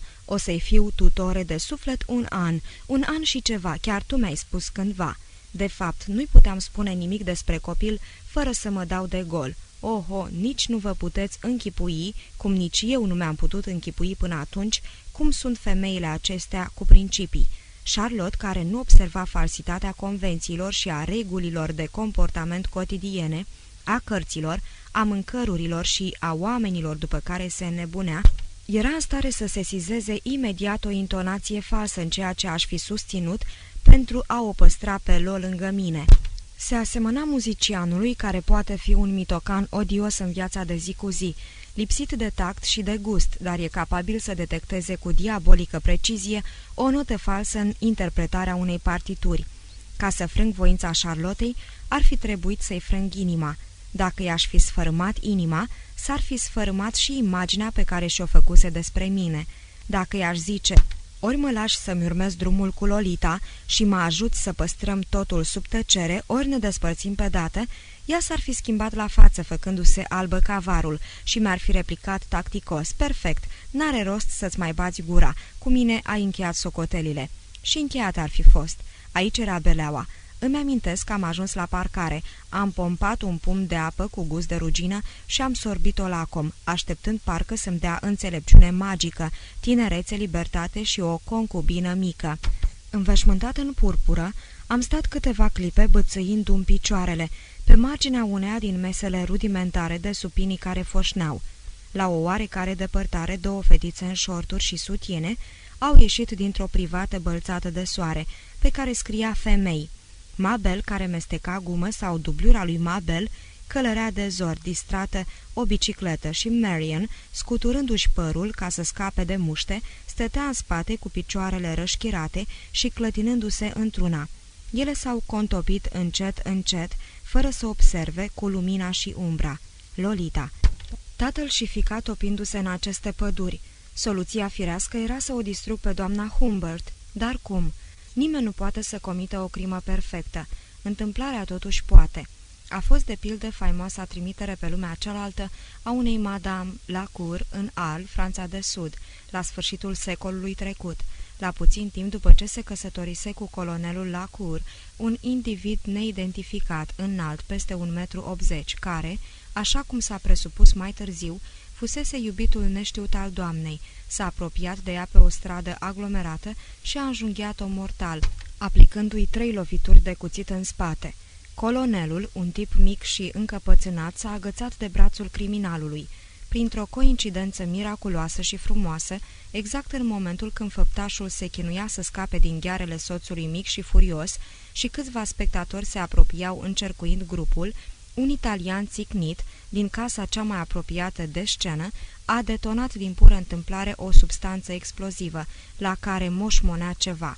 Strada s-a transformat numai decât în infern, fum, cărămizi care cădeau și oameni fugind înspăimântați. Explozia n-a rănit pe nimeni, l-a scos doar din joc pe colonelul Lacur, dar iubitul doamnei care se răzbunase a fugit odată cu ceilalți și a trăit fericit după aceea. Să vedem acum ce se întâmplă când făptașul însuși plănuiește o eliminare perfectă. Coboram spre clepsidra iazului, locul în care făceam baie noi doi și alte câteva cupluri chic. Soții Farlow, soții Chatfield, era un fel de golfuleț. Charlottei îi plăcea pentru că semăna cu o plajă particulară. Principalele dotări pentru înnot ori dotări pentru înecat, cum găsise prilejul să scrie Ramsdale Journal, se aflau în partea stângă de răsărit a clepsidrei și nu se vedeau din golfulețul nostru. Spre dreapta, pinii se retrăgeau făcând loc buclei unei mlaștini și dispăreau din nou în pădure, însă pe partea cealaltă. M-am așezat fără zgomot lângă soția mea. A tresărit când m-a văzut. Ce zici, intrăm?" a întrebat. Da, dar mai stai o clipă, să nu-mi pierd șirul gândurilor." Mă gândeam, s-a scurs mai mult de un minut. Gata, hai, am fost și eu în șirul acela?" Da, cum altfel?" Sper," zise Charlotte, intrând în apa care i-a ajuns curând la pielea de gâscă de pe coapsele groase. Apoi și-a întins brațele, și-a lipit palmele și, ținând gura bine închisă, avea o figură extrem de banală în casca de cauciuc negru, a plonjat în față cu un ploscăit puternic. Înotând lent, am ieșit pe oglinda sclipitoare a iazului. Pe malul celălalt, la o distanță de cel puțin o mie de pași, dacă se poate păși pe apă, distingeam două siluete mici care lucrau pe fâșia lor de mal. Știam exact cine sunt, un polițist pensionar de origine polonă și un instalator pensionar, care dețineau cea mai mare parte a cherestelei de pe acel mal al iazului. Mai știam că se apucaseră să construiască un debarcader, mai mult în joacă, o joacă penibilă. Loviturile ajungeau până la noi și păreau disproporționat de mari față de brațele și sculele acelor pitici. Într-adevăr, îți venea să bănuiești că regizorul acestor efecte acrosonice era în contratimp cu păpușarul, pentru că trăsnetul puternic al fiecărei lovituri miniaturale rămânea în urma versiunii sale vizuale. Banda îngustă de nisip alb a plajei noastre, de care noi ne îndepărtasem puțin pentru a ne da de adânc, era pustie în diminețile zilelor de lucru. Jur împrejur, nici țipenie în afară de cele două siluete miniaturale, trudind pe malul celălalt, și de un avion particular, roșu închis, care a zumzăit deasupra capului și a dispărut apoi în înaltul cerului. Cadrul se dovedea propice pentru săvârșirea rapidă a unei crime cu bulbuci. Iată în ce consta subtilitatea acțiunii. Omul legii și cel al apei erau destul de aproape ca să fie martorii oculari ai unui accident și îndeajuns de departe ca să nu se sizeze comiterea unei crime.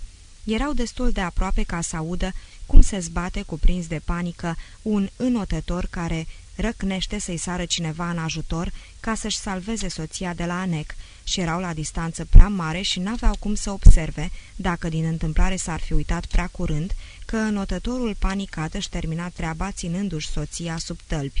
Nu ajunsesem încă în stadiul acesta. Vreau să arăt numai cât de ușor s-ar fi săvârșit actul și să subliniez adecvarea cadrului – Așadar, Charlotte continua să înainteze stângace și conștiincioasă. Era o naiadă extrem de mediocră, dar nu fără o evidentă plăcere solemnă. Tritonul ei era, nu-i așa, alături. Și cum urmăream cu luciditatea pură a rememorărilor, adică încercând să văd lucrurile așa cum îmi voi aminti că le-am văzut, Albul lăcuit al feței ei ude și atât de puțin bronzate, în ciuda strădanilor sale, buzele palide, fruntea convexă și dezgolită, casca neagră și strânsă, gâtul grăsuț și ud, îmi dădeam seama că ar trebui doar să rămân puțin în urmă, să-mi umplu plămânii cu aer, să o înhaț de gleznă și să mă scufund rapid, trăgând după mine cadavrul captiv – Spun cadavru, fiindcă surpriza, panica și lipsa de experiență o vor face să înghită dintr-o dată o vadră letală de iaz, iar eu voi fi în stare să rezist sub apă cu ochii deschiși cel puțin un minut. Gestul fatal a brăzdat bezna crimei contemplate ca o coadă de stea căzătoare. Era un balet tăcut, înspăimântător. Dansatorul ținea balerina de laba piciorului și se lăsa ca fulgerul în adânc prin amurgul acvatic. Ar mai ieși eventual la suprafață să tragă o gură de aer, în timp ce pe ea aș ține-o de desubt. Și după aceea m-aș cufunda de câte ori va fi necesar și mi-aș permite să strig după ajutor numai când cortina se va fi lăsat definitiv peste ea. Și după vreo 20 de minute, când cele două marionete crescând constant în dimensiuni, vor sosi într-o barcă cu vâsle vopsite doar pe jumătate, sărmana doamnă Humbert Humbert, victima unui cârcel sau a unui stop cardiac sau a amândurora, va sta în cap, în nămolul negru la vreo 30 de picioare sub oglinda zâmbitoare a clepsidrei iazului. Simplu, nu-i așa? Dar ce știți voi, oameni buni? Nu mă puteam hotărâ să o fac. Foca greoaie și încrezătoare înota alături de mine și întreaga logică a pasiunii îmi urla în ureche. Acum e momentul. Și oameni buni, pur și simplu n-am fost în stare. Am cărmit spre mal în tăcere. S-a întors și ea conștiincioasă, cu un aer grav, și infernul îmi striga într-una sfatul, și eu tot n-am putut să mă hotărăsc să nec sărmana creatură cu trup mare și alunecos. Strigătul iadului s-a îndepărtat, s-a auzit din ce în ce mai slab, până ce s-a stins, iar eu am înțeles, ce melancolie, că nici mâine, nici vineri, nici în altă zi sau noapte nu mă voi putea hotărâ să o omor. O, mi-aș fi putut reprezenta clar scena în care s-o pocnesc pe Valeria peste sâni, scoțându-i din aliniament sau cum o rănesc în alt mod și puteam să mă văd cu aceeași limpezime împușcându-i iubitul în burtă și făcându-l să scoată un ah și să se prăbușească, dar nu puteam să o ucid pe Charlotte, mai ales când lucrurile nu erau chiar atât de lipsite de speranță, probabil, cum păreau la prima vedere, în acea dimineață nenorocită. Să zicem că aș fi apucat-o de piciorul care izbea puternic capa, i-aș fi văzut privirea uimită, i-aș fi auzit glasul îngrozitor și dacă aș fi rezistat la întreaga încercare, fantoma ei m-ar fi urmărit toată viața. Să nu fi fost anul 1947, ci 1447, poate mi-aș fi amăgit firea blândă, administrându-i o otravă clasică, un filtru gingaș al morții din scorbura unei agate. Dar în epoca noastră iscoditoare, epoca a clasei de mijloc, lucrurile nu s-ar fi petrecut ca în palatele îmbrăcate în brocart ale trecutului. În zilele noastre, ca să fii ucigaș, trebuie să fii om de știință, ori eu nu eram nici una, nici alta. Doamnelor și domnilor din juriu, cei mai mulți delicvenți sexuali tânjesc după o relație palpitantă, cu dulci suspinuri, o relație fizică, dar nu neapărat de împerechere cu o copilă. Ei sunt anonimi, înstrăinați, inofensivi, inadecvați, pasivi și timizi și nu cer comunității decât să le permită să accepte comportamentul lor aberant, dar practic nevătămător, să accepte actele lor de deviere sexuală, intime, mărunte, umede, fierbinți și fără însemnătate, fără ca poliția și societatea să-i calce în picioare. Nu suntem demoni ai sexului, nu ne pretăm la violuri ca vașnicii soldați. Noi, gentlemani nefericiți, blânzi, cu priviri de câine bătut, destul de bine integrați social, astfel că ne controlăm impulsurile în prezența adulților. Noi suntem gata să jerfim ani și ani de viață pentru șansa unică de a atinge o nimfetă. O, rogute, nu mă urâ, sărmana mea Charlotte, care ești în cerul tău veșnic, pierdută în alchimia eterna combinării asfaltului cu cauciucul, metalul și piatra, dar, mulțumesc cu ție, Doamne, nu și cu apa, nu și cu apa. Totuși, n-a lipsit mult să o pățească, dacă e să fiu obiectiv, și acum vine poanta parabolei mele despre clima perfectă. Ședeam pe prosoapele noastre în soarele ars de sete. Charlotte s-a uitat în jur și a slăbit brasiera și s-a răsucit așezându-se pe burtă, ca să ofere spatelui ocazia să se prăjească.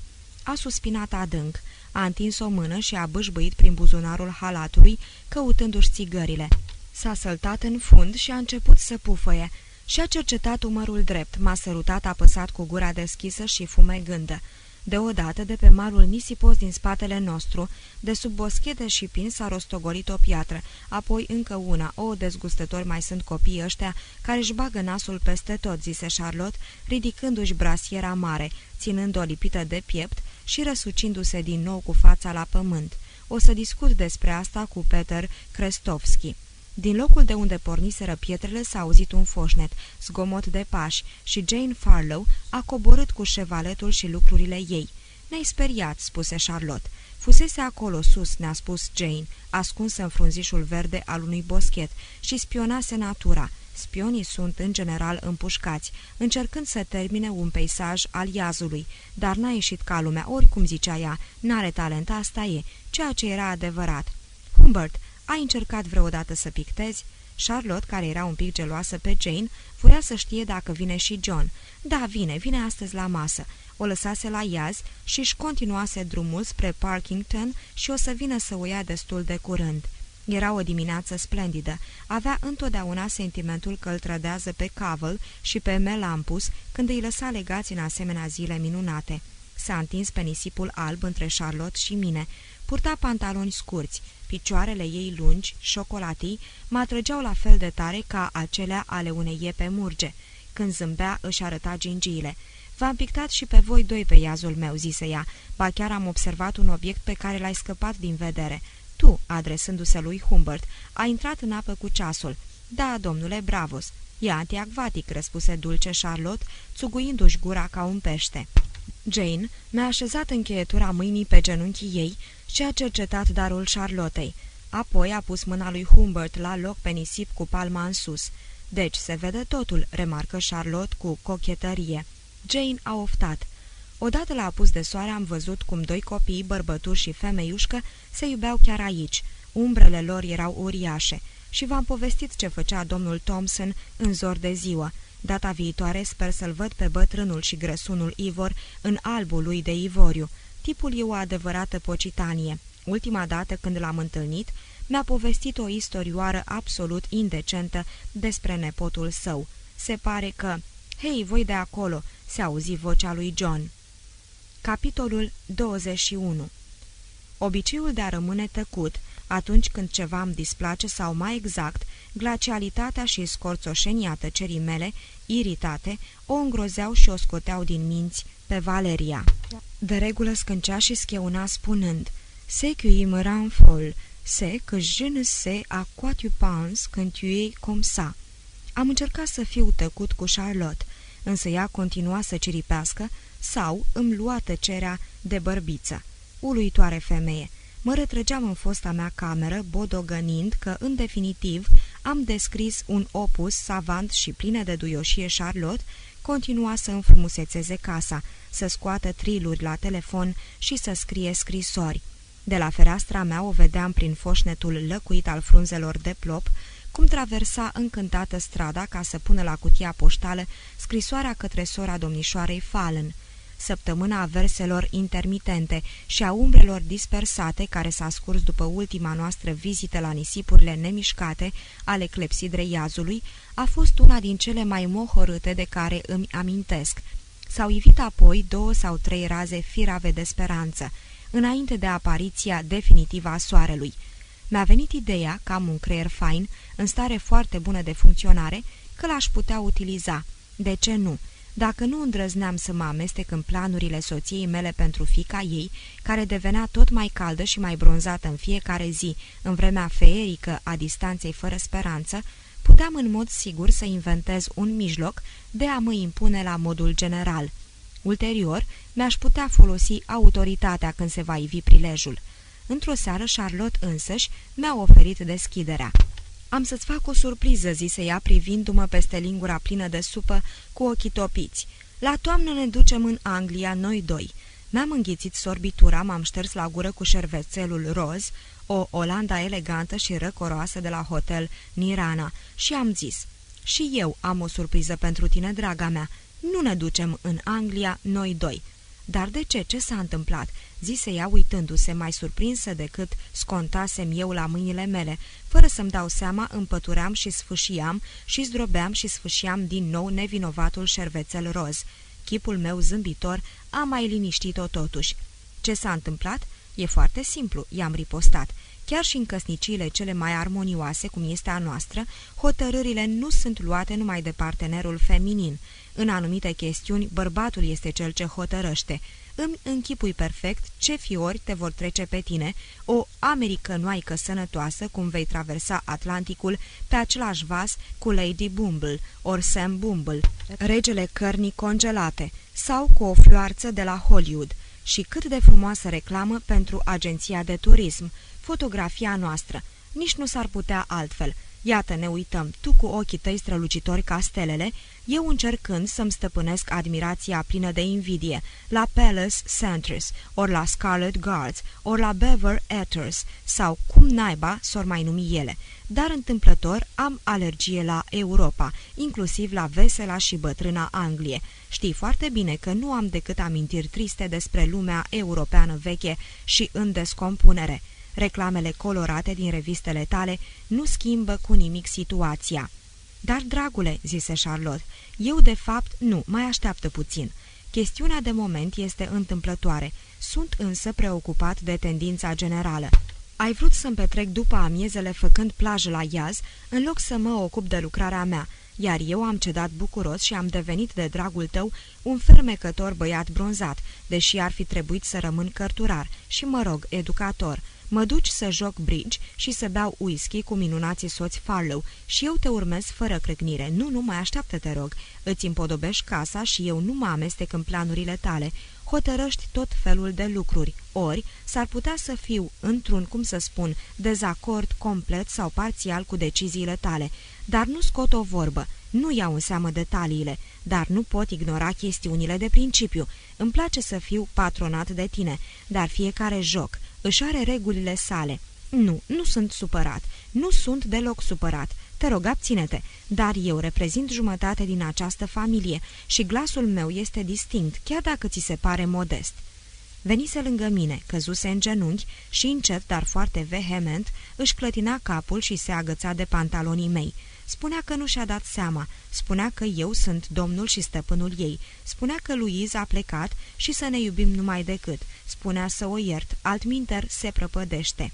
Acest mic incident m-a umplut de o mare încântare. I-am spus calm că nu are de ce să-și ceară iertare, însă ar fi cazul să-și schimbe felul de a fi și m-am hotărât să speculez avantajul și să-mi petrec o bună parte din timp, distant și prost dispus, lucrând la cartea mea sau cel puțin prefăcându-mă că lucrez. Patul din studio, fosta mea cameră, fusese transformat de mult în canapea, de fapt asta și era, și Charlotte mă prevenise de la începutul coabitării noastre că treptat camera se va transforma într-o permanentă vizuină a scriitorului. La vreo câteva zile după incidentul britanic, ședeam într-un fotoliu confortabil, cu un volum impresionant în poală, când Charlotte a ciocănit cu inelarul și a intrat așa într-o doară. Cât de deosebite erau mișcările ei de cele pe care le făcea Lolita mea, când mă vizita îmbrăcată în blugii murdari și dragi, mirosind alivez din țara nimfetelor, stângace înfierbântată și tainic depravată, cu nasturii de la poalele cămășii descheiați. Să vă spun totuși ceva, pe sub zvăpăiala micuței Hayes și pe sub sobrietatea Marei Hayes curgeau șuvițe de viață sfielnică, având același gust și susurând în același fel. Un mare doctor francez i-a spus odinioară tatălui meu că la rudele apropiate chiar și cele mai slabe ghiorțăituri gastrice au aceeași voce. Deci Charlotte a intrat agale, simțea că între noi lucrurile nu stau prea bine. Cu o noapte mai înainte mă făcusem că dorm, la fel procedasem și în noaptea anterioară de îndată ce mă băgasem în pat și mă sculasem în zori. M-a întrebat blajină dacă nu deranja. În acest moment nu, am zis răsucind volumul C din Girls Encyclopedia ca să cercetez ilustrația imprimată Bottom Edge, cum spun tipografii. Charlotte s-a apropiat de o măsuță cu sertar din imitație de mahon. A pus mâna pe ea. Măsuța era urâtă, fără îndoială, dar nu-i făcuse niciun rău. Am tot vrut să te întreb," spuse ea, practică, fără să cocheteze, de ce ții chestia asta încuiată? Vrei să rămân aici în cameră? E oribilă." Ce-i cu ea?" i-am spus. Îmi instalam tabăra în Scandinavia. Are și cheie? Ascunsă bine. Oh, hum, țin sub cheie scrisori de amor."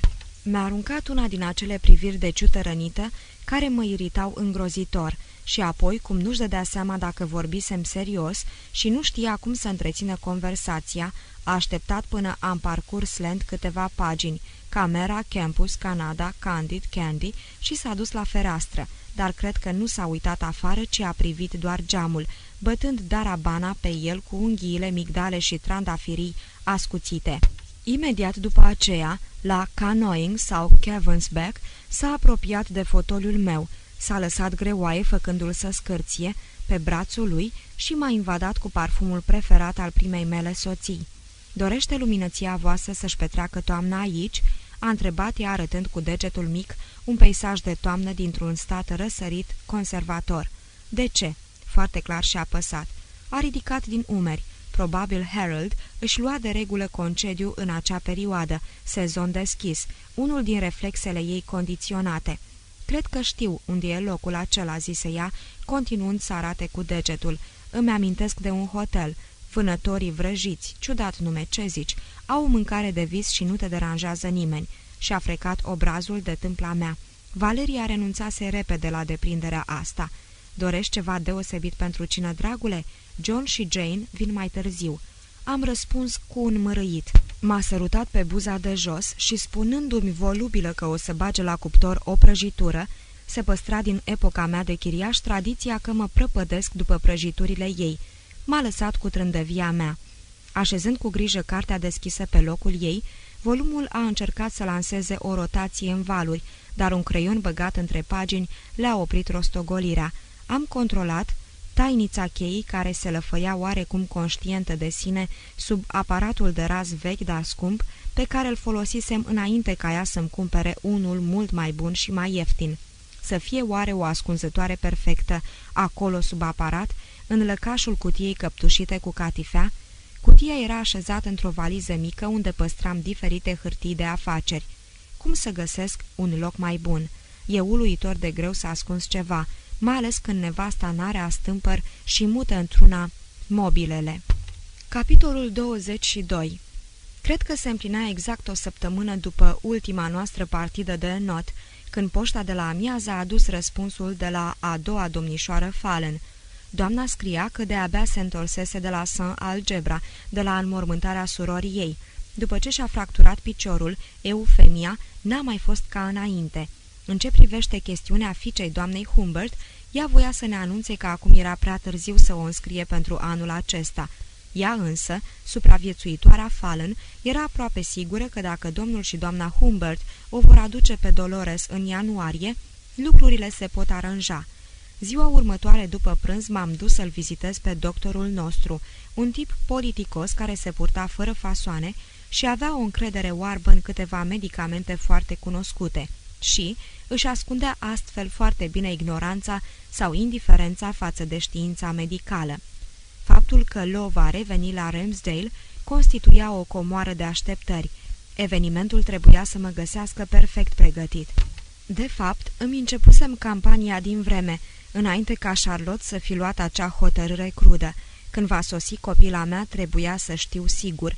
În acea noapte și apoi noapte după noapte, până când Saint Algebra o va lua departe de mine, că sunt în posesia mijloacelor de a adormi două ființe atât de temenic, încât să nu le poată trezi niciun sunet, nicio atingere. O, o bună parte din luna iulie am testat diferite prafuri somnifere, dându-i-le Charlottei, o mare consumatoare de pastile. Ultima doză pe care eu administrasem credea că e o tabletă de bromură slabă ca să-i ungă nervii, o scosese din circulație timp de patru ore încheiate. Am dat radioul la maximum. I-am fulgerat prin fața ochilor lumina puternică a unui bliț. Am împins-o, am ciupit-o, am înțepat-o și nimic nu i-a tulburat ritmul respirației liniștite și puternice. Totuși, când am sărutat-o, s-a trezit pe dată proaspătă și viguroasă ca o caracatiță. Abia am scăpat. Asta nu merge, m-am gândit. Trebuie să procur ceva și mai sigur. Mai întâi, Dr. Byron nu prea m-a crezut când i-am spus că ultimul medicament pe care mi l-a prescris e prea slab pentru insomniile mele. Mi-a sugerat să încerc din nou și pe moment a căutat să-mi abată atenția arătându-mi câteva fotografii de familie. Avea o copiliță fascinantă, de vârsta lui Dolly, dar m-a prins la trucurile lui și am cerut insistent să-mi prescrie cea mai puternică pilulă pe care o cunoaște – mi-a propus să joc golf, dar până la urmă a fost de acord să-mi dea ceva care, spunea el, va avea un efect grozav. S-a îndreptat spre un dulăpior și a scos un flacon cu capsule albastru-violete cu o dungă de culoare vișinie la unul din capete. Fusese răpuse de curând pe piață, zicea el, și nu erau destinate nevroticilor. Pe aceștia îi putea liniști chiar și cu o înghițitură de apă dacă era administrată cu pricepere, ci marilor artiști care suferau de insomnie, fiindcă ei trebuiau să moară totuși pentru câteva ore dacă voiau să trăiască apoi secole de rândul. Îmi place să-mi bag joc de doctori, așa că am băgat pilulele în buzunar, ridicând sceptic din umeri, deși în sinea mea mă bucuram. Printre altele mi-am propus să fiu foarte prudent cu el. Odată, cu altă ocazie, am avut o scăpare stupidă și am pomenit de ultimul meu sanatoriu. Am avut impresia că și-a ciulit imediat urechile. N-aș fi dorit ca Charlotte sau altcineva să afle de acea perioadă din trecutul meu și de aceea i-am explicat în grabă că odinioară mă hotărâsem să scriu un roman și făcusem niște cercetări printre nebuni ca să mă documentez. În sfârșit, nu contează. Bătrânul potlogar avea fără, doar și poate, o fetișcană dulce. Am plecat într-o dispoziție excelentă. Conducând mașina nevestimii cu un deget, rulam plin de încântare spre casă. Ramsdale era în definitiv plin de farmec. Greierii țărâiau, bulevardul fusese stropit de curând. Am virat lin catifelat, intrând pe mica noastră stradă povărnită. Toate erau, nu știu cum, atât de la locul lor astăzi, atât de albastre și verzi. Știam că soarele strălucește întrucât cheia de contact se reflecta în parbriz. Știam că este trei și jumătate fix, fiindcă infirmiera care venea în fiecare după amiază să-i facă masaj domnișoarei de vis-a-vis, -vis, cobora cu pași mărunți, în pantofii și ciorapii ei albi, pe trotuarul îngust. Ca de obicei, setărul isteric al domnului vechitură m-a atacat în timp ce rulam la vale și, ca de obicei, ziarul local zăcea pe verandă unde îi făcuse vânt Kenny. Cu o zi înainte pusesem capăt regimului de rezervă pe care mi-l impusesem și acum, în timp ce deschideam ușa livingului, am rostit un voios salut de întoarcere. Charlotte stătea la biroul din colț și scria o scrisoare. Îi vedeam ceafa albă ca smântâna și cocul arămiu. Era îmbrăcată cu bluza galbenă și cu pantofii de camping pe care i avusese când am întâlnit-o pentru prima dată. Am repetat strigătul amical, ținând încă mâna pe clanță. Mâna care scria s-a oprit. O clipă Charlotte a rămas nemișcată. Apoi s-a răsucit încet pe scaun, sprijinindu-și cotul de speteaza curbată. Chipul ei desfigurat de emoție nu-mi oferea o priveliște plăcută. Privirea ei se fixase pe pantofii mei. Muierea Hayes, cățeaua cea mare, mâța a bătrână, mămica nesuferită, bătrâna și stupida Hayes nu mai este victima ta. Ea a... ea a... Frumoasa mea acuzatoare s-a oprit înghițindu-și veninul și lacrimile. Ce a spus sau a încercat să spună Humbert, Humbert nu este esențial. Ea a continuat. Ești un monstru, ești un șarlatan detestabil, odios, criminal, dacă te apropii țip de la fereastră, înapoi și iarăși cred că se poate omite ce a bolborosit Humbert Humbert. Plec la noapte. Tot ce e aici îți aparține, atât că n-ai să o mai vezi niciodată, dar niciodată pe scârba aia mică și mizerabilă. Ieși afară din camera asta. Cititorule, am ieșit. Am urcat în ex-semistudioul meu. Am rămas o clipă aproape nemișcat și calm, cu mâinile în șolduri, cercetând din prag măsuța violată cu sertarul deschis, cheia atârnând în broască și alte patru chei ale casei pe tăblie. Am traversat palierul, am intrat în dormitorul soților Humbert, am scos liniștit jurnalul meu de superna ei și l-am băgat în buzunar. Apoi am început să cobor, dar m-am oprit la jumătatea scării. Vorbea la telefon și acesta era conectat la priza de lângă ușa livingului. Voiam să aud ce zice. A anulat o comandă pentru un lucru oarecare și s-a reîntors în salon. Mi-am reglat respirația și am traversat vestibulul îndreptându-mă spre bucătărie. Acolo am deschis o sticlă de scoci. Când era vorba de scoci, ea nu rezista tentației. După aceea m-am dus în sufragerie și de acolo, prin ușa întredeschisă, am contemplat îndelung spatele lat al Charlottei. Îți dai seama că ne distrugi viața?" i-am spus liniștit. Hai să ne purtăm ca oamenii civilizați. Ești victima propriei halucinații. Ești nebună, Charlotte. Notele pe care le-ai găsit sunt fragment de roman. Am folosit numele tău și al ei absolut întâmplător, fiindcă mi-au stat la îndemână. Mai gândește-te, am să-ți aduc ceva de băut." Ea n-a răspuns, nu s-a întors, ci a continuat să măzgălească febril chestia aia pe care o scria. A treia scrisoare, după cât se pare, două în plicuri timbrate, se aflau pe masă.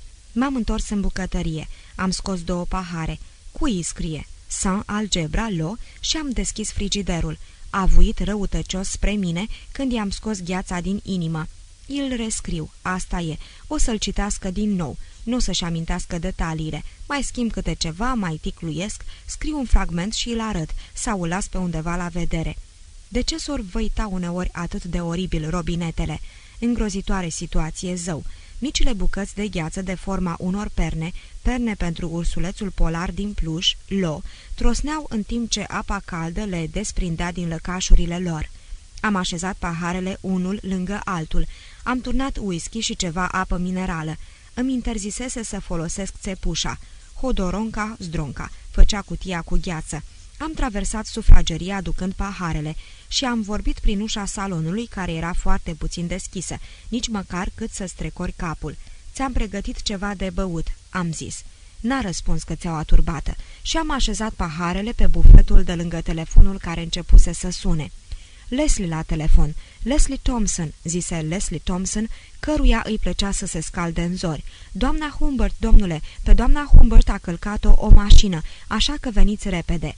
I-am răspuns cam morăcănos probabil că soția mea era întreagă și nevătămată și cu receptorul încă în mână am deschis ușa și am zis Charlotte, e aici unul care spune că te-a omorât o mașină. În living, nici urmă de Charlotte. Capitolul 23 M-am năpustit afară. Partea cealaltă a străduței noastre povărnită prezenta o priveliște neobișnuită. Un pacard negru lucios se cățărase pe pajiștea în panta domnișoarei de vis-a-vis, -vis, formând un unghi cu trotuarul, unde un plet din tartan acoperea o moviliță, și stătea acolo strălucind în soare, cu portierele deschise ca niște aripi și roțile din față înfundate printre arbuștii veșnic verzi. În dreapta anatomica mașinii, pe gazonul îngrijit al pajiștii povârnite, un bătrân domn cu mustața albă bine îmbrăcat, costum gri la două rânduri, papion cu picățele, zăcea întins pe spate cu picioarele lungi lipite, ca o figură de ceară în mărime mortoară. Sunt nevoit să zugrăvesc impactul unei imagini instantanee printr-o suită de cuvinte. Acumularea lor fizică pe pagină alterează străfulgerarea autentică, unitatea acută a impresiei. Movilița pledului, mașina, păpușa bătrână, infirmiera domnișoarei Di, îndreptându-se voinicește cu un pahar aproape gol în mână, înapoi spre veranda nevăzută, unde doamna sprijinită în perne întemnițată, ramolită, țipa strident probabil, dar nu unde a ajuns de tare ca să acopere hămăitul ritmic al setărului domnului vechitură. Câinele mergea de la un grup la altul, de la ceata de vecini strânși pe trotuar, lângă bucata de stofă cadrilată și înapoi la mașina pe care o hăituise până la capăt și apoi la un alt grup de pe pajiște, alcătuit din Leslie, doi polițiști și un bărbat voinic, cu ochelari cu rame de baga. În acest punct, trebuie să spun că apariția promptă a patrulei, la niciun minut după accident, se datora faptului că la acel moment polițiștii lăsau notele de amendă la mașinile parcate ilegal pe o alee lăturalnică, două blocuri mai jos de școală, că tipul cu ochelari era Frederick Bale Jr., șoferul Pacardului, că tatăl său de 79 de ani, căruia infirmiera îi dăduse apă ceva mai înainte pe malul verde unde zecea, un banchier pe un banc de verdeață, cum s-ar spune, nu-și pierduse complet cunoștința, ci își revenea tihnit și metodic dintr-un ușor atac de cord, real sau probabil, și în sfârșit că pledul de pe trotuar, unde ea mi-arătase adesea cu dezaprobare crăpăturile șerpuite năpădite de iarbă, ascundea rămășițile mutilate ale doamnei Charlotte Humbert, care fusese doborâtă și târâtă câțiva metri de mașina lui Bale, în timp ce traversa în grabă strada ca să pună trei scrisori la cutia poștală ce se afla la colțul peluzei domnișoarei de vis-a-vis. -vis. O copilă drăgălașă, într-o rochiță murdară și roză, a adunat scrisorile și mi le-a dat, iar eu m-am descotorosit de ele, rupându-le bucățele cu unghiile în buzunarul de la pantaloni. Trei doctori și soții Farlow au sosit numai decât la fața locului și au preluat victima. Văduvul, un bătrân înzestrat cu o excepțională stăpânire de sine, n-a plâns, n-a blestemat, n-a urlat. S-a clătinat puțin atât. A deschis gura doar ca să dea cu tare informație sau să ofere datele strict necesare pentru identificarea, examinarea și ridicarea femeii moarte, cu creștetul corpului făcut terci, un terci din oase, creier, păr arămiu și sânge. Soarele era încă roșu orbitor când am fost așezat în pat, în camera lui Dolly de cei doi prieteni, inimosul John și Jane, cea cu ochi înrourați, care ca să fie pe aproape s-au retras pe timpul nopții în dormitorul soților Humbert, unde, după câte știu, nu s-au purtat chiar atât de inocent cum ar fi cerut o solemnitate a împrejurării. N-am niciun motiv să insist în această relatare specială asupra formalităților prefunerare sau asupra înmormântării care a fost la fel de discretă ca și cununia. Trebuie să consemnez însă câteva incidente care se referă la cele patru sau cinci zile de după moartea simplă a Charlottei. În prima noapte a văduviei mele am fost atât de beat, încât am dormit buștean, asemenea copilei care dormise în acel pat. Dimineața următoare m-am grăbit să cercetez fragmentele de scrisoare din buzunar. Se amestecaseră însă atât de bine, încât mi-a fost imposibil să le sortez în trei seturi complete. Am presupus că și ai face bine să-l găsești, fiindcă nu îți pot cumpăra. Provenea din scrisoarea către Lo, iar alte fragmente păreau să indice intenția Charlottei de a fugi cu Lo la Parkington sau chiar înapoi la Pischi, ca nu cumva vulturul să-i smulgă prețioasa mioară.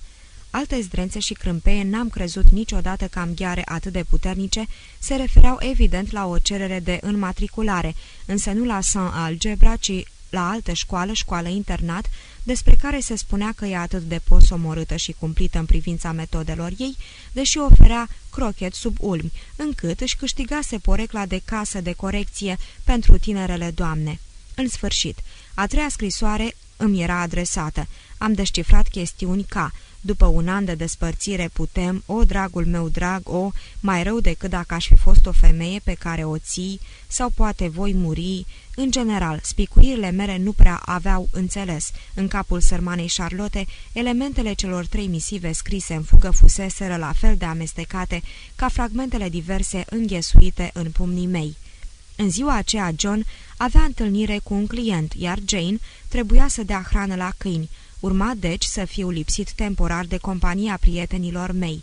Dragii de ei, se temeau să mă lase singur ca să nu mă sinucid și cum nu aveam la dispoziție alți prieteni, domnișoara de vis-a-vis era inabordabilă, soții Mcău își construiau o casă nouă la multe mile depărtare, iar soții Chitfield fusese rechemați de curând în Maine din cauza unor necazuri de familie, Leslie și Louise au primit misiunea de a sta cu mine sub pretextul că mă ajută să aleg și să împachetez o mulțime de lucruri care rămăseseră orfane.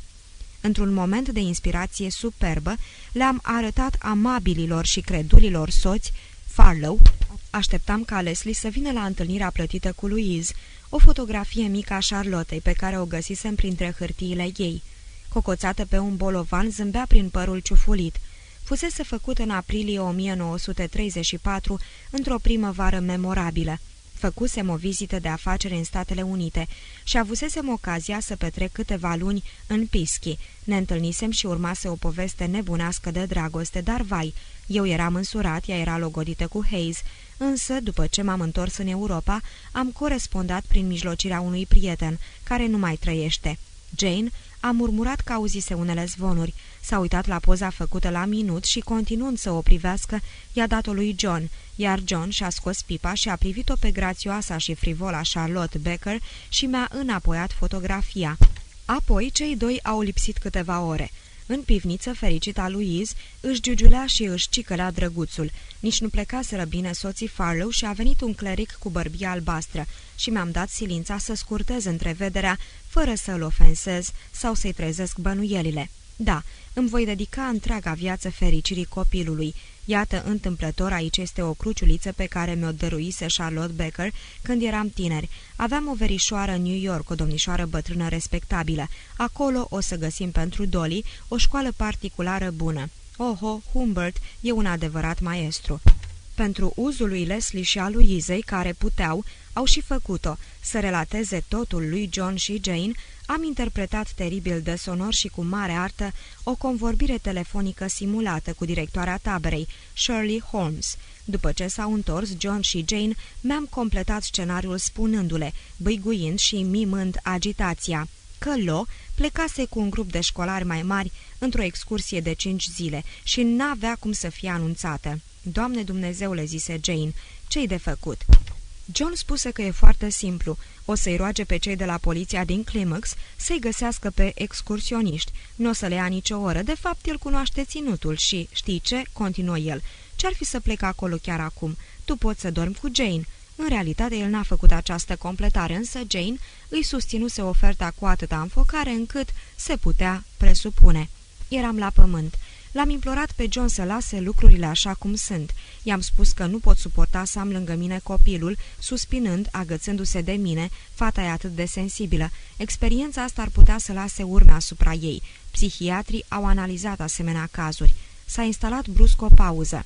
Bine, bine, tu ești doctorul," zise John ușor vexat, dar în definitiv eu am fost prietenul și sfătuitorul Charlottei. Oricum, am dorit să știm ce ai de gând cu copilul."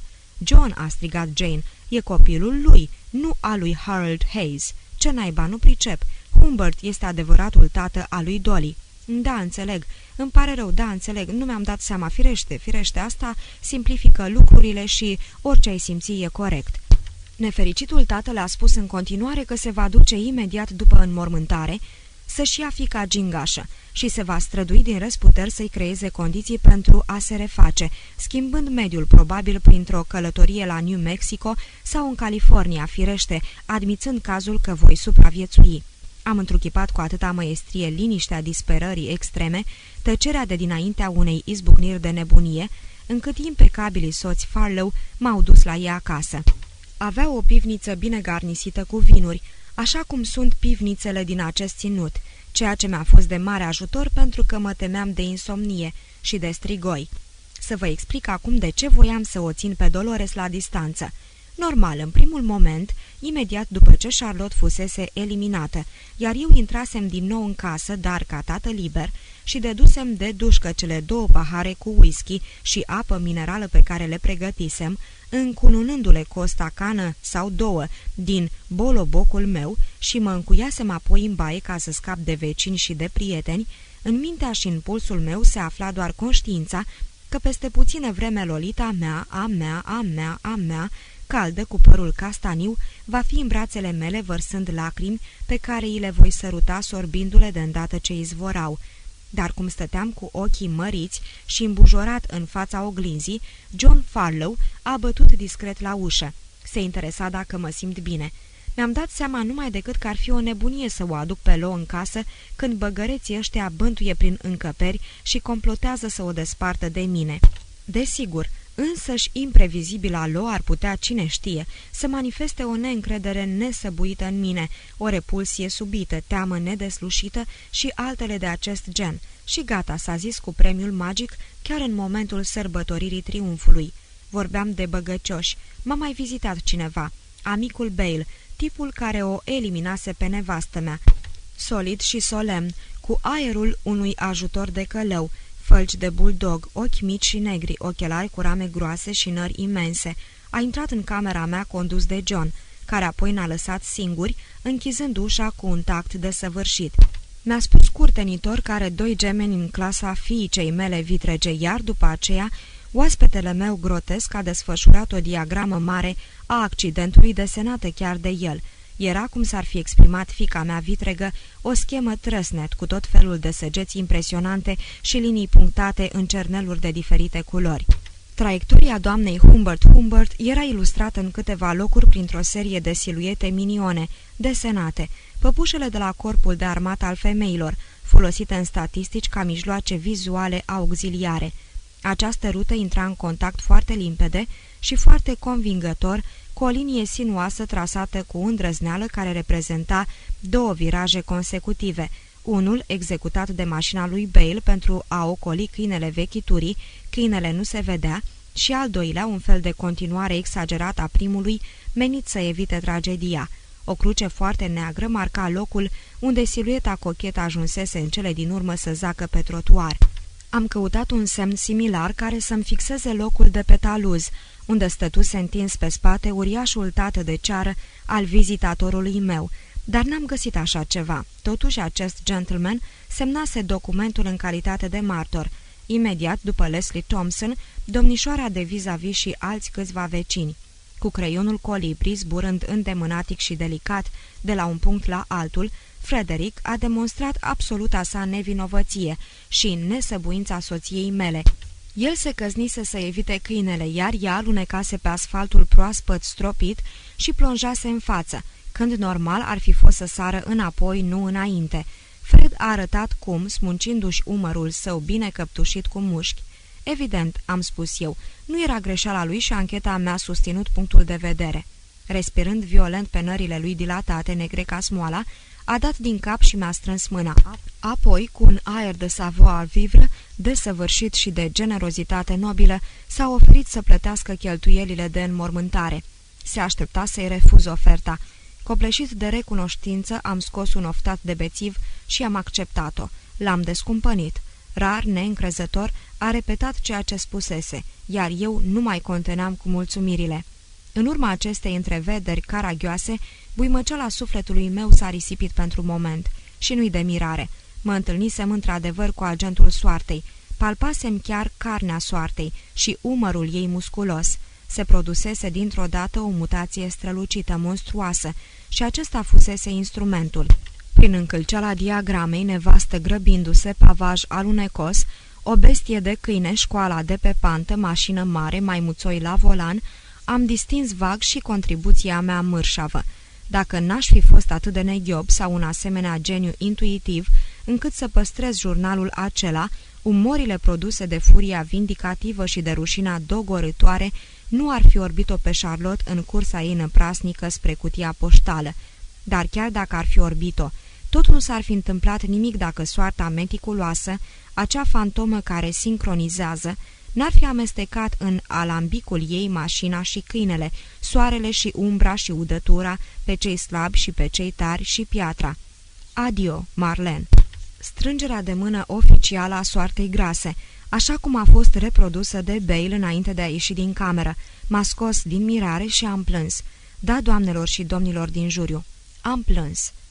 Capitolul 24 Ulmi și plopii își răsuceau spinările zbârlite sub năvala neașteptată a vântului și vârful unui nor cumulus amenința turla alba bisericii din Ramsdale. M-am uitat în jur, pentru ultima dată. Părăseam casa lividă unde închiriasem o cameră cu zece săptămâni în urmă și mă îndreptam spre aventuri necunoscute. Jaluzelele, jaluzelele ieftine, practice din bambus, fusese recoborâte.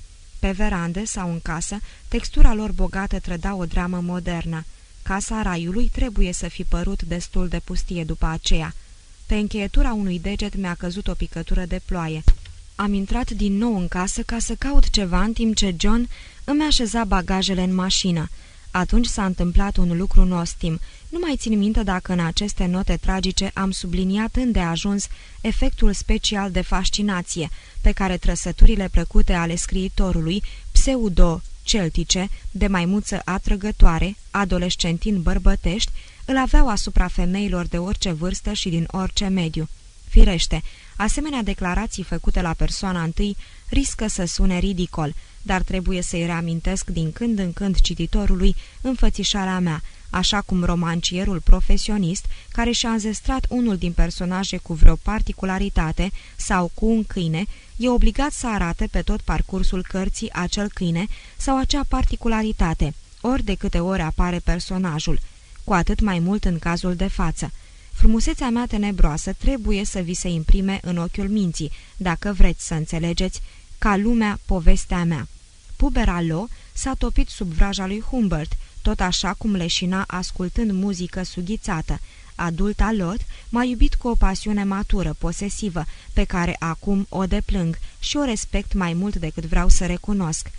Jane Farlow, care avea 31 de ani și era absolut nevrotică, se simțea și ea, după cum se pare, atrasă puternic de mine. Era o frumusețe de tip indian, parcă cioplită și avea tenul ars ca sienitul. Buzele ei păreau polipi mari și purpurii și când emitea râsul ei aparte, lătrat, își arăta dinții mari și înegriți și gingiile palide. Era foarte înaltă, purta fie pantaloni marinărești și sandale, fie fuste înfoiate și balerini. Bea orice fel de tărie, în orice moment avusese două avorturi spontane, scria povestiri despre animale, picta, după cum știe și cititorul, peisaje lacustre, făcea tratament pentru cancerul care o va ucide la 33 de ani și pentru mine era iremediabil lipsită de farmec. Închipuiți-vă ce spaimă am tras când, cu câteva secunde înainte de plecare, ne aflam amândoi în hol. Jane m-a prins de tâmple cu degetele ei care tremurau mereu și, ochii albaștri strălucitori, erau plini de lacrimi. A încercat, fără succes, să se lipească de buzele mele. Să ai grijă de tine," zise ea, și sărută-ți fica din partea mea." Bubuitul unui tunet s-a propagat prin toată casa și ea a adăugat. Poate cândva, undeva, într-un moment mai puțin tragic, ne vom întâlni din nou. Jane, oriunde și orice ai fi, în spațiul timp minus ori în timpul suflet plus, iartăm notele astea, inclusiv paranteza. Curând după aceea în stradă, strada povârnită, am dat mâna cu cei doi și toate se învârtejeau și fugeau din fața potopului alb care se apropia și un camion, aducând o saltea de la Filadelfia, rula la vale încrezător spre o casă pustie, iar praful se așternea și se rida pe lespede aceea de piatră unde Charlotte, când au dat pledul la o parte ca să o recunosc, se revelase ghemuită, cu ochii nevătămați, genele negre, încă umede și încălcite, ca ale tale, Lolita. Capitolul 25 Toate stavilele fuseseră îndepărtate și în fața mea se deschidea perspectiva unor infinite desfătări delirante. Se putea presupune că mă voi destinde mental, scoțând un suspin de ușurare divină. E bien, pas du tout. În loc să mă scald în razele întâmplării zâmbitoare, eu eram obsedat de tot felul de dubii și temeri pur etice. De pildă, nu să se întrebe lumea de ce Lo nu lua parte la obligațiile festive și funerare din familia ei apropiată? Vă amintiți, cred, că nu am adus-o la căsătoria noastră. Sau altceva, să admitem că întâmplarea și întinsese brațul lung și păros ca să îndepărteze o femeie nevinovată, și atunci, n-ar fi oare posibil ca tot întâmplarea să ignore într-un moment păgând ceea ce făptuise brațul ei geamăn și să-i transmită lui Lo o notă prematură de condolențe? E drept, accidentul fusese relatat numai de Ramsdale Journal, dar nu și de Recorder din Perkington sau de Herald din Climax. Tabăra Q se afla în alt sat și morțile locale nu prezentau interes informativ federal, dar puteam eu oare să nu-mi imaginez că Dolly fusese informată într-un fel oarecare și că, în timp ce eu mă duceam să o iau, prieteni de-ai familiei pe care eu nu-i cunoșteam o aduceau în Ramsdale?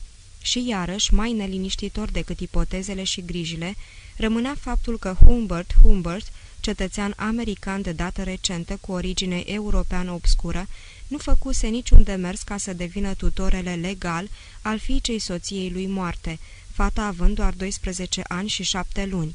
Voi îndrăzni vreodată să fac demersurile cuvenite? Nu puteam reține un fior de câte ori îmi imaginam goliciunea mea înconjurată de statute misterioase în lumina severă, necruțătoare, a legii. Stratagema mea era un miracol al artei primitive. Mă voi duce vâjâind la tabăra Q. Îi voi spune Lolitei că mama ei va fi supusă unei operații importante la un spital inventat de mine și apoi mă voi deplasa într-una din Han în Han, în timp ce mama ei se va simți din ce în ce mai bine și în cele din urmă va muri. Dar, pe măsură ce înaintam spre tabără, neliniștea mea se adâncea. Era insuportabil gândul că s-ar putea să nu mai găsesc acolo pe Lolita, sau că voi găsi o altă Lolită, înspăimântată, care va insista să cheme un prieten de-al familiei. Nu mă gândeam la soții Farlow, fiindcă, slavă Domnului, ea nu-i prea cunoștea, dar de unde să știu eu dacă nu mai are și alți amici pe care nu i-am pus la socoteală? Până la urmă m-am hotărât să am de adevăratele convorbirea aceea telefonică pe care o simulasem atât de bine cu câteva zile mai înainte. Ploua torențial când am oprit într-o suburbie noroioasă a Parkingtonului, cu puțin înainte de furcă. De aici pornea o bretea care ocolea orașul și ducea spre șoseaua ce traversa dealurile îndreptându-se spre lacul Climax și tabăra Q. Am scos cheia din contact și am stat aproape un minut în mașină. Încercam să mă fortific pentru convorbirea telefonică și priveam ploaia. Trotuarul inundat, unde o gură de incendiu, un obiect hidos zău, vopsit grosolan în roșu și argintiu, își întindea cioturile roșii ale brațelor sale, ca să fie lăcuite de ploaia care picura ca un sânge stilizat peste lanțurile lui argintii. Nu-i de mirare că se interzice staționarea lângă schilozii ăștia coșmarești. M-am dus la o stație de benzină. Mă aștepta o surpriză. Monedele au căzut în aparat zornăind promițător și în sfârșit i s-a permis unei voci să răspundă vocii mele. Holmes, directoarea taberei, m-a informat că Dolly plecase luni, acum era miercuri, într-o excursie pe dealuri, cu grupul ei și era așteptată să se întoarcă astăzi, destul de târziu. M-ar deranja dacă aș veni mâine? Ce se întâmplase de fapt? Fără să intru în detalii, am spus că mama fetiței fusese internată într-un spital, că situația era gravă, că nu trebuie să-i se spună copilului că e gravă și că Lo trebuie să se pregătească să plece înapoi cu mine mâine după amiază. Cele două voci s-au despărțit călduros, cu efuziuni de bunăvoință și prin cine știe ce capriciu mecanic, toate monedele s-au reîntors la mine, dându-se peste cap, rostogolindu-se cu un zornăit ca de automat căruia îi smulsese marele premiu, ceea ce m-a făcut să râd. Deși amânarea fericirii mă dezamăgise o leacă. Se pune întrebarea dacă această rambursare spasmodică nu se corela într-un fel sau altul în mintea lui McFate, destinul, cu faptul că inventase mica expediție a copiilor înainte de a fi aflat de ea, ceea ce se întâmplase de-abia cu câteva clipe mai înainte. Ce a urmat? Am purces spre centrul comercial al Parkingtonului și mi-am consacrat întreaga după amiază, vremea se limpezise, orașul Ud era numai argint și sticlă, cumpărării unor lucruri frumoase pentru Lo. Dumnezeule, ce achiziții nebunești a inspirat predilecția emoțională pe care o avea în acele zile Humbert pentru țesăturile cadrilate, stambele în culori strălucitoare, pentru zorzoane, mâneci bufante, pliseuri ușoare, corsaje legere, fuste cu poale ample. O, Lolita, tu ești fata mea, așa cum Di a fost a lui Pău și Bi a lui Dante. Dar ce fetiță n-ar fi încântată să se rotească în fuste cloș și pantalonași? Doresc un anumit lucru?" Mă întrebau voci lingușitoare. Costume de baie? Avem orice culoare, roz de vis, alb glacial, mov clitoric, roșu tulip, negru oolitic. Ce zice despre niște costume sport? Slipuri? Nu, slipuri nu. Eu și Lo detestam slipurile. Mă orientam după o notă antropometrică scrisă de mama ei, când Lo împlinise 12 ani. Cititorul își amintește desigur de cartea Să vă cunoașteți copilul.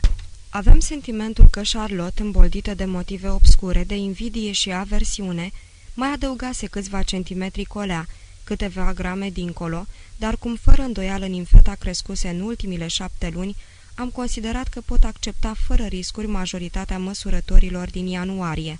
Circumferința șoldurilor 74 de centimetri, circumferința la coapse, imediat sub dunga feselor 43 de centimetri, perimetrul gambelor și circumferința gâtului 28 de centimetri, perimetrul toracic 69 de centimetri, grosimea brațului 21 de centimetri, talia 59 de centimetri, înălțimea 145 de centimetri, greutatea 39 de kilograme, silueta liniară, coeficientul de inteligență 121, apendic vermicular intact, slavă Domnului, dar și fără măsurători o vedeam în gând pe Lolita cu o luciditate halucinantă și cum mă furnica într-una punctul în care creștetul ei mătăsos fusese odată sau de două ori în dreptul inimii mele, cum îi simțeam neîncetat povara caldă în poală, încât, într-un anumit sens, eram întotdeauna cu Lolita, așa cum o femeie este cu sarcină, n-am fost surprins când am constatat mai târziu că socotelile mele fuseseră mai mult sau mai puțin corecte. În plus, studiasem catalogul mărfurilor estivale și am examinat ca un mare cunoscător articolele frumoase, pantofii tip sport, pantofii de tenis, pantofii de chevro pentru copiii râzgâiați. Fata machiată îmbrăcată în negru care a venit în întâmpinarea nevoilor mele arzătoare, a transformat erudiția părintească și descrierea precisă în eufemisme comerciale de felul micuța. O altă vânzătoare, o femeie mult mai coaptă, fardată ca o clătită, îmbrăcată într-o rochie albă, s-a arătat foarte impresionată de cunoștințele mele despre moda la adolescenți. Aveam o metresă minionă, probabil, și de aceea când mi-au arătat o fustă cu două buzunare chic în față, am pus o întrebare bărbătească voit naivă și am fost răsplătit cu o demonstrație surâzătoare a modului de funcționare a fermoarului de la spate al fustei. M-am distrat apoi copios cu diverse modele de pantaloni scurți și chiloței, mici lolite fantomatice dansând, căzând, înșirându-se pe teșghea ca margaretele. Am rotunjit afacerea încheind cu câteva pijamale frumoase de bumbac în stilul tânărul casap, Humbert, casapul popular. Se simte o undă de mitologie și de vrajă în aceste mari magazine unde, potrivit reclamelor, funcționara își poate procura o garderobă de serviciu completă și modernă și unde sora mai mică visează la ziua în care jerseul ei de lână îi va face să sporovoiască pe băieții din fundul clasei. În jurul meu pluteau manechine din plastic reprezentând în mărime naturală copii cu nasul cârn și cu chipuri cafenii cenușii, cu puncte maronii de faun. Mi-am dat seama că eram singurul cumpărător din acest loc destul de sinistru, bântuit de stafii în care mă deplasam precum peștele într-un acvariu de culoare verde albăstrie. Simțeam cum se formează gânduri bizare în mințile doamnelor apatice care mă escortau de la stand la stand, de la recif la algele marine și curelele și brățările pe care le-am ales îmi păreau căzute în apa transparentă din mâini de sirena. Am cumpărat un geamantan elegant, mi-am pus cumpărăturile în el și m-am dus la hotelul cel mai apropiat, încântat nevoie mare de modul în care îmi petrecusem ziua.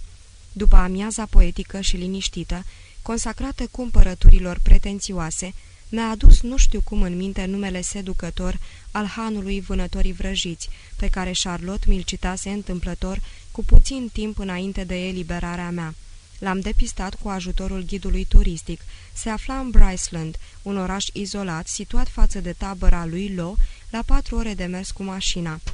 Aș fi putut telefona, m-am temut însă că o să-mi scape de sub control vocea și o să derapeze în croncănituri jenante, într-o engleză stâlcită, așa că m-am hotărât să trimit o telegramă prin care comandam pentru noaptea următoare o cameră cu două paturi alăturate. Ce făt frumos comic, stângaci, ezitant, eram. Și ce să mai râdă de mine unii cititori când le voi spune cât m-am căznit cu textul telegramei? Cum să o formulez? Humbert și fica, Humburg și fetița, Homberg și fata imatură, Homburg și copilul, greșeala caragioasă, litera G, de la sfârșit, s-a produs în cele din urmă de adevăratelea, ca un ecou telepatic al șovăielilor mele. Ce să vă mai spun despre meditațiile mele, în catifeaua nopții de vară, asupra elixirului pe care îl luasem cu mine? O, Hamburg, meschinule! Dar nu era el însuși, vânătorul vrăjit, când se lupta cu sine lângă flaconul cu muniție magică, să încerce el însuși una din capsulele de ametist și să izgonească astfel monștrii insomniei, erau 40 de pilule, 40 de nopți cu o micuță și firavă adormită la pieptul meu înfiorat. Să-mi fur eu însumi o asemenea noapte? Ei bine, nu. Era mult prea prețioasă fiecare prună minusculă subțire, fiecare planetarium microscopic cu praful său stelar viu. O lăsați-mă să fiu siropos o clipă. Cinismul m-a obosit cumplit.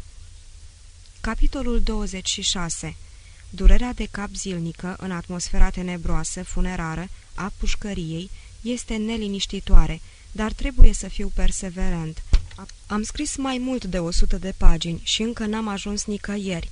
Calendarul meu se zăpăcește, asta trebuie să se fi petrecut în jurul lui 25 august 1947. Nici gând să pot continua, inima, capul, toate. Lolita, Lolita, Lolita, Lolita, Lolita. Lolita, Lolita, Lolita, Lolita, Lolita. Zețar, repetă numele până umpli pagina. Capitolul 27 Tot în Perkington. Am izbutit în cele din urmă să ațipesc o oră, dar m-am trezit înspăimântat de împerecherea aiuritoare și înfiorător de epuizantă cu un hermafrodit mic păros, complet necunoscut. Să fi fost șase dimineața. Deodată mi-a venit ideea că n-ar fi rău să ajung la tabără mai devreme decât spusesem. De la Parkington până la autostradă aveam de parcurs o sută de mile. De aici, la Hazy Hills și Bryceland, încă o dată pe atât, poate mai mult. Spusesem că vin să o iau pe Dolly în cursul după amiezei, fiindcă fantezia ținea morțișca noaptea să se lase milostivă cât mai repede peste nerăbdarea mea. Acum însă presimțeam tot felul de necazuri și stăteam ca pe jar, temându-mă că întârzierea ar putea să-i ofere lui Lo ocazia de a telefona așa într-o doară la Ramsdale. La 9.30 anti-meridian am încercat să plec, dar ghinion, bateria era moartă, așa că am părăsit Parkingtonul pe la amiază. Am ajuns la destinație pe la două și jumătate. Mi-am parcat mașina într-o dumbravă de pini, unde se afla un tânăr straniu, care arunca potcoave la țintă într-o singurătate ursuză. Tipul m-a îndrumat la conic spre un birou dintr-o vilă ornamentată cu stuc. Am ascultat pierit condolențele inchizitoriale ale directoarei taberei, o femelă șleampătă trecută cu părul ruginiu. Doli și-a făcut bagajul, mi-a spus ea, și e gata de plecare. Știe că mama ei e bolnavă, dar nu foarte grav. N-ar dori domnul Hayes, vreau să zic domnul Humbert, să le cunoască pe consilierele taberei, ori să viziteze cabanele fetelor. Fiecare e închinată unei creaturi a lui Disney, ori cabana de vânătoare. Să-l trimită pe Charlie să o aducă, fetele făceau ultimile aranjamente pregătind sufrageria pentru dans și va spune probabil după aceea unuia și altuia, bietul de el, părea propria stafie. Permiteți-mi să reamintesc amănuntele banale și profetice ale scenei. Holmes, muma pădurii, transcria o rețetă scărpinându-se în cap. Apoi a tras un sertar de la biroul ei, a vărsat niște mărunțiși în palma mea nerăbdătoare și netezind o bancnotă a spus onor. Și cinci. Fotografii ale copilelor. Un fluture viu colorat mișca încă fixat cu un ac pe perete. Studiu al naturii. Ce prost gust! diploma înrămată a dieteticienei taberei, mâinile mele tremurânde, o fișă scoasă de Holmes, cea eficace, cu raportul asupra comportării lui Dolly Hayes în luna iulie, satisfăcătoare spre bună, pasionată de înnot și canotaj, melosul pomilor și al păsărilor și inima mea care bătea să-mi spargă pieptul. Stăteam cu spatele la ușa deschisă și brusc mi-a năvălit sângele în cap când i-am auzit în spatele meu respirația și vocea. Sosea târând și împingând cu piciorul geamantanul greu. Bună, mi-a spus, și a rămas nemișcată, scuturându-mă cu priviri ironice și vesele, și buzele înflorite într-un zâmbet naiv, dar grozav de atrăgător. Era mai subțire, mai înaltă, și o clipă mi s-a părut că fața ei nu era la fel de drăgălașă ca amprenta mentală pe care o păstrasem cu sfințenie mai mult de o lună. Obrajii păreau subți și trăsăturile rustice, trandafirii, erau afectate prea mult de lentigo și această primă impresie, intervalul uman foarte îngust dintre două bătăi ale inimii unui tigru, spunea clar că văduvul Humbert trebuia și dorea să-i ofere micuței orfane, ce părea palidă, deși era bronzată de soare, chiar și cearcănele plumburii de sub ochii ei erau pistruiate, o educație serioasă, o adolescență sănătoasă și fericită, un cămin curat, prietene frumoase de vârsta ei, printre care, dacă soarta voia să mă răsplătească, aș găsi o mică Magdalene numai pentru Herr Dr. Humbert. Dar, cât ai clipi, cum spun nemții, linia angelică de comportare s-a șters și eu mi-am înhățat prada. Timpul o ia înaintea fanteziilor noastre și ea a devenit din nou lolita mea. De fapt, mai lolita ca niciodată. Mi-am pus o secundă mâna pe creștetul ei ferbinte și castaniu și i-am luat bagajul. Era nespus de dulce, îmbrăcat în rochița ei minunată dintr-un imprimeu cu mere mici și roșii, iar brațele și picioarele ei erau arămii, cu zgârieturi ca niște linii punctate, subțiri, cu stropi fiind de rubine coagulate și manșetele uzate ale șosetelor erau răsucite la nivelul știut, și din cauza mersului copilăresc sau poate pentru că mă fixasem în memorie încălțată cu pantofi fără toc, botinele ei păreau oarecum prea mari și cu tocul prea înalt. Bun rămas tabără Q, veselă tabără Q, bun rămas hrană simplă și nesănătoasă, bun rămas Charlie, băiete, s-a cuibărit lângă mine în mașina închisă, a pocnit o muscă ageră pe genunchiul ei încântător, apoi gura ei, continuând să mestece violent o bucată de chewing gum, a coborât geamul de pe partea ei și s-a cuibărit din nou. Goneam prin pădurea vârstată și smălțuită. Cum se simte mama?" a întrebat ea cu minte. I-am spus că doctorii nu prea știu despre ce e vorba, ceva, oricum, abdominal. Abdominal? Nu, nu abdominal. Va trebui să mai zăbovim o leacă prin împrejurim. Spitalul era la țară, lângă pitorescul oraș Leppingville, unde locuise la începutul secolului al XIX-lea un mare poet și unde vom lua la rând toate spectacolele. Ideea i s-a părut strașnică și s-a întrebat dacă vom ajunge la Leppingville înainte de nouă post-meridian. Trebuie să ajungem în Bryceland la vremea cinei, am spus, și mâine vizităm Leppingville. Cum a fost excursia? Te-ai distrat bine în tabără? Mhm. Îți pare rău că pleci? Mhm, mhm. Hei, Lo, nu mă râi, spunem ceva. Ce să-ți spun, tăticule?" Cuvântul s-a lăbărțat ironic. Orice. Te super dacă spun așa? Ochi îngustați spre șosea. Nici gând. E o chestie grozavă, știi? Când ți-a căzut cu tronc mama? Într-o zi, Lo, ai să înțelegi multe emoții și situații, de pildă armonia, frumusețea relației spirituale. Hai, da, de, replică nimfeta cinică. Pauză mică în dialog umplută cu ceva peisaj. Lo, uite vacile alea de pe coasta dealului. Dacă mai văd o vacă, vomit. Mi-ai lipsit îngrozitor, Lo. Mie nu. La drept vorbind am fost revoltător de infidelă, dar ce contează, fiindcă tu oricum nu mai ții la mine. Conduci mult mai repede decât mama, domnule. De la nechipzuita viteză de 70 la oră, am redus la 50 de mile cu minți. De ce crezi că nu mai țin la tine, Lo? Păi nici măcar nu mai sărutat, așa-i? Sufletul îmi agoniza și gemea. Am filmat într-o clipită o bună porțiune din șosea și m-am năpustit hurducându-mă printre bălării. Nu uita, este un copil, nu uita. Nici nu s-a oprit bine mașina, că Lolita mi-a zburat pur și simplu în brațe. Nu îndrăzneam, nu îndrăzneam să mă las în voia patimii, nu îndrăzneam nici măcar să-mi dau seama că acesta, dulcea umiditate și focul pâlpâind, era începutul vieții inefabile pe care, ajutat cu dibăcie de soartă, am vrut să o fac posibilă.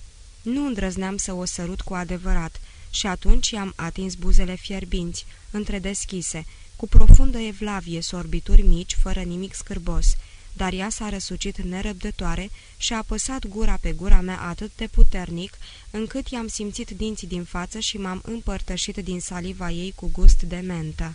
Știam firește că nu e decât un joc inocent, un crâmpei de bufonerie adolescentină, care imita cine știe ce simulacru de aventură romantică și întrucât, așa cum vă vor spune atât psihoterapistul cât și siluitorul, limitele și regulile unor asemenea jocuri de fetițe sunt fluide, ori cel puțin au o subtilitate copilărească greu sesizabilă pentru partenerul matur, m-am temut îngrozitor să nu merg cumva prea departe, determinând-o să bată în retragere dezgustată și înspăimântată cum dorea mai presus de orice să o strecor neștiut în sihăstria de la vânătorii vrăjiți și aveam de parcurs încă 80 de mile, o intuiție binecuvântată ne-a făcut să întrerupem îmbrățișarea cu o fracțiune de secundă înainte ca mașina unei patrule de circulație să se oprească lângă noi. Roșu la față, cu sprâncene stufoase, șoferul ei m-a privit insistent – N-ați văzut întâmplător un sedan albastru marca mașinii voastre care v-a depășit la intersecție? Păi nu. Nu, n-am văzut, spuse Lo, aplecându-se repede peste mine cu mâinile inocente sprijinite de picioarele mele. Dar sunteți sigur că era albastru, fiindcă... Curcanul, ce umbra noastră urmărea el? I-a zâmbit frumos și a executat o întoarcere în U. Am pornit mai departe. Găgăuță, a remarcat Lo, ar fi trebuit să te înhațe. Pentru numele lui Dumnezeu, de ce pe mine? Păi, în acest stat leneș, limita de viteză este de 50 de mile și nu, nu încetini tu, cap de sifon, acu s-a dus. Mai avem o bucată bună de drum, am spus, și vreau să ajungem acolo până se înserează, să fii fetiță cu minte. Ba rea, fetiță rea, spuse Lo mulțumită, delicvent juvenil, dar sincer și seducător. Semaforul era pe roșu. N-am mai văzut așa stil de conducere. Rulam în tăcere, printr-un orășel tăcut. Ia zim, n-ar turba mama dacă ar afla că suntem amanți? Doamne Dumnezeule, ce-ți veni?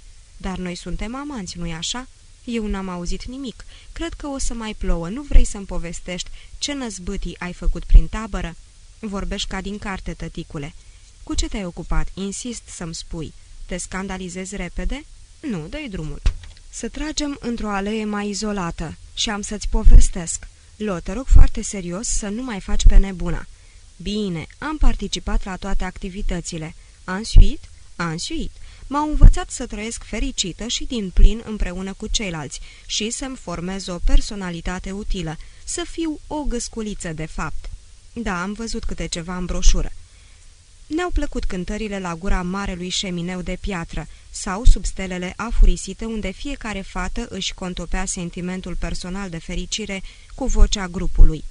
Ai o memorie excelentă, Lo, dar te invit să renunți la cuvintele urâte. Și altceva? Motoul cercetașilor, spuse Lo rapsodic, este și al meu. Îmi umplu viața cu fapte demne de laudă, cum ar fi, în fine, nu contează care. Datoria mea este să fiu folositoare. Sunt prietena animalelor masculi. Mă supun ordinelor, sunt voioasă și mașina asta a fost tot a poliției. Sunt înfloritoare și definitiv spurcată în gând, vorbe și fapte. Sper că asta e tot, gata, copil sarcastic. Mhm, am gătat, ba nu, mai stai un pic. Am copt într-un cuptor reflectorizant. așa că e grozav? Da, așa e mai bine. Am spălat zilioane de vase. Zilioane, știi, înseamnă în argoul profelor multe, multe, multe, multe. O stai ultimul, dar nu și cel mai neînsemnat, cum zicea mama. Stai să-mi aduc aminte. Ce naiba era? A, da, am făcut umbre chinezești. Mamă, mamă, ce distracție. Se bien tu? Se. Mai e ceva. Un lucru pe care nu ți-l pot spune fără să roșesc. O să mi-l spui mai târziu? Dacă stăm în întuneric și mă lași să șoptesc, da, ți-l spun. Dormi în camera ta cea veche sau la grămadă cu mama? Camera veche, mama ta trebuie să facă o operație foarte grea, Lo. Oprește-te, rog, la chioșcul ăla de dulciuri, spuse Lo. S-a instalat pe un scaun înalt cu o dâră de soare pe antebrațul gol și cafeniu. Lo a fost servită cu înghețată asortată stropită cu sirop sintetic. I-a fost înălțată și adusă de o brută buboasă cu un papion soios, care a cercetat cu insistență carnală copila mea fragedă în rochia ei subțire de bumbac. Nerăbdarea de a ajunge la Bryceland și la vrăjitorii vrăjiți devenea insuportabilă. Din fericire, ea a expediat înghețata cu viteza ei obișnuită. Câți bani ai?" am întrebat. Niciun șfanț," mi-a spus ea tristă, înălțându-și sprâncenele și arătându-mi interiorul gol al portmoneului. Las că se aranjează," am replicat strângărește. Hai, mergem?" Ascultă, crezi că au toaletă?" Nu te duce acolo," i-am spus hotărât. E un loc mizerabil, cu siguranță. Hai, hai să mergem." Era în general o fetiță ascultătoare și când am intrat din nou în mașină, am sărutat-o pe gât. Fără de-asta," spuse ea privindu-mă cu surprindere, neprefăcută, nu mă îmbăloșa, scârbosule." Și-a frecat locul acela de umărul ei ridicat. Iartă-mă," am murmurat, mi-ești atât de dragă, asta-i." Urcam sub un cer posomorât pe serpentine, apoi am început din nou să coborâm. Și tu mi-ești într-un fel drag," spuse Lolita cu o voce blândă și tărăgănată, un fel de suspin, și s-a cuibărit mai aproape de mine. O, Lolita, nu mai ajungem odată." Când am pătruns pe străzile slab luminate, căutând vânătorii vrăjiți, se instalase amurgul peste micul și drăguțul Bryceland, cu arhitectura sa colonială contrafăcută, magazinele de antichități și copacii decorativi importanți. Aerul era cald și verde, deși burnița neîntreruptă îl perla și în fața ghișeului unui cinematograf picurând diamante de foc se formase o coadă, alcătuită mai ales din copii și bătrâni. O, vreau să văd filmul ăsta, mergem imediat după cină, o, imediat. S-ar putea, a psalmodiat Humbert, care știa perfect diavolul viclean turgescent, că până la nouă, când va începe spectacolul lui, ea va fi ca moartă în brațele sale. Mai domol, strigă Lo, proiectată în față, în timp ce un camion a furisit cu luminile rubinii din spate pulsând, a oprit brusc la intersecție. Simțeam că dacă nu dăm de hotel imediat, în chip miraculos, chiar în următorul kvartal am să pierd complet controlul asupra rablei lui Hayes, cu ștergătoarele ei de parbriz, lipsite de eficacitate și cu frânele capricioase, dar trecătorii cărora le-am cerut informații sau erau ei înșiși străini sau întrebau încruntându-se, vânătorii cum? De parcă aș fi fost nebun, sau altminteri se pierdeau în explicații atât de complicate cu gesturi geometrice, generalități geometrice și indicații strict locale. Apoi o ții spre sud după ce ai ajuns la tribunal încât era imposibil să nu mă rătăcesc în labirintul bolboroselilor bine intenționate, lo ale cărei măruntaie minunate și prismatice digeraseră de mult dulciurile, aștepta masa copioasă și începuse să se agite, iar pentru mine frecușul și bâșbâiala prin străzile Brycelandului reprezentau un canon cumplit, cum nu mai trăisem, deși mă obișnuisem de mult cu un gen de ursitoare secundară, secretara idiotă a destinului McFate, ca să zic așa, care își băga nasul în planul splendid și generos al șefului. În lunile următoare am râs de nepriceperea mea când mi-am amintit felul copilăresc în care m-am concentrat asupra hanului cu nume fantezist, fiindcă de-a lungul drumului parcurs, nenumărate moteluri își anunțau cu lumini de neon disponibilitatea, fiind gata să găzduiască negustori, ocnașe vadați, impotenți, grupuri familiale, precum și cuplurile cele mai corupte și viguroase. Ah, voi șoferi amabil care alunecați prin nopțile negre de vară, ce zbenguiel, ce twisturi ale poftelor trupești ați putea să contemplați de pe autostrăzile voastre impecabile, dacă acele comfy cabins și-ar seca deodată pigmenții și ar deveni transparente ca niște cutii de sticlă. Miracolul după care tângeam s-a săvârșit în sfârșit. Un bărbat și o fată încărligați într-o mașină cufundată în întuneric, sub copacii ce se scuturau de apă, ne-au spus că ne aflam în inima parcului, dar n-aveam decât să o luăm la stânga la primul semafor și gata, am ajuns. Nu am văzut în realitate niciun semafor. Parcul era negru ca păcatele pe care le ascundea, însă curând după ce am căzut sub vraja unei curbe bine trasate, călătorii au observat prin ceață o strălucire diamantină, apoi a sclipit oglinda unui iaz și iată-l, palatul palid al vânătorilor vrăjiți, minunat și inexorabil, la capătul unui drum pietruit, sub copacii spectrali. La prima vedere, un șir de mașini parcate ca porci la troacă părea să blocheze intrarea, dar apoi, ca prin farmec, o decapotabilă splendidă, rubinie sub ploaia iluminată, s-a pus în mișcare, extrasă energic de un șofer lat în umeri, și noi ne-am strecurat recunoscători în golful lăsat de ea. Am regretat imediat graba când am băgat de seamă că predecesorul meu găsise acum un loc mai ferit, un fel de garaj unde era spațiu suficient pentru încă o mașină, dar eram prea nerăbdător și nu i-am urmat exemplul. Vai, dar e colosal!" remarcă iubita mea vulgară privind în fugă stucatura, în timp ce s-a strecurat afară în burnița sonoră și mâna ei de copil a ciupit faldul rochii ca să-l scoată din despicătura piersicii, ca să-l citesc pe Robert Browning. Sub lumina lămpilor cu arc, copii mărite ale frunzelor de castan se proiectau legănându-se și jucându-se pe coloanele albe. Am deschis porbagajul. Un negru ghebos și cărunt, într-o așa zisă uniformă, ne-a luat bagajele și le-a dus încet cu căruciorul în holul plin de doamne bătrâne și de clerici. Lolita s-a lăsat pe vine ca să mângâie un cocker spaniol cu pistrui vineții și urechi negre, care se topea de plăcere pe covorul floral sub mâna ei. Dar cine nu s-ar fi topit sufletelul meu, în timp ce eu îmi dregeam glasul prin îmbulzeala de la recepție. Acolo un bătrân chel cu aspect porcin, toți erau bătrâni în acest hotel bătrân, m-a cercetat zâmbind politicos, apoi a scos pe îndelete telegrama mea boțită, s-a luptat cu niște îndoieli obscure, a întors capul, a privit ceasul și în cele din urmă a spus că îi pare rău, reținuse camera cu două paturi alăturate până la șase și jumătate, însă acum era dată, un congres religios, spuse el, a coincis cu o expoziție de flori în Bryceland și... Numele, i-am spus eu rece, nu este nici Humberg și nici Humburg, ci Herbert, adică Humbert, și accept orice cameră, doar să puneți și un pat pliant pentru fetița mea. Are 10 ani și e foarte obosită. Tipul rozaliu și bătrân a privit oblajin pe loc, care stătea în continuare pe vine, ascultând din profil cu gura întredeschisă, ceea ce îi spunea stăpâna clientului, o venerabilă doamnă înfășurată în voaluri violete, cufundată în adâncurile unui fotoliu îmbrăcat în creton. Îndoielile pe care le-ar fi avut tipul obscen s-au spulberat în fața acestei imagini de vis. S-ar putea să mai aibă o cameră, a zis de fapt mai avea una cu pat dublu. În ce privește patul pliant, n-au mai rămas paturi pliante, domnule Poț. Poț, la fel de rozaliu și chel, cu peri albi ieșindu-i din urechi și din alte orificii, o să vadă ce se poate face. A venit și au discutat în timp ce îmi deschideam stiloul. Nerăbdătorul Humbert. Paturile noastre duble sunt de fapt triple," spuse el amabil, băgându-mă cu copilul sub aceeași cuvertură. Într-o noapte cu aglomerație mare au dormit împreună trei doamne și un copil ca al dumneavoastră. Cred că una dintre doamne era bărbat deghizat, ipostaza mea statică. Totuși, nu s-ar putea să fie un pat pliant disponibil în 49, domnule Swin. Cred că a fost dat familiei Swan, spuse Swin, primul clovn bătrân. De, ne vom descurca cum v-am zis. Soția va veni mai târziu, dar presupun că ne vom descurca și atunci.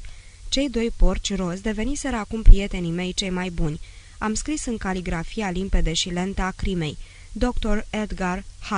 Humbert și fiica. 342 Lone Street, Ramsdale. Mi-a fost arătată discret o cheie.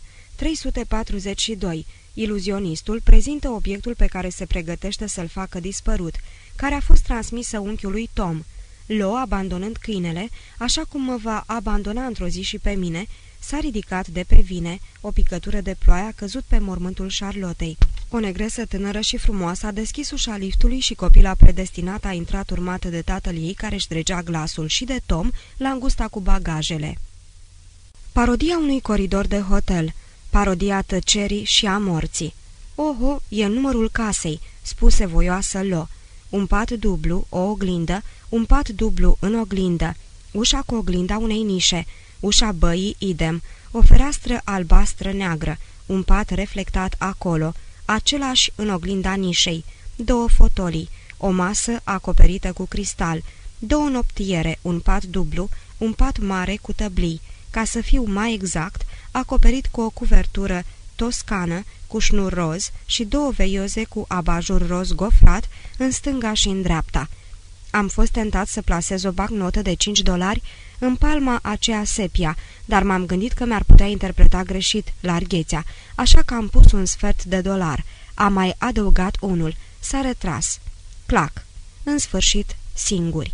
Dormim în aceeași cameră?" spuse Lo, și trăsăturile ei se agitau în acea modalitate dinamică specifică, fără supărare sau dezgust, deși la un pas de acestea, ci numai dinamică, momentelor când voia să imprime o semnificație violentă unei întrebări. L-am cerut să pună un pat pliant, pe care îl voi folosi eu dacă dorești. Ești nebun?" zise Lo. De ce, draga mea?"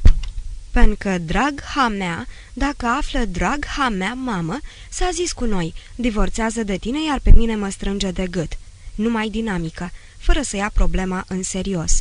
Fii te rog atentă, i-am spus așezându-mă, în timp ce ea stătea în picioare la câțiva pași de mine, și am privit-o intens și satisfăcut, fără să fiu rău impresionat de înfățișarea sa, care umplea cu strălucirea ei trandafirie, oglinda surprinsă și încântată a nișei.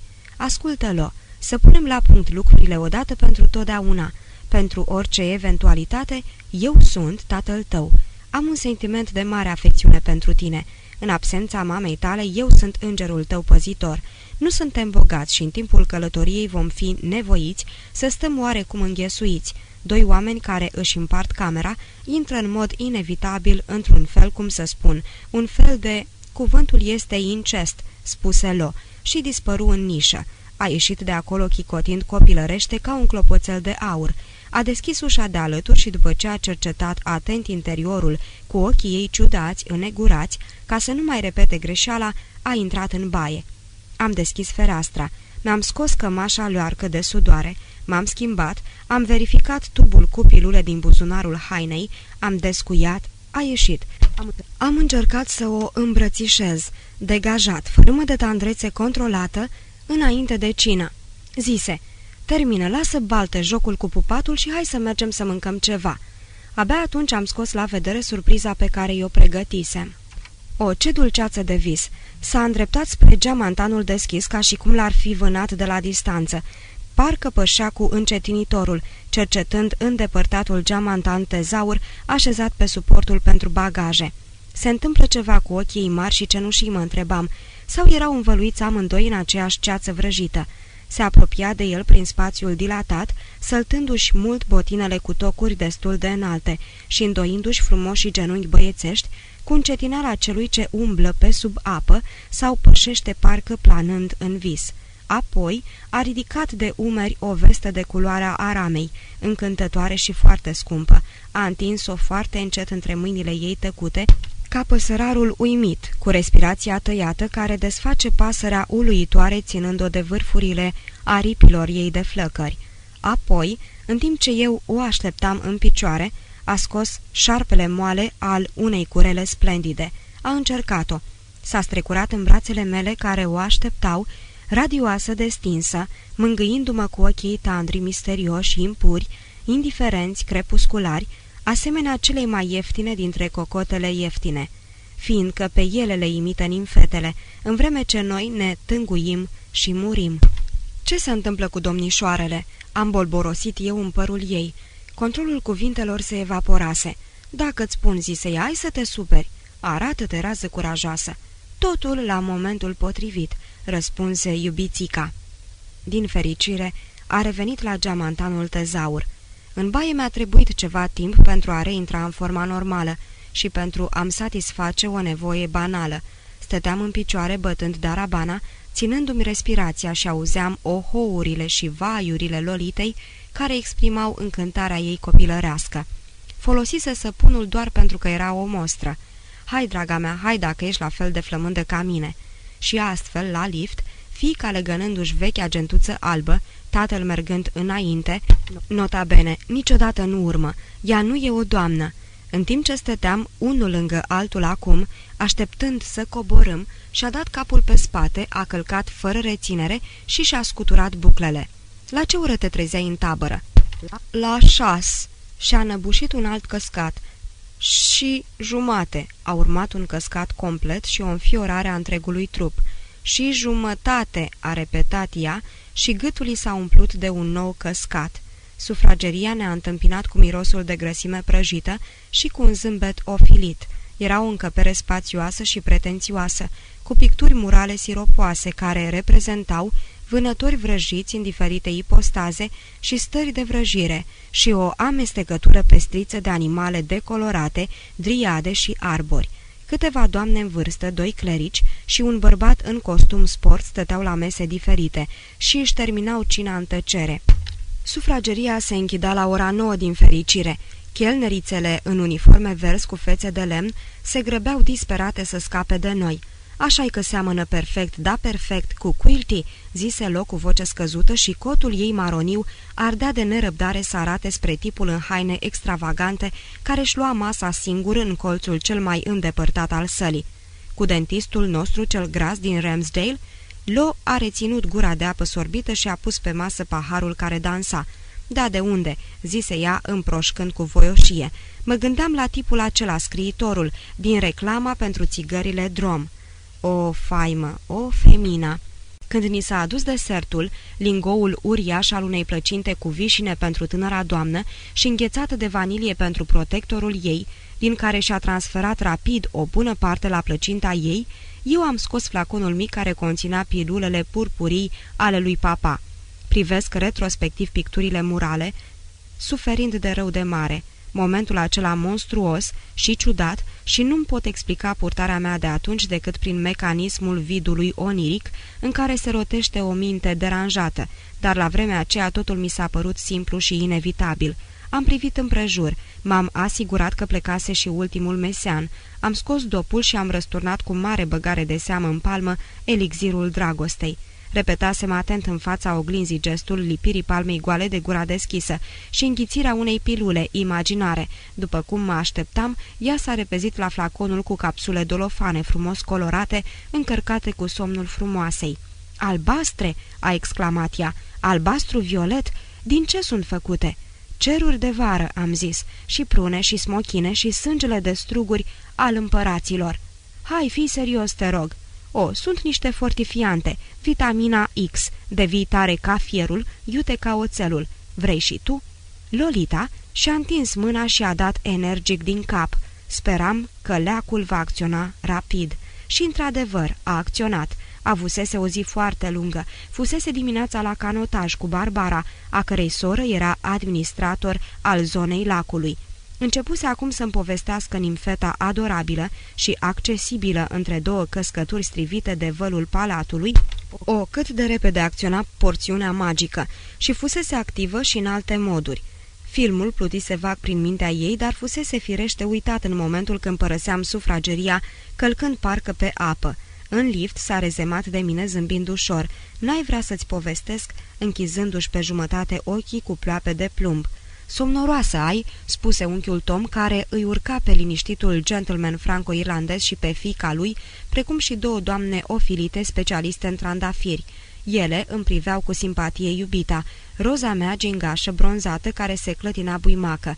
Am dus-o mai mult pe sus până în cameră. Acolo s-a așezat pe marginea patului legănându-se un pic, vorbind în tonalități uguite, tărăgănate. Dacă-ți spun, dacă-ți spun, îmi promiți, somnoroasă, atât de somnoroasă, cu capul greu și ochii stinși, promiți să nu faci tărăboi? Mai târziu lo, acum bagă-te în pat, te las singură și te bagi în pat, îți dau zece minute." O, am fost o fetiță dezgustătoare," a continuat ea scuturându-și părul, scoțându-și de pe cap cu degete moi bentița de catifea. Stai să zic. Mâinelo, hai, bagă-te în pat. Bagă-te în pat pentru numele lui Dumnezeu. Fuguța în pat. Am vărât cheia în buzunar și am coborât pe scări. Capitolul 28 Doamnelor din juriu, fiți indulgente cu mine. Îngăduiți-mi să vă răpesc doar o fărâmă din timpul dumneavoastră prețios. Așadar, acesta a fost Le Grand Moment. O lăsasem pe Lolita, la marginea patului abisal, ridicându-și somnolentă piciorul, bâșbuind pe la șireturi și arătându-și ca de obicei partea interioară a coapsei până sus la chiloței. Era întotdeauna ciudat de neatentă sau lipsită de rușinare, sau și una și alta, în ceea ce privește expunerea picioarelor. Iată viziunea hermetică pe care am încuiat-o, după ce mă asigurasem că nu exista zăvor interior. Cheia cu brelocul din lemn pe care era gravat numărul a devenit numai decât sesamul autoritar spre viitorul frenetic și formidabil. Era a mea, făcea parte din pumnul meu fierbinte și păros. Peste câteva minute, să zicem 20, sau poate jumătate de oră, Ziher ist Ziher, cum obiștuia să spună unchiul Gustav, voi pătrunde în 342 și îmi voi găsi nimfeta, frumoasă, și mireasa mea, închisă în somnul de cleștar. Doamnelor din juriu, dacă ar fi avut glas, fericirea mea ar fi umplut elegantul hotel cu un vuiet asurzitor. De ce n-am depus discret cheia 342 la recepție și n-am părăsit orașul, țara, continentul, emisfera, globul, chiar în acea noapte? E singurul meu regret. Să mă explic. Insinuările ei acuzatoare nu m-au tulburat pe degeaba. Eram încă decis să-mi urmez politica și să-i protejez puritatea, acționând numai în taina nopții asupra micului nud complet anesteziat. Motoul meu rămânea în continuare reținere și venerație, chiar dacă puritatea, întâmplător demolată în întregime de știința modernă, îi fusese ușor alterată prin câteva experiențe erotice juvenile, homosexuale fără îndoială, în acea tabără blestemată. În stilul demodat de om al lumii vechi, eu, Jean-Jacques Humbert, am crezut, când am întâlnit-o prima oară, că ea rămăsese neîntinată, așa cum noțiunea stereotipă de copil normal se păstrase neatinsă de la sfârșitul regretat al lumii vechi, înaintea lui Hristos, cu practicile ei fascinante până în zilele noastre. Noi nu suntem înconjurați în epoca noastră iluminată de micuțe flori sclave, ce pot fi culese cu nepăsare între afaceri și baie, așa cum se întâmpla în vremea romanilor, și nu folosim ca orientalii solemni, din vremuri și mai senzuale, micuți animatori la prova și la pupa, între friptura de berbec și șerbetul de trandafiri? Esențial este că vechea legătură dintre lumea adulților și lumea copiilor a fost complet retezată azi prin obiceiuri și legi noi, Deși m-am ocupat între altele și de psihiatrie și de activitățile sociale, știu la drept vorbind prea puțin despre copii. La urma urmelor, Lolita avea doar 12 ani și oricâte concesii am face timpului și locului, chiar dacă nu pierdem din vedere comportamentul grosolan al școlarilor americani, eu eram încă sub impresia că între acei puști se petrec anumite lucruri, dar la o vârstă mai mare și într-o ambianță diferită. De aceea, ca să reiau firul acestei explicații, moralistul din mine a ocolit chestiunea controversată, rămânând fidel noțiunilor convenționale despre ceea ce ar trebui să fie fetele de 12 ani. Pediatrul din mine, un escroc, așa cum sunt cei mai mulți, dar nu contează, a regurgitat tocătura neofroidistă și a reconstituit o doli visătoare și exagerată ce se afla în perioada de latență a adolescenței. În sfârșit, senzualul din mine, un monstru mare și dement, a acceptat fără obiecții posibilitatea ca prada lui să fi cunoscut anumite perversiuni, dar undeva în spatele beatitudinii hohotitoare deliberau umbre uimite și nu le-am luat în seamă. Iată ce regret. Ființe umane, ascultați, ar fi trebuit să înțeleg că Lolita dovedise că se deosebește considerabil de inocenta Anabel și că răul nimfic care respira prin porii copilei damnate, pe care o pregătisem pentru delectarea mea tainică, va face imposibilă discreția, iar delectarea se va dovedi letală. Ar fi trebuit să știu, prin semnele venite dinspre Lolita, de la adevăratul copil Lolita, sau de la vreun înger neîmblânzit ascuns în spatele ei, că extazul scontat va aduce numai chin și oroare. O, gentlemani înaripați ai juriului! Era a mea, a mea, cheia se afla în pumnul meu, pumnul în buzunarul meu, ea era a mea. În cursul evocărilor și planurilor cărora le-am consacrat atâtea insomnii, am eliminat treptat neclaritățile inutile, am stivuit straturile translucide ale viziunilor și am produs o imagine finală. Goală, mai avea doar o șosetă și brățara Port Bonheur, întinsă ca un vultur cu aripile desfăcute în patul pe care o doborâse elixirul meu. Așa o vedeam în proiecția mea anticipativă. Strângea în pumni o bentiță din catifea pentru păr, trupul ei cam era brună, cu negativul alb al costumului de baie rudimentar, imprimat pe fondul bronzat, îmi arăta sfârcurile palide ale sânilor. În lumina rozalie a lămpii, petecul de borangic sclipea pe movilița ei pubiană grăsuță. Chiar rece, cu adena ei caldă din lemn, se afla în buzunarul meu. Am rătăcit prin diferite saloane, glorie de desubt, întristare sus, fiindcă imaginea patimei este întotdeauna tristă. Patima nu este niciodată singură, chiar când victima catifelată este zăvorâtă în temnița ta. Vreun deavol rival sau vreun zeu influent tot mai poate aboli triumful pregătit. În limbaj comun simțeam nevoia să beau ceva, dar nu exista niciun bar în acest loc venerabil, tixit de filistini, asudați și de obiecte de epocă. M-am deplasat spre toaletă. Acolo o persoană în negru clerical, un tovarăș de nădejde, în concordanță cu participanții de la Viena, dacă mai erau acolo, m-a întrebat dacă mi-a plăcut cuvântarea doctorului Boyd și a fost teribil de intrigat când eu, regele Sigmund al II-lea, i-am răspuns că Boyd era cam puști, după care am azvârlit elegant șervețelul cu care îmi ștersesem vârfurile degetelor mele sensibile în recipientul prevăzut pentru aceasta și m-am îndreptat spre hol. Cu coatele instalate confortabil pe teșghea, l-am întrebat pe domnul Poț dacă e sigur că soția mea nu telefonase și ce se întâmpla cu patul pliant. Mi-a răspuns că nu telefonase, firește, era moartă, iar patul pliant va fi instalat mâine dacă ne hotărâm să mai rămânem. Dintr-un salon mare și aglomerat, numit Salonul Vânătorilor, venea rumoarea vocilor care discutau despre horticultură sau eternitate într-o altă încăpere numită Camera Zmeurei, scăldată în lumină cu mese mici și cochete și una mai mare cu răcoritoare, se afla pentru moment doar amfitrioana, tipul acela de femeie istovită cu zâmbet înghețat și cu felul de a vorbi al Charlottei.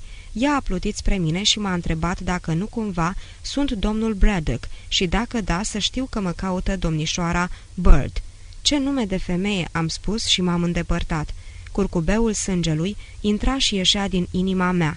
Am solas până la nouă și jumătate. M-am întors în hol și am constatat o schimbare. Câteva persoane în rochii florale sau costume negre formaseră aici și colo grupuri și hazardul poznaș mi-a oferit priveliștea unei copile fermecătoare de vârsta lolitei, cu părul negru prins într-o bentiță albă, care era îmbrăcată într-o rochie croită ca a lolitei, dar albă, imaculată, nu era frumoasă, dar era nimfetă. Picioarele ei albe ca ivoriul și gâtul ei de lebădă au intonat pentru câteva clipe memorabile o antifonie delectabilă în termenii muzicii spinale, la patima mea pentru Lolita, cea șocolatie și roză, îmbujorată și pângărită. Copila palidă mi-a surprins privirea, alminter destul de nonșalantă și cuvincioasă, și fiind ridicol de timidă și a pierdut complet cumpătul, a început să-și dea ochii peste cap, să-și ducă dosul palmei la obraz, să tragă de tivul fustei și în cele din urmă și-a întors spre mine omoplații firavi și s-a prefăcut că trâncănește cu mama ei bivolița. Am părăsit holul zgomotos și m-am oprit afară pe treptele albe și m-am uitat la sutele de gângănii pudrate care se roteau în jurul lampioanelor în noaptea neagră și umedă, fremătătoare și agitată. Tot ce trebuia să fac, tot ce voi îndrăzni să fac, se va rezuma la un asemenea fleac. Brusc mi-am dat seama că în întuneric lângă mine, pe terasa cu coloane, se afla cineva instalat într-un fotoliu. Nu-l vedeam de adevăratelea, dar l-a trădat scrâșnetul unei deșurubări, apoi un gâlgâit discret și nota finală a unei înșurubări placide. Mă pregăteam să plec de acolo când vocea mi s-a adresat. De unde naiba ai făcut rost de ea?" Ce spuneți?" Ziceam că se face vreme bună." Așa se pare." Cine-i fetișcana?" Fica mea." Minți, nu e." Ce spuneți?" Ziceam că Iulie e luna lui cuptor. Unde e maică sa?" A murit." Înțeleg, îmi pare rău. Apropo, n-ai vrea să luăm mâine masa împreună, adică toți trei, ce zici? Mulțimea asta groaznică pleacă până atunci." Și noi plecăm. Noapte bună." Păcat. M-am cam pilit, noapte bună. Copila ta are nevoie de somn mult. Somnul este un trandafir, după cum spun persanii. Fumezi? Nu acum. A scăpărat un chibrit, dar din cauza că era beat sau fiindcă bătea vântul, lumina flăcării nu a căzut pe el, ci pe o altă persoană, un om foarte vârstnic, unul dintre acei musafiri permanenți ai hotelurilor bătrâne, și pe balansoarul său alb. Nu s-a mai rostit niciun cuvânt și întunericul și-a reluat locul inițial. Apoi l-am auzit pe ramolit cum tușește și se eliberează de niște mucozități sepulcrale. Am părăsit terasa. Se scursese cel puțin o jumătate de oră. Ar fi trebuit să cer ceva de băut. Încordarea începea să-și spună cuvântul. Dacă o coardă de vioară poate resimți durerea, atunci eu eram acea coardă. Ar fi fost indecent să mă arăt grăbit. În timp ce îmi croiam drum printr-o constelație de oameni înțepeniți, într-un colț al holului, s-a produs fulgerul orbitor al unui blitz și radiosul Dr. Braddock, două matroane împodobite cu orhidee, fetița în alb și, după cât se pare, dinții rânjiți ai lui Humbert Humbert, strecurându-se printre fetișcana ca o mireasă și clericul vrăjit, au fost imortalizați, dacă putem considera nemuritoare textura și tiparul unor gazete de orășele. Un grup se strânsese lângă lift și trepida. Am preferat din nou scările. 342 se afla lângă scara de incendiu. Încă mai puteam, dar cheia se și afla în broască și după aceea m-am trezit în cameră. Capitolul 29 Ușa de la baie era dată de perete. Lumina rămăsese aprinsă, în plus. Lumina lămpilor cu arc de afară pătrundea scheletică prin jaluzelele venețiene. Razele întretăiate străpungeau întunericul dormitorului și dezvăluiau următoarea situație. Îmbrăcată cu una din vechile ei cămăși de noapte, Lolita mea era întinsă pe o parte, cu spatele la mine, în mijlocul patului. Trupul ei acoperit vag și membrele ei dolofane formau un Z. Își așezase amândouă pernele sub capul castaniu și ciufulit. O fâșie de lumină palidă îi traversa vertebra cervicală. Se pare că mi-am lepădat hainele și m-am strecurat în pijama cu acel gen de simultaneitate ireală care e implicată când dintr-o scenă de film se taie operația schimbării hainelor. Îmi și urcasem genunchiul pe marginea patului când Lolita și-a întors capul și m-a privit insistent prin umbrele vărgate. Intrusul nu se așteptase la așa ceva. Întregul șpil cu pilulele, o treabă destul de mizeră fie vorba între noi, avea ca scop realizarea unui somn atât de adânc, încât un regiment întreg să nu-l poate clinti, deranja și poftim. Ea se uita fix la mine și cu vocea îngroșată mă numea Barbara. Barbara, îmbrăcată cu pijamaua mea, care era mult prea mică, a rămas în echilibru nemișcată, aplecată, peste micuța care vorbea prin somn. Domnul, cu un suspin deznădăjduit, Dolly, s-a întors pe partea cealaltă, revenind la poziția inițială. Timp de aproape două minute am așteptat și m-am perpelit pe marginea abruptă, asemenea croitorului care cu 40 de ani în urmă se pregătea să sară de pe turnul Eiffel, cu parașuta confecționată de el. Respirația ei ușoară avea ritmul somnului. În cele din urmă m-am aburcat pe marginea mea îngustă de pat, trăgând hoțește de ceea ce mai rămăsese din cerșafurile îngrămădite la sud de călcâile mele reci ca piatra. Și Lolita și-a săltat capul și s-a holbat nedumerită la mine. Mai târziu Un farmacist mi-a spus că pilula purpurie nu făcea parte din familia mare și nobilă a barbituricelor și că, deși putea să provoace somnul nevroticului convins că a înghițit un medicament tare, era un sedativ prea slab și n-avea cum să afecteze pentru mai mult timp o nimfetă vicleană, chiar dacă era obosită. Doctorul din Ramsdale era fie șarlatan, fie un potlogar bătrân și iscusit, dar ce mai conta? Ce mai contează? Conta faptul că fusese împăcălit. Când Lolita a deschis ochii din nou, mi-am dat seama că certitudinea pe care mă bizuisem fusese fantezistă, chiar dacă medicamentul și-ar fi făcut efectul mai târziu în noaptea aceea. Capul i s-a întors lent și s-a înfundat în mormanul egoist de perne. Stăteam lungit pe marginea mea de pat, cercetând cu privirea părul ei ciufulit, licărirea cărnii de nimfetă, unde apărea un nedeslușit jumătate de coapsă și jumătate de umăr și încercam să-i sondez profunzimea somnului după ritmul respirației.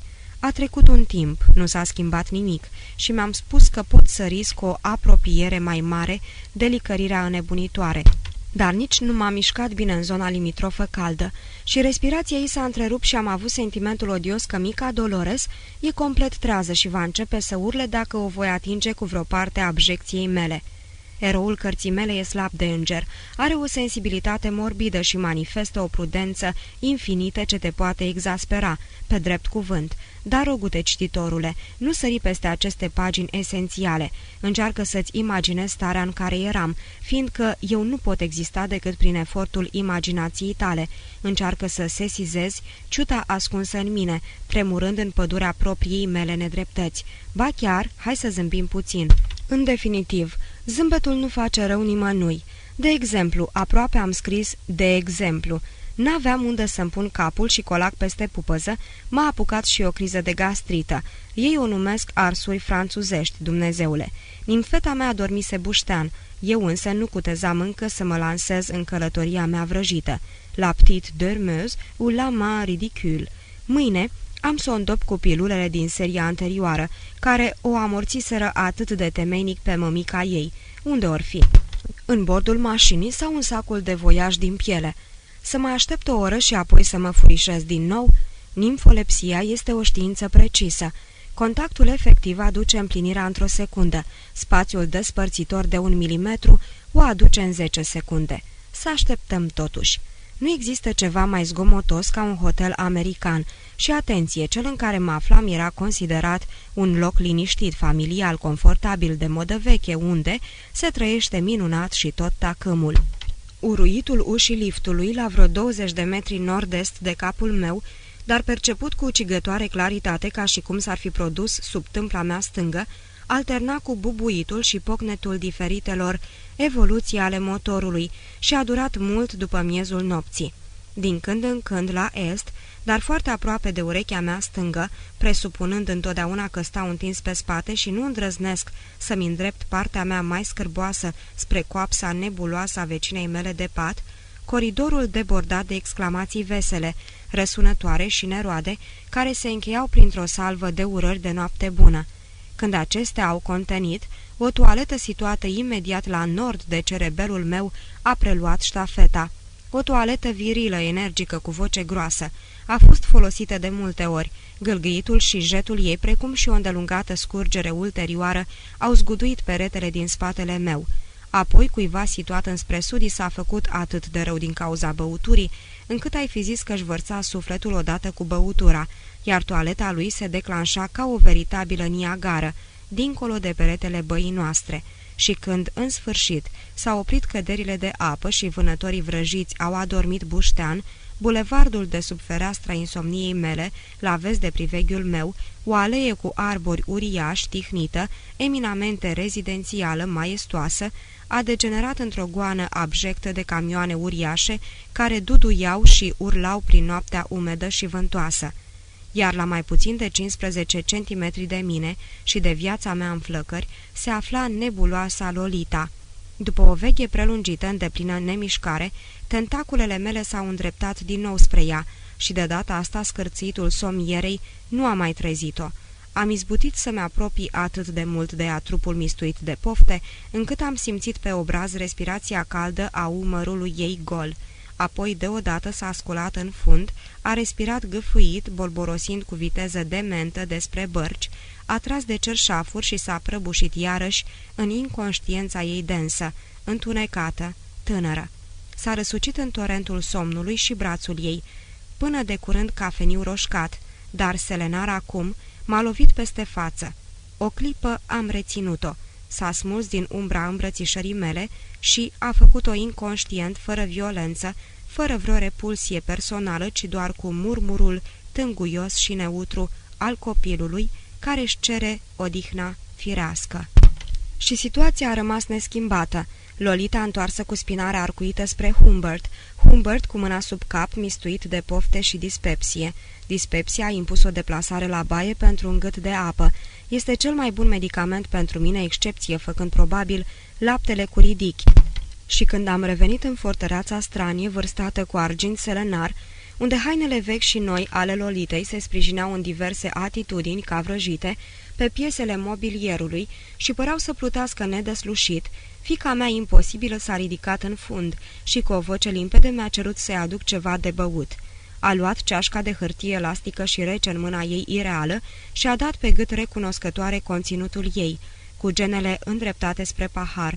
Apoi, cu un gest copilăresc, fermecător, care umbrea orice altă mângâiere trupească, mica Lolita, și-a șters buzele de umărul meu. S-a prăbușit la loc pe perna ei. Eu mi-o subtilizasem pe a mea în timp ce ea și-a băut apa și a adormit imediat. Nu îndrăznisem să-i ofer o nouă doză de somnifer și nu pierdusem speranța că prima ar putea totuși să-i adâncească somnul. Am început să mă deplasez iarăși spre ea, pregătit pentru orice dezamăgire, știind că ar fi mai bine să aștept, dar fiind incapabil de așteptare. Perna mea era îmbibată cu parfumul părului ei. Mă deplasam spre iubita mea luminiscentă, oprindu-mă sau retrăgându-mă, ori de câte ori mi se părea că se mișcă sau e gata să se miște. O adiere venită dinspre țara minunilor începuse să-mi afecteze gândurile și acum ele păreau tipărite în italice, ca și cum suprafața care le reflecta ar fi fost încrețită de fantasma acelei brize. De mai multe ori conștiința mea s-a ghemuit cum nu trebuie, corpul meu a pătruns ezitant pe tărâmul somnului, a ieșit șovăind de acolo și odată sau de două ori m-am surprins antrenat într-un sfărăit melancolic. Neguri de gingășie învăluiau munți de dorință. Când și când aveam impresia că prada vrăjită era pe punctul de a veni în întâmpinarea vrăjitorului vrăjit. Coapsa ei aluneca spre mine pe sub nisipul moale al unei plaje legendare, pierdută în negura timpului. Apoi întunecimea ei cu gropițe se mișca și atunci îmi dădeam seama că se afla mai departe ca niciodată de mine. Insist asupra înfiorării și bâșbâielilor din acea noapte de odinioară, fiindcă doresc să dovedesc că nu sunt, n-am fost și n-aș fi putut deveni niciodată o canalie brutală. Zonele atrăgătoare și feerice prin care m-am furișat nu erau teritoriul de vânătoare al crimei, ci domenii ale poeților. Dacă mi-aș fi atins scopul, extazul meu ar fi fost de o mare blândețe, o combustie interioară căreia Lolita nici nu i-ar fi simțit dogoarea, chiar de ar fi fost rază de abinelea.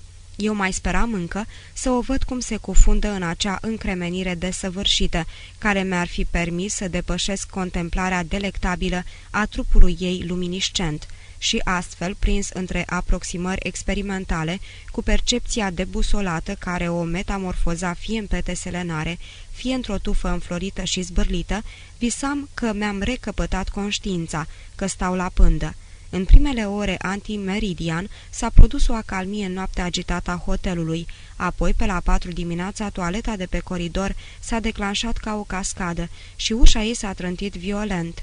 Puțin după ora cinci a început să vină în reprize un monolog reflectat din vreo curte interioară sau din zona de parcare. De fapt, nu era un monolog întrucât vorbitorul se întrerupea la fiecare câteva secunde ca să asculte, după cum se părea, ce-i spunea un alt individ, însă cealaltă voce nu ajungea până la mine, astfel încât ceea ce auzeam părea lipsit de sens. Intonațiile prozaice au adus zorile în cameră, inundând-o cu o lumină difuză, cenușiu violacee. În momentul acela, toaletele harnice s-au pus pe treabă una după alta, iar liftul, huruind și scâncind, a început să urce ca să-i ducă jos pe cei foarte matinali și pe cei care coborau de vreme, în timp ce câteva minute am dormitat mizerabil, iar Charlotte devenise sirenă într-un bazin verzuliu și undeva pe coridor dr. Boyd mi-a spus cu voce melodioasă Bună dimineața, îți spun ție!" și păsările se zbenguiau prin copaci și apoi Lolita a căscat. Stimate doamne frigidă din juriu, crezusem că or să treacă luni sau poate ani până când voi îndrăzni să mă arăt în fața lui Dolores Hayes, dar pe la șase ea se trezise complet și pe la șase și 15 eram, din punct de vedere tehnic, amanți. Și am să vă mai spun ceva straniu.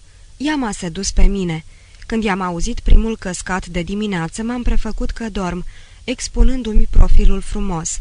Pur și simplu nu știam ce să fac. Va fi șocată văzând că nu sunt într-un alt pat, ci lângă ea, își va strânge repede lucrurile și se va încuia în baie, îmi va cere să o duc numai decât la Ramsdale, la patul de suferință al mamei sale sau înapoi la tabără. Dar Lo, draga mea Lo, era o fetișcană sportivă. Am simțit-o cu ochii pe mine și când în cele din urmă a dat drumul la acea fermecătoare notă chicotită, am știut că îi râdeau ochii. S-a rostogolit și a venit lângă mine și părul ei castaniu s-a lipit de clavicula mea. Am simulat destul de mediocru trezirea din somn. Stăteam lungiți și tăcuți. Am îngâiat-o tandru pe cap și ne-am sărutat cu tandreță. Sărutul ei m-a extaziat și m-a pus în încurcătură, căci avea unele finețuri vibratile și de sondare destul de comice, care m-au dus la concluzia că se antrenase mai de mult cu o micuță lesbiană. Băiețelul Charlie n-avea cum să o învețe așa ceva. S-a tras de o parte și m-a studiat. Voia parcă să vadă dacă sunt satisfăcut și dacă am învățat lecția.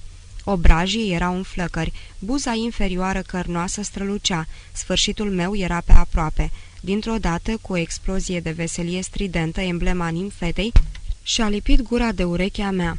Dar câteva momente, mintea mea nu a fost în stare să separe în cuvinte tunetul fierbinte al șoaptelor ei și Lo s-a pornit pe râs, și-a dat părul de pe față și a încercat din nou și când am înțeles ce îmi sugera m-a invadat treptat sentimentul straniu că trăiesc într-o lume ireală și nebună, absolut nouă, unde se permitea orice.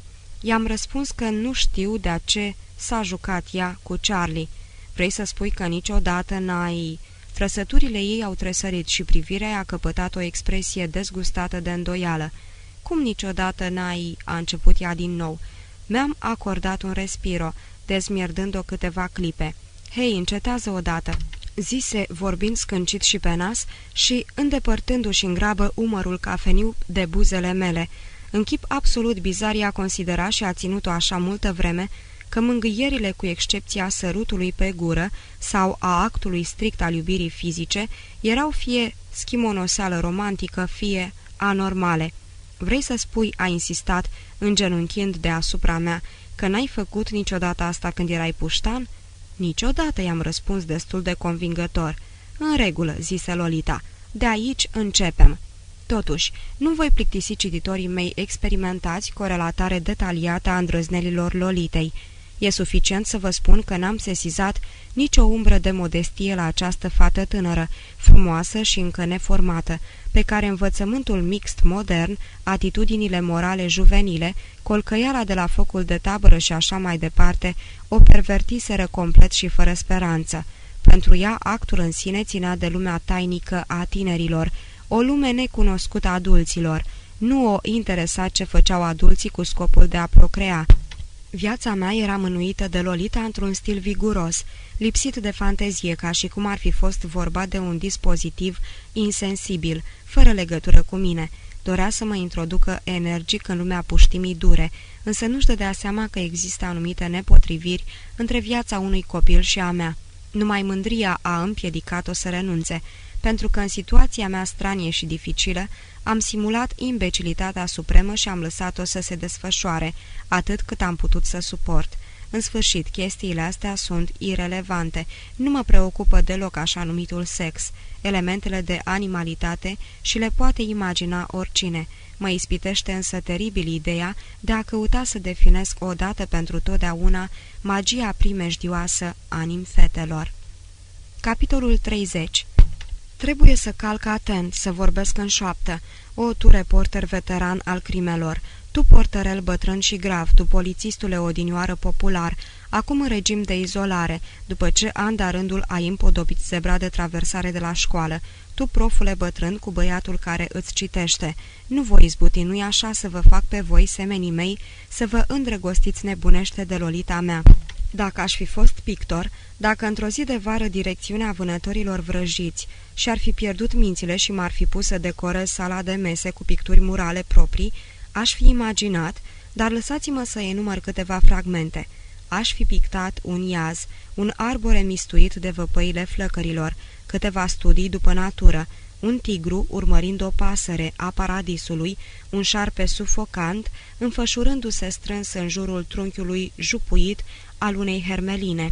Aș mai fi pictat un sultan cu chipul devastat de o cumplită neliniște, amplificată, ca să zic așa, de mângâierea lui modelatoare, care ajută un copil sclav calipigean să se cațere pe o coloană din onix. Aș fi pictat sferele luminoase ale incandescenței gonadale care urcă pe laturile multicolore ale tonomatelor și diferite activități de tabără prestate de grupul auxiliar, canotaj, canon, pieptănarea cârlionților în soarele de pe malul iazului. Aș fi pictat plopi, meri, o duminică la periferia orașului și oparul de foc dizolvându-se în lac cu unduieri circulare, o ultimă pulsație, o ultimă tușă de culoare, roșu țipător, roz strident, un copil care tresare.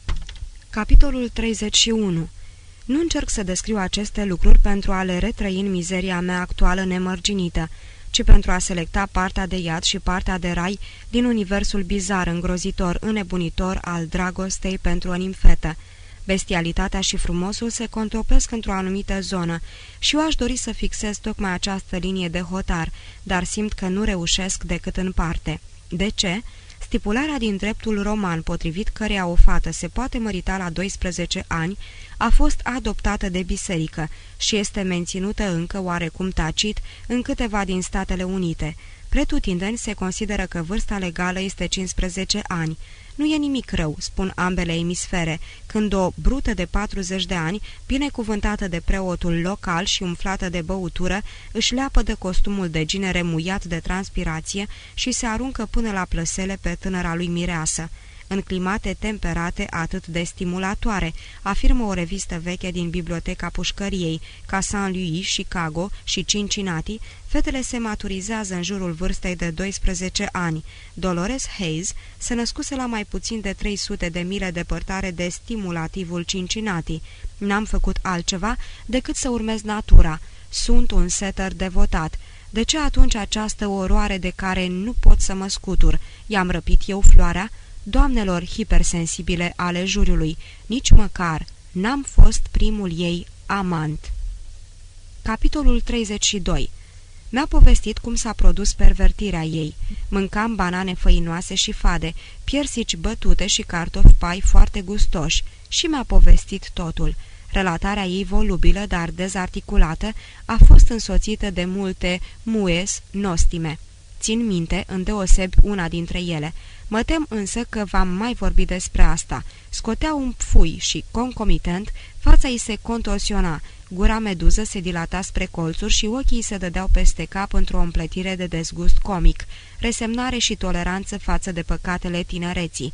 Și-a început istorioara ei uimitoare, citând-o pe colega ei de cort din vara trecută, când fusese în altă tabără, una foarte selectă, cum s-a exprimat ea, Colega de cort, o fire destul de dificilă pe jumătate nebună, dar o bomboană de fată, o inițiase în diferite stiluri de manevrare.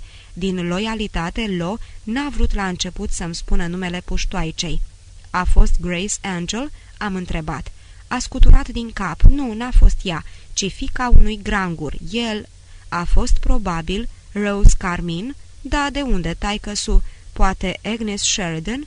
A înghițit și a clătinat din cap și, în sfârșit, și-a biruit surpriza și a reacționat. Ia, ia stai, de unde îi știi pe toți puștii?" I-am explicat. A, da, zise ea, câțiva din gașca asta de elevi sunt destul de răi, dar nu chiar atât de răi. Ei, hai să-ți spun, se numește Elizabeth Talbot. Se duce acum la o școală particulară chic. Tatăl ei este director. Mi-am amintit cu o nostimă strângere de inimă că Charlotte introducea frecvent în discuțiile ei mondene cioace elegante de felul când fica mea se plimba anul trecut cu fata lui Talbot. Am întrebat-o dacă vreuna dintre mame a aflat de amuzamentele lor safice. Ei, pe naiba, nu, se indignăm lădioasa lo, mimând groaza și ușurarea, apăsându-și pe piept mâna care se agita, sugerând palpitația. Pe mine totuși mă interesau mai mult experiențele ei heterosexuale. Intrase în clasa a șasea la 11 ani, imediat după ce se mutaseră din vestul mijlociu la Ramsdale. Ce înțelegea ea prin destul de răi? Păi gemenii Miranda împărtășiseră același pat, ani de-a rândul. Și Donald Scott, băiatul cel mai tâmpit din școală, făcuse chestia aia cu Hazel Smith în garajul unchiului său. Și Kenneth Knight, băiatul cel mai scripitor, practica exhibiționismul oriunde și oricând îi se ivea ocazia și... Să revenim la tabăra Q, am zis, și am aflat numai decât întreaga poveste. Barbara Burke, o blondă voinică, mai mare cu doi ani decât Lo și de departe cea mai bună înotătoare din tabără, avusese o canoe formidabilă în care vâslea împreună cu Lo, fiindcă eram singura fată în stare să fac Willow Island, vreun test nautic, îmi închipui. Toată luna iulie, dimineață de dimineață, notează cititorule, în fiecare dimineață lăsată de Dumnezeu, Barbara și Lo erau ajutate să-și care barca la Onyx sau Erix, două lăculețe din pădure, de Charlie Holmes, fiul directoarei taberei, în vârstă de 13 ani și singurul mascul uman pe o rază de câteva mile, dacă facem abstracție de tipul bun la toate, om blând și surd ca piatra și de fermierul care venea uneori la tabără cu Fordul lui vechi ca să vândă ouă, așa cum fac fermierii. În fiecare dimineață, o cititorule, cei trei copii o luau pe scurtătură prin codrul inocent și frumos, înzestrat cu toate emblemele tinereții, rouă ciripit de păsărele și într-un anumit punct în mijlocul vegetației luxuriante, lor rămânea de pază, în timp ce Barbara și băiatul se împerecheau pitiți după un tufiș. La început, Lona a vrut să încerce să vadă cum e, dar curiozitatea și camaraderia au precumpănit și după aceea ea și Barbara au făcut chestia aia pe rând cu tăcutul, banalul și posacul, dar neobositul Charlie, care avea sex appeal unui morcov crud, însă etala o colecție fascinantă de anticoncepționale pescuite dintr-un lac vecin, al treilea, unul mult mai mare și mai populat, numit Climax, ca și tânărul oraș industrial din apropiere. Lolita admitea că operațiunea era într-un fel amuzantă și minunată pentru Ten, dar avea cel mai profund dispreț pentru inteligența și apucăturile lui Charlie. Diavolul acesta obscen nu izbutise să-i trezească simțurile. De fapt, cred că în ciuda amuzamentului mai degrabă i le-a zăpăcit. Se făcuse aproape zece, odată cu refluxul dorințelor trupești, m-a invadat pe nesimțite și a început să zbârnie pe sub tâmplele mele sentimentul leșios al grozăviei comise, amplificat de perspectiva realistă a unei zile cenușii cu dureri nevralgice. Șocolatie goală, firavă, cu fesele albe și înguste spre mine și fața îmbufnată spre oglinda de pe ușa nișei, Lo stătea în picioare cu mâinile în șolduri, picioarele în papuci căptușiți cu blăniță, depărtate și printr-o meșă care atârna pe ochi, se mai muțărea într-un mod ordinar în oglindă. De pe coridor veneau glasurile gungurite ale fetelor de culoare care lucrau. Curând s-a produs o încercare discretă de a deschide ușa de la camera noastră. Am pus-o pe los să intre în baie și să se spele cu săpun că avea mare nevoie. Patul frământat părea așternut cu un strat de cartofi pai. Ea a probat un depes din lână blămarin, după aceea o bluză fără mâneci cu o fustă plisată cu pliuri asemănătoare unor zăbrele, dar prima era prea strâmtă, a doua prea largă și când am rugat-o să se grăbească, situația începea să mă înspăimânte, lor răutăcioasă a aruncat într-un ungher cadourile frumoase primite de la mine și și-a pus rochia de ieri, când în sfârșit a fost gata, i-am dat o gentuță nouă frumoasă din imitație de piele de vițel, în care strecurasem niște bănuți și două monede strălucitoare de 10 cenți, scoase parcă atunci de sub teascul monetăriei și am spus să-și cumpere o revistă din hol. Într-o clipă cobor și eu, am zis. În locul tău, draga mea, n-aș sta de vorbă cu persoane necunoscute. În afara sărmanelor mele daruri, nu prea aveam ce să împachetez, dar am fost nevoit să dedic o periculoasă cantitate de timp, dacă se întâmplă ceva în hol, ca să aranjez spatul în așa fel încât să lase impresia cuibului părăsit de un tată neliniștit și de fiica lui băiețoasă și să nu pară locul orgiei făcute de un fost ocnaș cu câteva târfe bătrâne și grase. Apoi am terminat îmbrăcatul și am sunat să vină gromul cărunt să-mi coboare bagajele. În hol totul era în ordine. Ea stătea într-un fotoliu sângeriu și citea absorbită o revistă cinema de senzație. Un tip de vârsta mea, haine de tued, peste noapte stilul locului se schimbase și hotelul devenise acum un cuib contrafăcut de nobil de țară. Se holba la lolita mea pe deasupra țigării stinse și a ziarului vechi. Era încălțată cu șosete reglementare și cu botine și purta rochia aceea veselă cu decolteul pătrat. O pată de lumină istovită de jad dezvăluia pufulețul auriu de pe membrele ei calde și cafenii. Stătea într-o poziție indecentă, picior peste picior, dezgolindu-se cu nerușinare, iar ochii ei parcurgeau în fugă rândurile și clipeau din când în când.